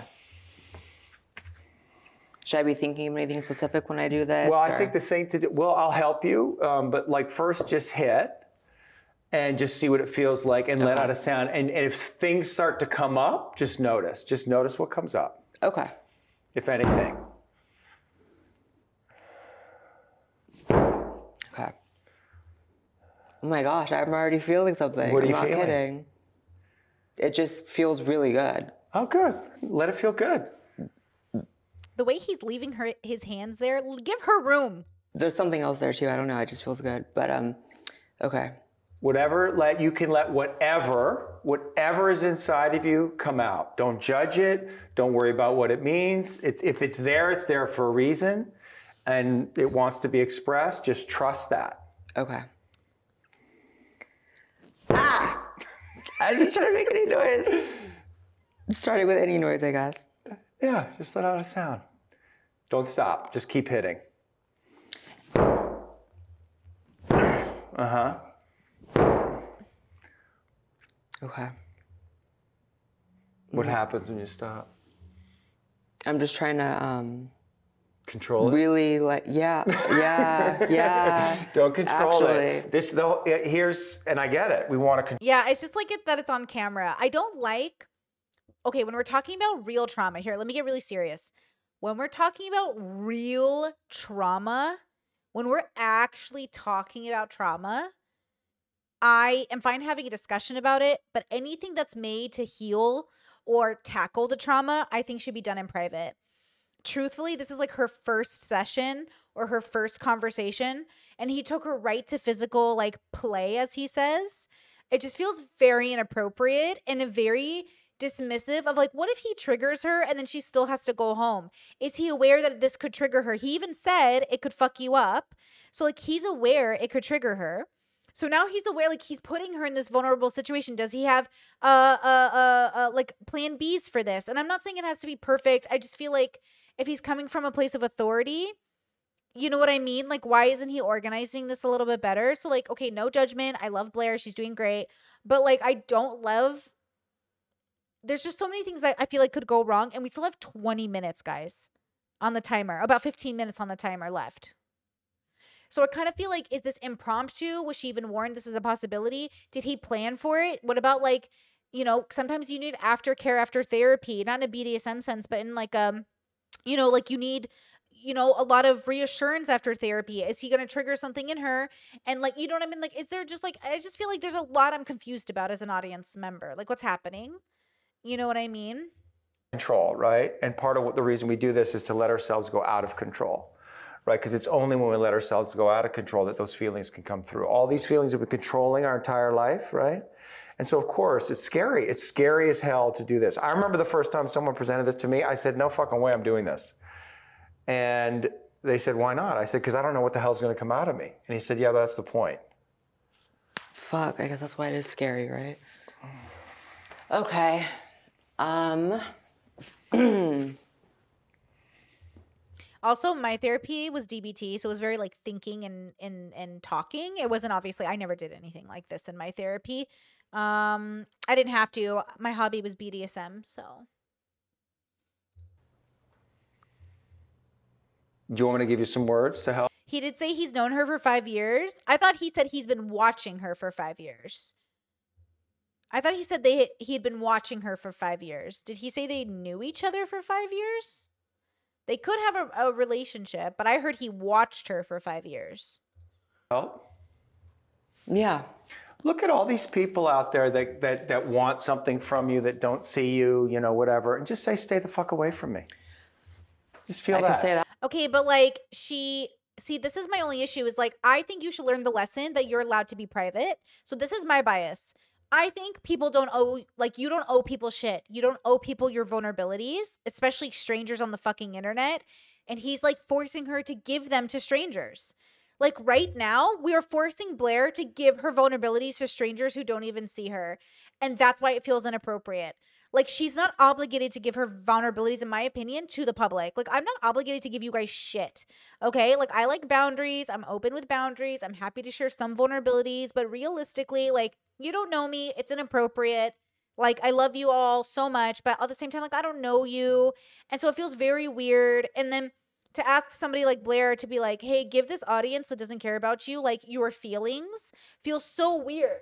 Like, why are we why are we giving the same audience that bullied her vulnerabilities? It's like, what are we what are we doing here? What's going on? I feel like the lesson she should learn is that it's okay to be vulnerable. It's also okay to pick and choose who you're vulnerable vulnerable with. And it absolutely does not have to be on the internet. That Just, one. yeah, just, just, and just like really that. see them. Stay the fuck away. Leave me alone. Stay the fuck away from me. Yeah. But like we can't say the fuck away from you. You're putting your vulnerabilities on the internet. See, now he's like making her content for her haters. I don't like it. Good. Keep going. Don't fucking touch me. Mm-hmm.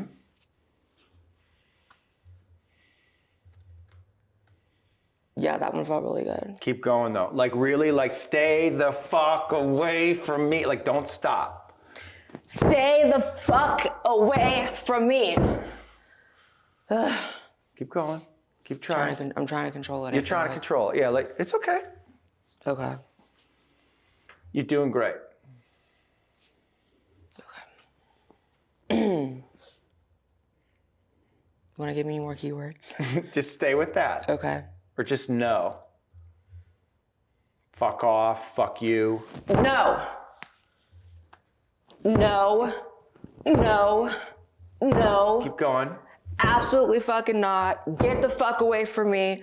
Don't fucking touch me. You don't know fucking shit about me. Fuck you. Fuck you. Good. Yeah, it just it goes on autopilot.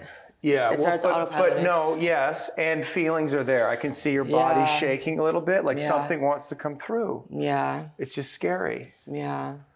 Just look at me for a sec. I'm gonna get triggered. I'm not literally gonna get triggered. Um, I don't like it. I don't like it. I don't like it. Just, just be here. Because you go away, hmm right? So see what it's like to just like hit How, how do you feel with me? Do you feel safe? Mm-hmm. So just hit and look at me and just say, like, stay the fuck away from me. Like, look right at me. Just let me be the stand-in for everybody. And but do it right to me. See how that feels. Stay the fuck away from me. Mm-hmm. Fuck you. Mm-hmm. Blaire's doing great. You're doing great, Blaire. Stronger. Fuck you. Yeah. Fucker. Fuck you. Hope you fucking die, fucker. Yeah. I feel that. Just breathe. Who are you hmm. talking to? Who is that? Hi, Dad. Right. Yeah. yeah, I hope you die, fucker. Yeah. Why? Because you didn't give a fuck if I died or what the fuck happened to me. Yeah. It was about what the fuck you had going on. Yeah. I was a fucking wall. You were a wall. You and your whole fucking family, all of them actually. The whole dad side of my fucking family. It's always the dad side, bro. It's always the dad side. Keyword dad, that's a weird word to use for you, you fucking piece of fucking shit. Yeah. Fuck you. Yeah, keep going. Just fuck you, fuck you, fuck you, and let yourself go out of control. Really props to her for trying. So true. She's really trying. I love that. I don't like him, but I like Blaire. And I, God, it's so private. Ugh, okay. And see what happens. Okay. Just fuck mm. you. Okay. Also, yeah, wait. Discord says the therapist should only ever have an objective role. I don't know what the rules are, but like I never used my therapist as a replacement. Again, he's not a therapist. He's a spiritual guide or something.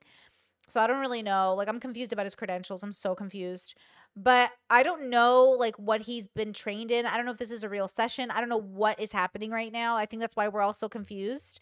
And again, like traditional therapy is very different, but I don't know. In traditional therapy, are you allowed to like? Do you ever use your therapist as a replacement for people you don't like? Because I never did that. Like my therapist is a safe space. I don't want her to represent anything but the positivity of us working on stuff together. So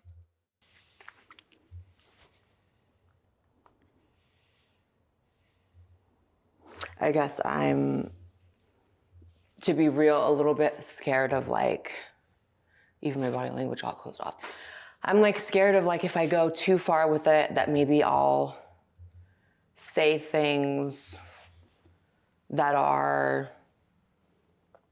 just like super private that I'm not ready to necessarily say. I understand. good job, Blaire. Good job. Good boundary setting. Okay. Good. I was worried about that too. Like, what if she said, because she didn't want to share her trauma, what if she accidentally said it? That's what I'm saying. This is so inappropriate. Okay, good, good, good, good, good, good, good, good, good, good. I love this. Okay, I love this. Oh, CJ says in ISTPD, uh, DP, ther- the therapist becomes a transference figure. Okay, good, good, good. Okay, so there are types of therapy where this is kind of common. And again, I don't know that she's he's a therapist, but okay, good job, Blaire. Or, I was so afraid Blaire was gonna like say something she didn't mean to. So okay, I'm glad that she said something. I understand. But Well, I mean, Well, here's here's what I'll He interrupts her so much, which is fine. Maybe it protects her from talking, but he does interrupt her a lot, which makes me think he doesn't see her. And it makes me happy because then she can shut down again and not be vulnerable with him. Is that wrong? Like, I'm almost glad he talks over her because she shuts down every time he does. And this allows her not to be vulnerable with him because I don't like him. I'll, I'll, I hear that and I get that. Um, the story doesn't matter, Oh, okay. right? Like, and I understand you can have an impulse to, to bring up elements of the story or say mm-hmm. certain things. Mm. It's really just the energy, which you've just done, which is fuck you, I hate you, fucking die, Yeah. right? Like, and it's just letting yourself have those feelings all the way. Hmm. And, and, and seeing what might be there underneath it. I'm feeling more than usual right now. Yeah. It's like actually pretty crazy, but What are I'm- you I'm- feeling? Um, it, it definitely feels like a release, but like also like my body feels really like angry, Okay. you know, which I guess is the goal of it. Um, and it feels good to feel it. It does feel good to feel it. You scared? A little bit. A little bit. What do you need in this place that you're scared? What do you need? Hmm.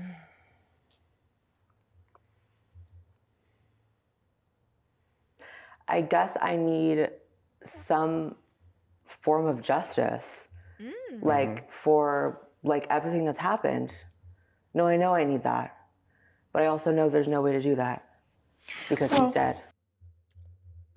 This is where philosophy comes in. Yeah, okay, but let let me. You want to try something? Yeah. Just let just let me let me have it. Okay. And just stand behind me. Okay. Okay. Like right here, right? And just feel like I because I've said this, you know, early on. I feel this like protective energy toward you, and you probably needed protection, and you probably need Does he reference her as a woman at a, at any point during this interview? Does he reference her as a female at any point or a woman at any point in this interview?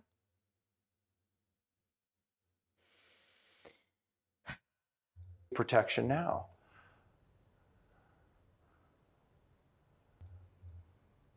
I, I just, the response I want to have to that is I know it's not the correct one. It's just like, I can do that. But I shouldn't have to always. You do shouldn't that. have to always do it. You know, no, you shouldn't have had to do that. Your dad should have been there to Oh, he's gonna fucking trigger me, bro. I don't like him. fucking protect you. That's his fucking job. And so just feel what it feels like. Stay the fuck away from her! Stay the fuck away! Stay the fuck away! How's that feel? You're protected. I'll protect you.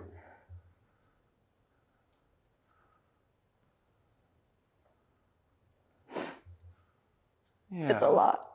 Yeah. because it also mirrors like my shit now, which is like stay the fuck away from me, but also like why aren't you here for me sort of, sort of shit, you know? Because like that's if a dad is not being a dad, that's what you're gonna feel. It's like Yeah. get the fuck away from me, you fucking asshole. But also like, can you just fucking do what you're supposed to do? Yeah, you needed So, him. You yeah. needed him. Yeah, for sure, You needed him. for sure. He's like, I'm an actor. I was on Gilmore Girls. He's like, I'm an actor. So he's like, I'm an actor. He was an actor on Gilmore Girls before this. Now he's a coach, but he used to be an actor. Good for Blaire. I want to. Pro- I don't want to protect Blaire. I believe in her ability to protect herself. If I'm being honest with you, I don't think Blaire needs other people to protect her. Like I think people should have protected Blaire when she was a kid, but like she can protect herself now. I'm sorry.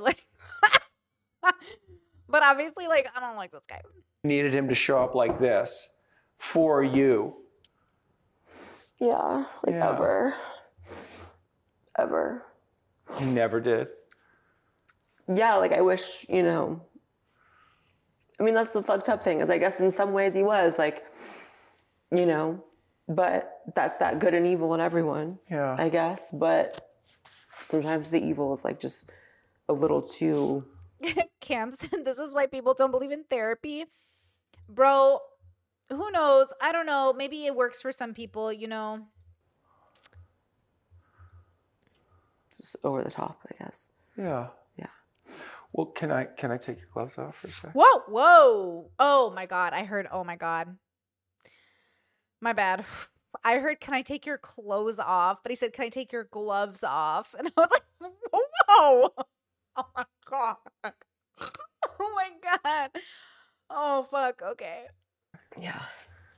Ugh. You're doing great. Is he gonna touch her? And just see what is it okay if I hold your hand?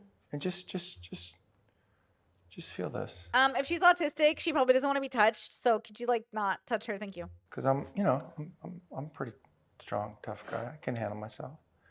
Just feel what it's like. I got you. I'm not going to let anyone hurt you.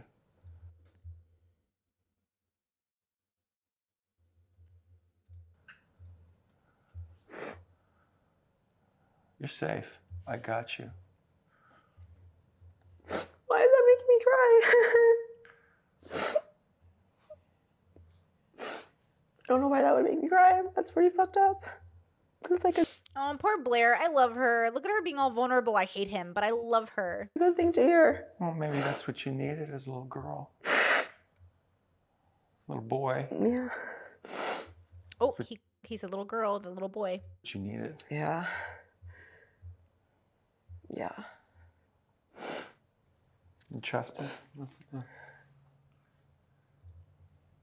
Maiden says, I think this kind of therapy can be very effective, but it's important that it takes place with someone with a foundation of trust. Well, yeah, obviously.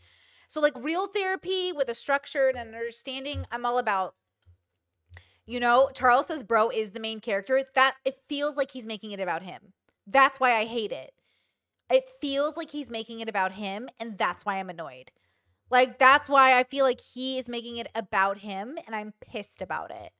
Kay says, man is so textbook. Does this guy just run the same script with every person he sees rather than bouncing off their energy? Are we projecting our dislike for this approach? It's, I don't even think it's the approach. It's probably that it's on the internet. Because I know therapists that do like, um, like boxing or they incorporate something physical. I know therapists that like, um, kind of role play, but not really. Like, they don't, I don't know that they like you directed at them, but they directed at like a wall or like I was allowed to express my feelings in the therapy office, but I wasn't at my therapist. So I guess some forms of therapy you could do it with a therapist. So I think it's just his energy I don't like. But is it because we're neurodivergent? Is it because we're all like pretty like queer or feministy? I don't want to say we're feministy, but you know what I'm saying. Like he's obviously more right winged. Is it the fact that he's more conservative? Is it the fact that like, you know what I mean? You can be mad at me. Blaire's video is about to get posted. Okay, we'll we'll go to it. This has five more minutes. I'm not. You can push me away. You can go crazy. I'm still going to be here. See, and then what is this empty promises? Like, what is this? I don't get it. Like, I don't like the promises. Like, I'm still going to be here. I'm going to protect you. I'm sorry, who are you? Are you making empty promises? Like, that's great for someone with abandonment. I'm confused. What is this? It's okay. Mm-mm. It's like really wild that that's causing this reaction in me. You know, really says something. What does it say to you? That like there's a lot of damage that clearly has been done that I when I hear that it doesn't sound something like something familiar. Yeah. You know, and Okay, we're not talking about the type of therapy, right? Like Brock says, I'm autistic, queer, and feministy, but I do find value in this type of therapy. We're not upset at the type of therapy. We're upset at him. It's not the therapy, because real therapists do this in a variation of ways. It's him. I'm talking about him. I don't like him. And I don't like it being on the internet. Because it's not the type of therapy. I don't like that it's on the internet. I don't like that she's being vulnerable for all of us to see. For the first time in her life, she's never had this for the first time in her life, she's experiencing her relationship, and then here we go. It's on the internet. Like, what the fuck is that? You know? Maiden says this is so exploitative. That's what it is. It feels exploitative. Like, I feel like this should be in a therapy office. The first time this girl has ever faced like her trauma and it's on the internet. So annoying. And even if it did, I never believed it where it would come from. Right. You know, so someone, you know,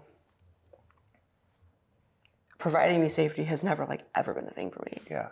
You know, not it with money, not with physical safety, not with emotional safety. No, it's just it's just not a thing. Yeah. Never has been. Yeah. But you wanted it, you longed for it. How could you not? For someone to protect you.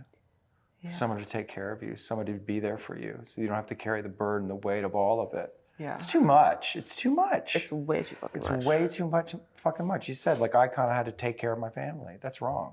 hmm Right? They, they're there to take care of you. Yeah. You know, you don't have to do it all, yours, all yourself.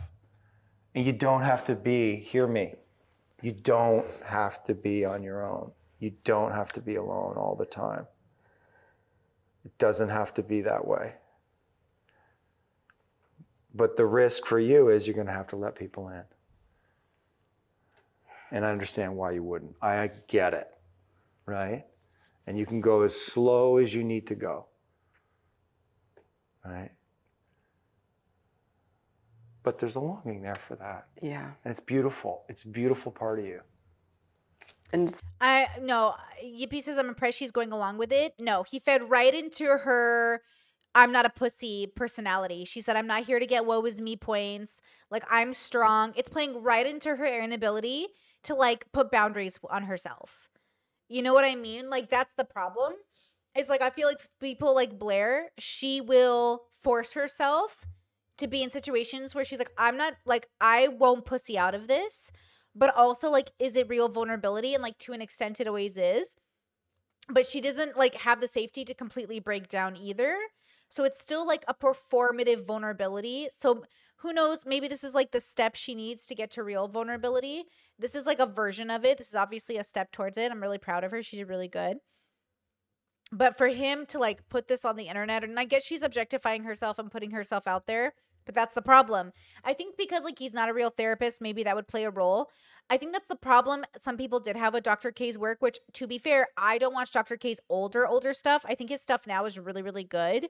But I actually don't watch his older stuff where he like makes people be vulnerable with him on the internet. Cause I think as a therapist, like I do think that's like a little inappropriate, but I think it's okay for content creators to make that decision. And when you're both, it's a little confusing. Um, so on that front, I do understand, but that's like a personal that's like my personal take is like I'd rather talk to a therapist like not as a therapy session with like no none of the vulnerability on the internet. Um, but I that's my personal opinion, you know what I mean? But okay. Sage says she wants to be she said she wants to be as available as possible. Yeah, I think that's a cope. So she can do it. She can absolutely do it. I'm like really rooting for her to make her own decisions. She's a grown up, but I do think it's a cope. I think it's a cope um because again i again you have a broken leg and you're doing everything but going to the doctor to fix it so i want to be available to everyone cool you should probably that's like saying i want to run the marathon without getting my leg checked out she's not going to get her leg checked out by doing a collaboration with a faux therapist on the internet like you have to go to somebody who can mend your leg and then you can run a marathon so if she wants to be the most available for people she also needs to learn how to be the most available to herself. She hasn't even learned how to do that for herself, and she wants to do that for other people. Like, so, you know, it is what, like, if you look at it kind of like on the bigger scale, it's like I did achieve it in some ways. It's like I became someone who was connected to no one, to connected to millions of people all over the world. right. Yeah. Which is like so crazy. But I somehow managed to like recreate that, you know, kind of superficial connection that I felt like I had. Superficial connection. Mm-hmm. And she's going to continue that superficial connection until she gets the right kind of therapy and a, a, a relationship with her consciousness, philosophy. As a kid with people, you know, yeah. that it's through a screen, which is still beautiful in its own way, but it still lacks that like need for me to be vulnerable and actually yep. let someone in and talk. Yeah. And that's symbiotic. What was my big pet peeve with YouTubers? What was my issue with the bridge burning? I was their close friend. I could be trusted. It wasn't two sided, it was parasocial. I would trust Brittany with my bank account. I really trust. Cool. Why isn't anyone asking me how I feel? Because the relationship isn't symbiotic. YouTubers do it to each other, adults do it to each other, parasocial people on the internet do it to each other. I feel this way about Brittany. Well, nobody ever asked me how I felt about it. And everyone kept projecting onto me well, they feel close to you, so you should feel close to them. I don't feel close to them. Why do you keep saying that? Because that's what people perceive as a vulnerability and intimacy. When it's not, it's performative. If there's a camera, it's performative. This is somewhat performative, whether we like it or not. We can't erase the fact that we know a camera is there, and neither can Blaire or this fake therapist. Cam, welcome to memberships. Welcome, welcome. Appreciate you being here. To a camera. Yeah. Yeah. If that makes sense. Yeah, of course. Sorry I didn't like go fully with the you nope, did. you're good girl. It was you were never meant to go fully on the internet in front of everybody. Great. Okay. You did I just, amazing. Yeah. It's a lot. Yeah, it was a lot. Is there um, anything from this place that you I don't know, you want to claim or you want to say or like a, just a statement that you want to make, like, I don't know, in response to all of this? Yeah, you know, I think that it's really important for me to work on developing a healthier gauge of who actually deserves openness for me and who does yeah. deserve to stay the fuck away from me. Because right. it's some people do, but not everyone does. Not everyone. And you know, abandoning people or leaving people or shutting down before they give me any reason to think that they would hurt me that's wrong on my part, and I don't want to be that person at all. You want to what kind? What's the kind of person you want to be? I want to be the kind of person that is super present, mm-hmm. that is available to everyone, mm-hmm.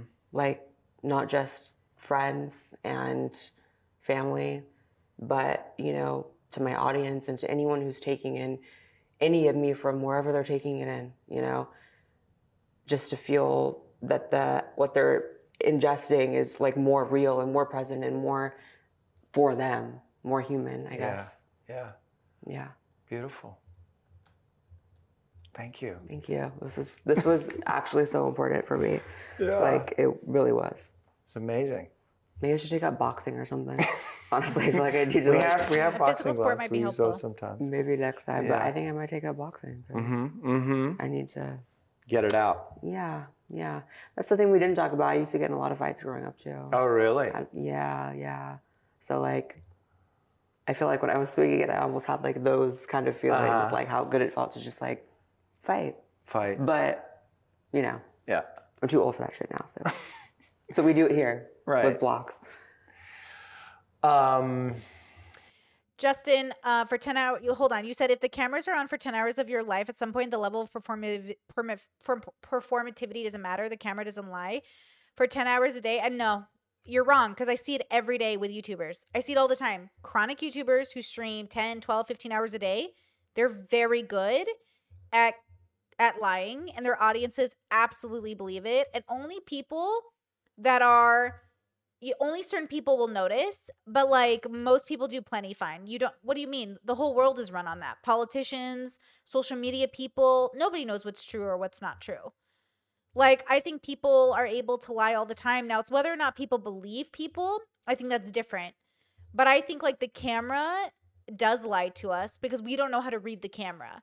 So we don't even know how to view what we're viewing. Like this situation here, he icks me out. He didn't ick some of you out. So I would say like the camera doesn't lie. Look at what he's doing. And you're saying, you know, it doesn't matter. I've watched streamers for years. I just don't I think you're saying you trust yourself and your perception of what you're seeing more than you trust the camera. Because lots of people are able to mask and lie, no problem. People are online every day for hours. And it doesn't seem to matter. You know what I mean? Like especially if they're having a cognitive dissonance, then there's no like it's just you know what I mean? Is there anything like else that you you know? Because I just like I'm aware that that was a lot, Yeah. Yeah, no and shit. I also like if anything comes up uh, afterward, like don't like I'm available, so don't hesitate to reach out to me if there's any confusion, because sometimes you know we can contract or we get scared. Oh my god, Wow. You think you would have warned her ahead of time? Uh, what did I just do? What did I just reveal? All of that, you know, so we can stay in, in dialogue about it because that was intense. Yeah. But I think everything happens for a reason. So I'm not going to get hung up on like, you know, for before I did, the part of me was like, am I going to look silly or whatever? And like, I probably did, but like, I don't give a fuck. Yeah. It was supposed to happen. Everything was supposed to happen. I was supposed to fucking cry on camera. I was supposed to fucking. I literally just said there was a bathroom break in between filming this and the sit down, and I was saying in the bathroom to him, I was like, I can't believe I didn't cry. Then I start crying right off the bat during this one, so I spoke too soon. But it's okay because that's that, that. Discord says, Is it just me? I don't like her saying I need to be available to everyone. It's just a cope temporarily because she wants to save people the way she wasn't saved. I think we all feel that way as like survivors. We want to save everybody, but you can't.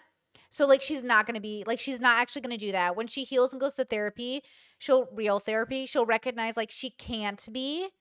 You know what I mean? She can't be um available to everyone. That's not how it works. Nobody's available to everyone. What that's code for I want to be available. Um so I need to I it's a code for once I've helped myself, I can help more people. So people get burnt out on helping people because they can't help themselves. So I think she's I don't think she means she's going to be available to all people. I think it's just code for I want to help myself so I can help more people. That is being more present for people. Yeah. Showing them that I can do that. Yeah. And not just be some weird robot. Yeah. Yeah. Yeah. Amazing. Love you, Blaire. you. Thank you. Appreciate you. Can I give you? Yeah. I won't push you away like everyone. Thank you. I really do. This helps me a lot. Yeah.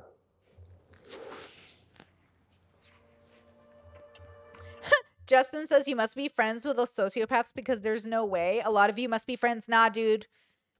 You just live in a world where you mask or you recognize people do it all the time. Like people do it all the time. Um people aren't themselves as much as they let you think they are. Oh, I think Blaire's white video is the video, guys. Yeah. So she's just she's just redoing the interview. So is there another video that you guys meant for me to see? I'm not seeing it. Yeah, 3,000 people watching. Yeah, it's just um it's just the same video. We just watched it. So okay, that's cool. Blaire's putting it on her video or her channel. That's nice. Okay, so I'm glad it looked like it helped her. Um, it looked like it started off uh started a possibility for her to explore herself, which I think is kind of the point here. Is like this is an opportunity for her to see herself, and I think that's really really good. I think it would be nice if she saw people who could help with childhood trauma specifically and specifically people who've studied childhood trauma i think that'd be really really great i think she might want to get assessed for borderline um, and autism if she really feels like she might have it um, yeah i'm glad it helped her not the biggest fan of him but you know i don't have to be to see that it helped her um, again, I'm not a big fan of Blaire's content, but I am a big fan of Blaire the consciousness in terms of her journey. I'm rooting for her, and I want her to to heal that trauma to the best of her ability because it's a lot. That's a lot of that's a lot to handle. You know, that's not easy stuff right there, guys. So, props to her for sharing and being vulnerable. Um, I'm so excited to see who Blaire is in a few years because that DMT trip she took with uh talk, talked about Joe Joe Rogan with talked to Joe Rogan about with.